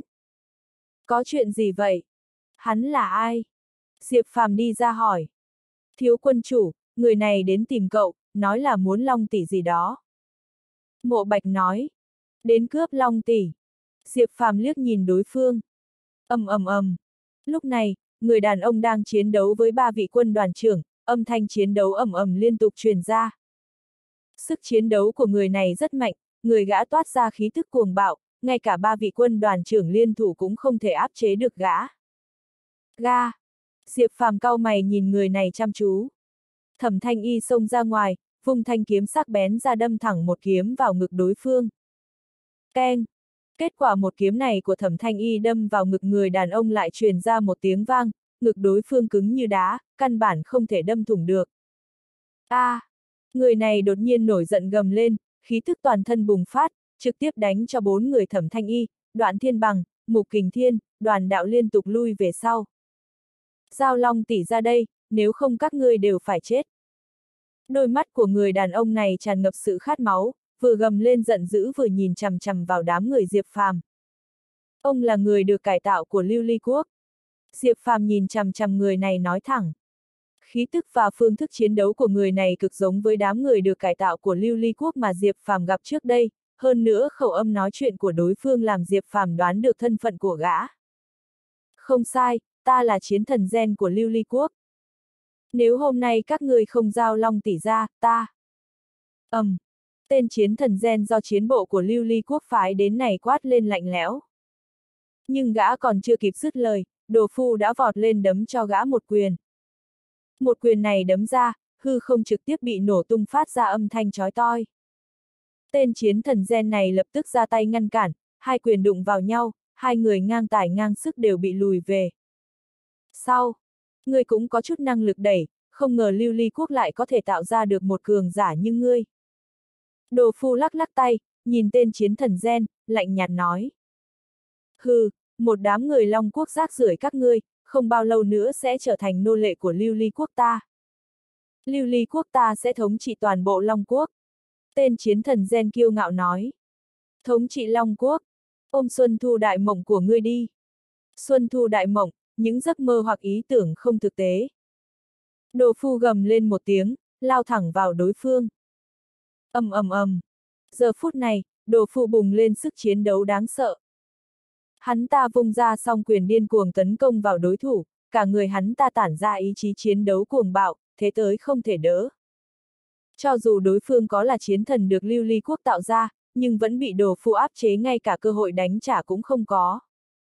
A! À, sau một đòn công kích điên cuồng, đồ phu lộ ra sơ hở bị đối phương ra tay đánh trúng. Hắn ta nổi giận gầm lên, nhanh như chớp đấm một quyền lên ngực tên kia, ngực gã ngay lập tức bị thủng một lỗ, ngay cả trái tim cũng nổ tung. Phút! Tên chiến thần gen phun ra một ngụm máu, không thể tin nhìn đồ phu. Chỉ dựa vào lưu ly quốc các ngươi mà cũng đòi thống trị long quốc ta, kiếp sau đi. Đồ phu nhìn gã, lạnh lùng quát. Hắn ta trở tay xé tên chiến thần gen thành hai nửa. Khụ khụ. Lúc này, đồ phu ho khan một trận. Một kích vừa rồi của tên chiến thần gen đó cũng làm hắn ta bị thương một chút. Lưu ly quốc đúng là có khả năng đào tạo ra người cải tạo, bọn họ lại có thể bồi dưỡng ra một cao thủ như vậy. Diệp Phàm nhàn nhạt nói. Lưu ly quốc vậy mà lại tạo ra người cải tạo. Bọn họ quả là vô nhân tính. Mộ bạch lạnh nhạt nói. Nếu người được cải tạo gen này được sản xuất hàng loạt, sau này sẽ tạo thành uy hiếp lớn cho Long Quốc. Đoạn thiên bằng mở miệng nói. Sợ cái gì, người cải tạo thì sao, tới bao nhiêu giết bấy nhiêu. Đồ phu phun ra một ngụm máu, hừ lạnh nói. Lúc này, từng bóng người lần lượt xuất hiện tại đây. Bọn họ chia thành ba đội ngũ, toàn bộ đều mặc trang phục cổ, trên người tản ra khí tức cường giả lạnh như băng. Ba đám người này đúng là người của Đông Phương Phiệt, Vũ Phiệt và Lâm Phiệt một trong chín Phiệt của Long Quốc. Toàn bộ người của ba Phiệt đều là cao thủ địa cảnh trở lên, trong đó có địa cảnh cửu trọng, nửa bước thiên cảnh thậm chí là có hơn 10 cường giả thiên cảnh. Lần này, mục tiêu của ba Phiệt không chỉ có cướp lại Long Tỷ mà còn muốn rửa mối nhục xưa, đó là giết Diệp Phàm. Chín Phiệt đã sừng sững ở Long Quốc ngàn năm, luôn luôn cao cao tại thượng, không ai dám đối địch với bọn họ. Hiện giờ chẳng những có người dám đối địch với bọn họ, còn giết cường giả trong phiệt của họ, người của ba phiệt làm sao có thể nhịn được đây. Sự sỉ nhục này cần phải được rửa bằng máu. May chính là Diệp Phàm kia. Người đàn ông trung niên có khuôn mặt lạnh lùng dẫn đầu đông phương phiệt, đầy sát ý nhìn Diệp Phàm quát. Ông là ai? Diệp Phàm bĩu môi. Con trai tạo trước đây chết trong tay mày. Hôm nay tao muốn mày nợ máu phải trả bằng máu. Người đàn ông nhìn Diệp Phàm giận dữ hét lên, trên người tản ra sát ý vô tận, người đứng đầu quân đoàn Đông Phương trước đây chính là con trai ông ta. Giao Long tỷ ra, Lâm Phiệt ta có thể cho ngươi chết toàn thây. Lão giả dẫn đầu Lâm Phiệt nhìn Diệp Phàm quát. Tiểu tử, Giao Long tỷ ra, nếu không ta sẽ cho người sống không bằng chết. Một người đàn ông có sắc mặt lạnh lẽo dẫn đầu Vũ Phiệt nhìn chằm chằm Diệp Phàm, trên người ông ta tản ra một uy áp làm người hít thở không thông, ông ta chính là cường giả thiên cảnh đứng đầu Vũ Phiệt, là người cầm quân của Vũ Phiệt đời trước. Dựa vào các người mà cũng muốn long tỷ. Diệp Phàm khinh miệt nói. Tám chữ này của hắn trực tiếp khiến các cường giả trong ba phiệt tức giận, khí tức khủng bố tản ra làm cho không khí trong phạm vi một cây số bị đông lại. Hoàng bộ thương, mộ bạch, đồ phu lạnh lùng nhìn chằm chằm vào nhóm người này, sẵn sàng ra tay bất cứ lúc nào. Người ba phiệt các ngươi hôm nay ai dám động đến Diệp công tử, thì đừng trách ta không khách khí. Bỗng nhiên, một giọng nói trong trẻo dễ nghe vang lên. Một nữ tử mặc lục y đi ra, đúng là phiệt chủ đoan mộc phiệt đoan mộc cần. Đoan mộc phiệt chủ. Sao cô lại ở đây? Người đàn ông dẫn đầu vũ phiệt nhìn đoan mộc cần kinh ngạc nói. Người của hai phiệt còn lại cũng kinh ngạc khi nhìn thấy đoan mộc cần. Hôm nay các người không ai được phép động vào diệp công tử, nếu không đừng trách tôi không khách khí. Đoan Mộc Cần lạnh nhạt nói. Cô ta vừa nói ra những lời này, sắc mặt của người trong ba phiệt lập tức tối sầm xuống. Đoan Mộc phiệt chủ, cô có ý gì? Cô muốn độc chiếm Long Tỷ hay là muốn đối địch với Đông Phương phiệt? Người đàn ông dẫn đầu Đông Phương phiệt lạnh lẽo quát. Đông Phương phiệt các người tuy lợi hại, nhưng không dọa được Đoan Mộc Cần tôi. Đoan Mộc Cần thờ ơ nói. Hừ, tôi cũng muốn nhìn xem đoan mộc phiệt chủ có thể bảo vệ được tên tiểu tử này hay không. Người đàn ông dẫn đầu đông phương phiệt hừ lạnh, bay thẳng đến giết Diệp Phàm. Đoan mộc cẩn khẽ động cơ thể, đứng chắn trước mặt người dẫn đầu đông phương phiệt, bàn tay mảnh khảnh vung lên, lập tức đâm xuyên qua cổ người đàn ông, chỉ một chiêu đã giết chết ông ta. Đôi mắt tên cường giả đông phương phiệt trừng lớn, ngã trên mặt đất chết không nhắm mắt. Cảnh tượng này làm sắc mặt những người còn lại của ba phiệt thay đổi, lộ ra sự chấn động. Trước đây bọn họ không quá coi trọng phiệt chủ mới của đoan mộc phiệt. Dù sao đoan mộc cần mới gần 30 tuổi, hơn nữa do phiệt chủ tiền nhiệm của đoan mộc phiệt đột nhiên chết bất đắc kỳ tử nên cô ta mới có cơ hội trở thành chủ của một phiệt, bởi vậy không chỉ ở đoan mộc phiệt cô ta khó làm cho người ta tin phục, đến tám phiệt còn lại cũng không có ai xem cô ta là phiệt chủ, còn rất khinh thường cô ta. Chính vì điều này nên cường giả Đông Phương Phiệt vừa rồi mới có thể làm lơ đoan mộc cẩn mà trực tiếp ra tay, nếu đổi lại là phiệt chủ của tám phiệt còn lại, cho ông ta 10 cái gan cũng không dám làm như vậy. Nhưng đoan mộc cẩn vừa ra tay đã khiến người ba phiệt thấy rõ được thực lực của phiệt chủ mới đoan mộc phiệt, không thể khinh thường được. Còn ai muốn ra tay nữa không? Đoan Mộc Cẩn liếc nhìn người ba phiệt, mở miệng nói. Giờ phút này, Đoan Mộc Cẩn thể hiện ra uy nghiêm và uy áp của phiệt chủ, khiến người của phiệt khác sợ đến mức thở cũng không dám thở. Đoan Mộc phiệt chủ, cô thật sự vì người này mà đắc tội ba phiệt chúng tôi sao? Cô biết cô làm như vậy có hậu quả gì không? Người đàn ông dẫn đầu vũ phiệt nhìn đoan mộc cẩn, trầm giọng nói. Đây là chuyện của tôi, không cần ngài lo lắng. Hoặc là mấy người cút hoặc là chết. Đoan mộc cẩn quát lên. Ánh mắt đám người của Đông Phương Phiệt, Lâm Phiệt, Vũ Phiệt khẽ lập lòe, cuối cùng lựa chọn rút lui. Hiển nhiên bọn họ cũng không tự tin khi chiến đấu với Đoan Mộc Cần. Người của ba phiệt nhanh chóng rời đi, Đoan Mộc Cần nhìn Diệp Phàm, chúc mừng công tử đã ra tù, xem ra việc tôi tìm mấy lão già trong nội các cũng không vô ích. Diệp Phàm liếc nhìn cô ta, nói, cô giúp tôi như vậy là muốn lấy được Long tỷ à? Công tử hiểu lầm rồi, đúng là trước đây tôi có đánh chủ ý lên Long tỷ, nhưng nếu Long tỷ đã ở trong tay công tử, chứng tỏ anh mới là chủ nhân của nó, tôi sao lại dám cướp đi thứ yêu thích của người khác chứ? Đoan Mộc Cần mỉm cười nhìn Diệp Phàm. Vậy cô có ý gì? Diệp Phàm nhìn đối phương. Tôi chỉ muốn kết bạn với công tử. Đoan Mộc Cần nói. Kết bạn, tôi thấy cô có ý đồ khác mới đúng. Diệp Phàm liếc nhìn cô ta, hừ lạnh nói. Công tử hiện giờ đã đắc tội ba phiệt này, bọn họ chắc chắn sẽ không bỏ qua cho công tử, nếu công tử đồng ý hợp tác với tôi, đoan mộc phía tôi nhất định sẽ dốc toàn lực giúp công tử một tay. Đoan mộc cần nhìn Diệp Phàm nói. Chỉ là ba phiệt mà thôi, tôi còn không để trong mắt. Nếu cô không có việc gì thì tôi đi đây. Diệp Phàm nhìn đoan mộc cẩn không chút khách sáo nói. Đây là thông tin liên lạc của tôi, nếu công tử có nhu cầu thì có thể liên hệ tôi bất cứ lúc nào. Đoan Mộc Cẩn nói thông tin liên lạc của mình cho Diệp Phàm, sau đó xoay người rời đi. Thiếu chủ, người phụ nữ này không đơn giản. Mộ Bạch nói. Đúng là không bình thường, mỗi lời nói đều có mục đích, tâm tư thâm trầm. Diệp Phàm nhếch khóe miệng, sau đó nói, đúng rồi, các người biết nơi đóng quân của quân Thiên Lang ở đâu không? Thiếu quân chủ muốn đến nơi đóng quân của quân Thiên Lang sao? Mộ Bạch hỏi. Lần trước quân chủ quân Thiên Lang năm lần bảy lượt muốn giết tôi, lần này ở nhà tù Tây Nam ông ta còn hối lộ quản ngục để giết tôi, việc này tôi phải thanh toán với ông ta. Diệp Phàm lạnh nhạt nói. Đối với Diệp Phàm, hắn chính là người có thù tất báo. Quân chủ quân Thiên Lang có thủ oán với hắn, còn nhiều lần muốn giết hắn, hắn đương nhiên không thể tha cho đối phương. Cho dù đối phương có là quân chủ quân Thiên Lang, Diệp Phàm cũng không thèm để ý. Dù sao ngay cả thống soái chiến khu và vương gia của Long Quốc hắn cũng giết rồi, vậy hắn còn để ý một quân chủ à? Chu Thiên Lâm dám ra tay với thiếu quân chủ. Sớm biết vậy tối qua tôi đã một chiêu giết ông ta. Hoàng bộ thương lạnh lùng quát lên. Không sao, dù sao ông ta cũng chỉ sống thêm được một đêm. Diệp Phàm lạnh nhạt nói. Nếu thiếu quân chủ muốn ra tay với Chu Thiên Lâm, tôi có thể triệu tập quân thiên sách lại, đúng lúc quân thiên sách vẫn chưa rời đi. Mộ Bạch nói. Không cần, quân thiên sách vừa trải qua một trận đại.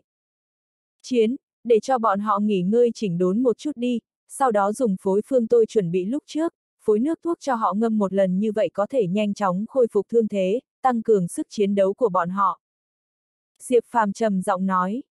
Nếu thiếu chủ không điều động quân thiên sách vậy cho quân thiên vệ đi đi, dù sao nơi đóng quân của quân thiên lang cũng có mười mấy vạn đại quân.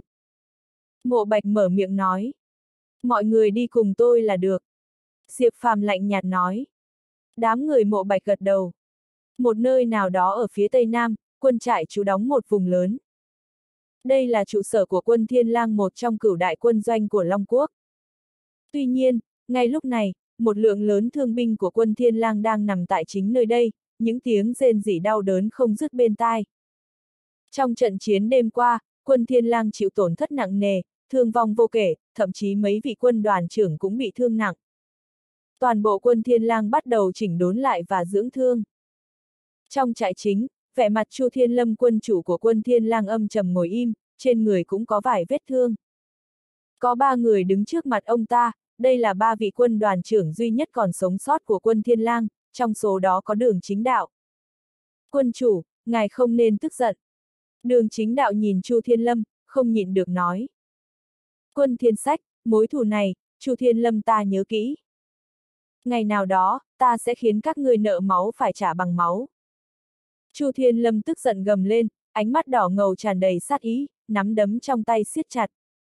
Trận chiến lần này, quân Thiên Lang tổn thất lớn, ngay cả đại tướng tâm phúc của Chu Thiên Lâm là Mạc Lâm cũng bị giết, chuyện này làm có thể không khiến ông ta tức giận.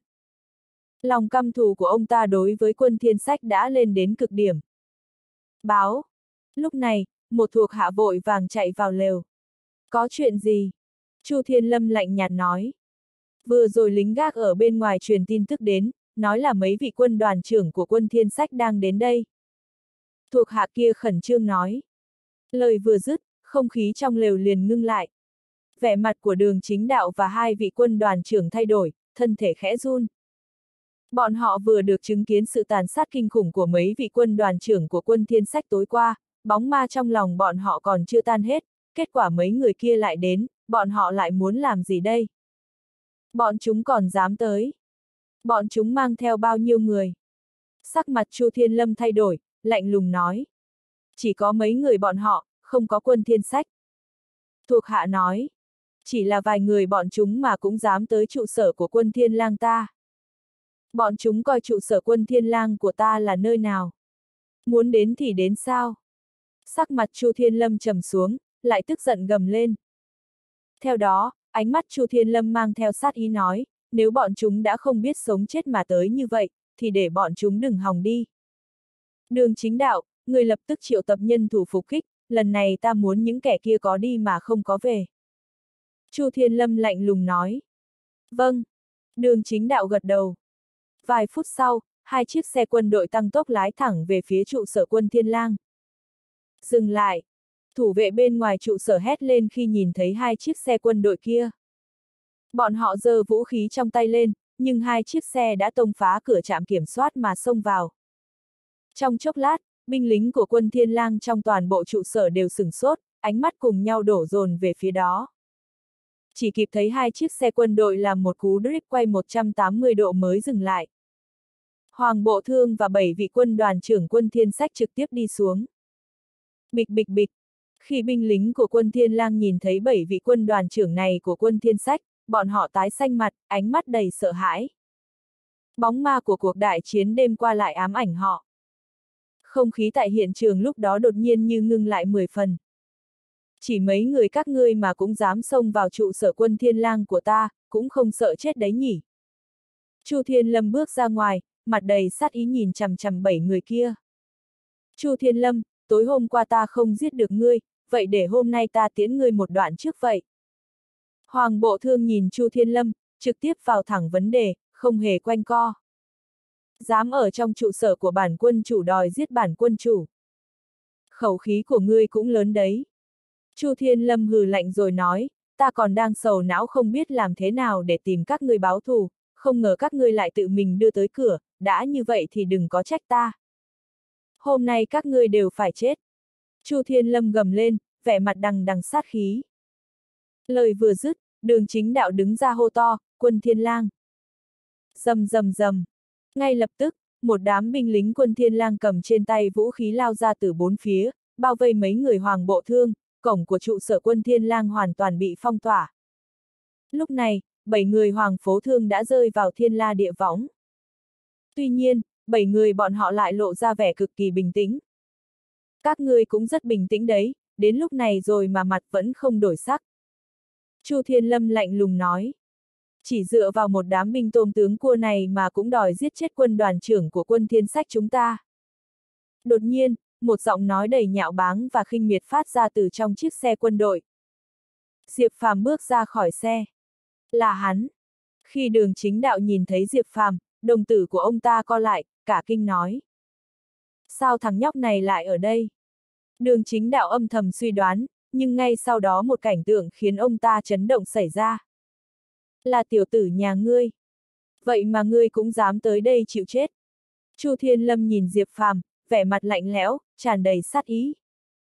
Thiếu chủ. Bảy người hoàng bộ thương trực tiếp kêu lên với Diệp Phàm.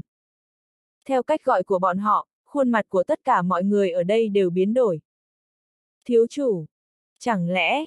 Chu Thiên Lâm nhìn Diệp Phàm, ánh mắt chớp động. Ông ta vốn đang suy nghĩ vì sao quân thiên sách đột nhiên tiến về phía Tây Nam, nhưng bây giờ nhìn thấy cảnh này, ông ta đã hiểu, hóa ra thằng nhóc này là đệ tử của chiến thần tiêu thiên sách, cho nên quân thiên sách sẽ không chút do dự vi phạm quân kỷ mà đến Tây Nam, chính là vì muốn cứu thằng nhóc này. Khi đường chính đạo nghe thấy xưng hô của Diệp Phàm từ mấy người hoàng phố thương, ông ta sững sờ bàng hoàng, một hồi lâu vẫn chưa hoàn hồn. Tiểu tử, ta không ngờ ngươi lại là đệ tử của chiến thần tiêu thiên sách, chẳng trách ngươi lại không kiêng kỵ như vậy, hóa ra là có chiến thần thiên sách làm chỗ dựa có đúng không? Nhưng hôm nay ngươi đã xâm nhập vào trụ sở của quân thiên lang ta, cho dù chiến thần thiên sách xuất hiện, cũng không thể cứu được ngươi. Tất cả tám người các ngươi hôm nay đều phải chết. Giết! Chu Thiên Lâm quát lên, mặt tràn ngập sát ý. Ngay khi ông ta vừa ra lệnh, binh lính quân thiên lang xung quanh chuẩn bị trực tiếp nổ súng. Oanh! Một cỗ uy áp đáng sợ từ trong cơ thể Diệp Phàm bộc phát, trực tiếp đánh bay tất cả đám binh lính quân thiên lang xung quanh ra ngoài. Hắn bước lên một bước, một tay tụ khí, trực tiếp bóp lấy cổ Chu Thiên Lâm rồi nhấc ông ta lên. Mà Chu Thiên Lâm thấy Diệp Phàm động thủ còn chưa kịp phản ứng thì đã bị bắt. Quân chủ. Khi Chu Thiên Lâm bị bắt, sắc mặt của tất cả binh lính của quân Thiên Lang đều biến đổi, nhao nhao hô lên. Đường chính đạo và hai vị quân đoàn trưởng còn lại hoàn toàn sững sờ. Ngươi, ngươi muốn làm gì? Chu Thiên Lâm bị Diệp Phàm bóp cổ, mặt đỏ lên, ông ta không ngừng giãy giụa, nhưng dù giãy giụa thế nào cũng vô dụng. Ta muốn ông chết. Diệp Phàm lạnh lùng nói. Giác. Ngay khi lời nói của hắn vừa dứt, hắn đã bóp nát cổ Chu Thiên Lâm. Lập tức, hai mắt Chu Thiên Lâm mở to, chết không nhắm mắt. Mọi người có mặt ở nơi này đều như bị đóng băng, không khí dường như động lại. Đường đường là quân chủ quân Thiên Lang, cứ vậy mà chết. Giờ phút này, toàn bộ binh lính của quân Thiên Lang cảm thấy như đang đang nằm mơ. Diệp Phàm vung tay lên, tùy ý ném xác Chu Thiên Lâm xuống đất, giống như ném một con chó chết. Bịch! Lập tức, ánh mắt Diệp Phàm quét về phía đường chính đạo. Ngươi! Đường chính đạo nhìn Diệp Phàm, thân thể không kiềm chế được mà run rẩy. Giờ phút này, đường chính đạo là người bị ảnh hưởng nhiều nhất, ông ta không ngờ rằng người luôn bị ông ta và người nhà họ đường xem thường này lại có thân thế và sức mạnh nghịch thiên như vậy. Lúc trước, ông ta và mẹ còn xem thường Diệp Phàm, nhưng bọn họ không ngờ rằng thân phận của đối phương lại cường đại đến mức có thể dễ dàng bóp chết bọn họ. Nghĩ đến đủ chuyện quá khứ, đường chính đạo toát mồ hôi lạnh. Ta không hy vọng những kẻ khác trong nhà họ đường biết về chuyện ngày hôm nay ngoài ngươi, hiểu không? Diệp Phàm nhìn đường chính đạo, thờ ơ nói. Vâng, vâng.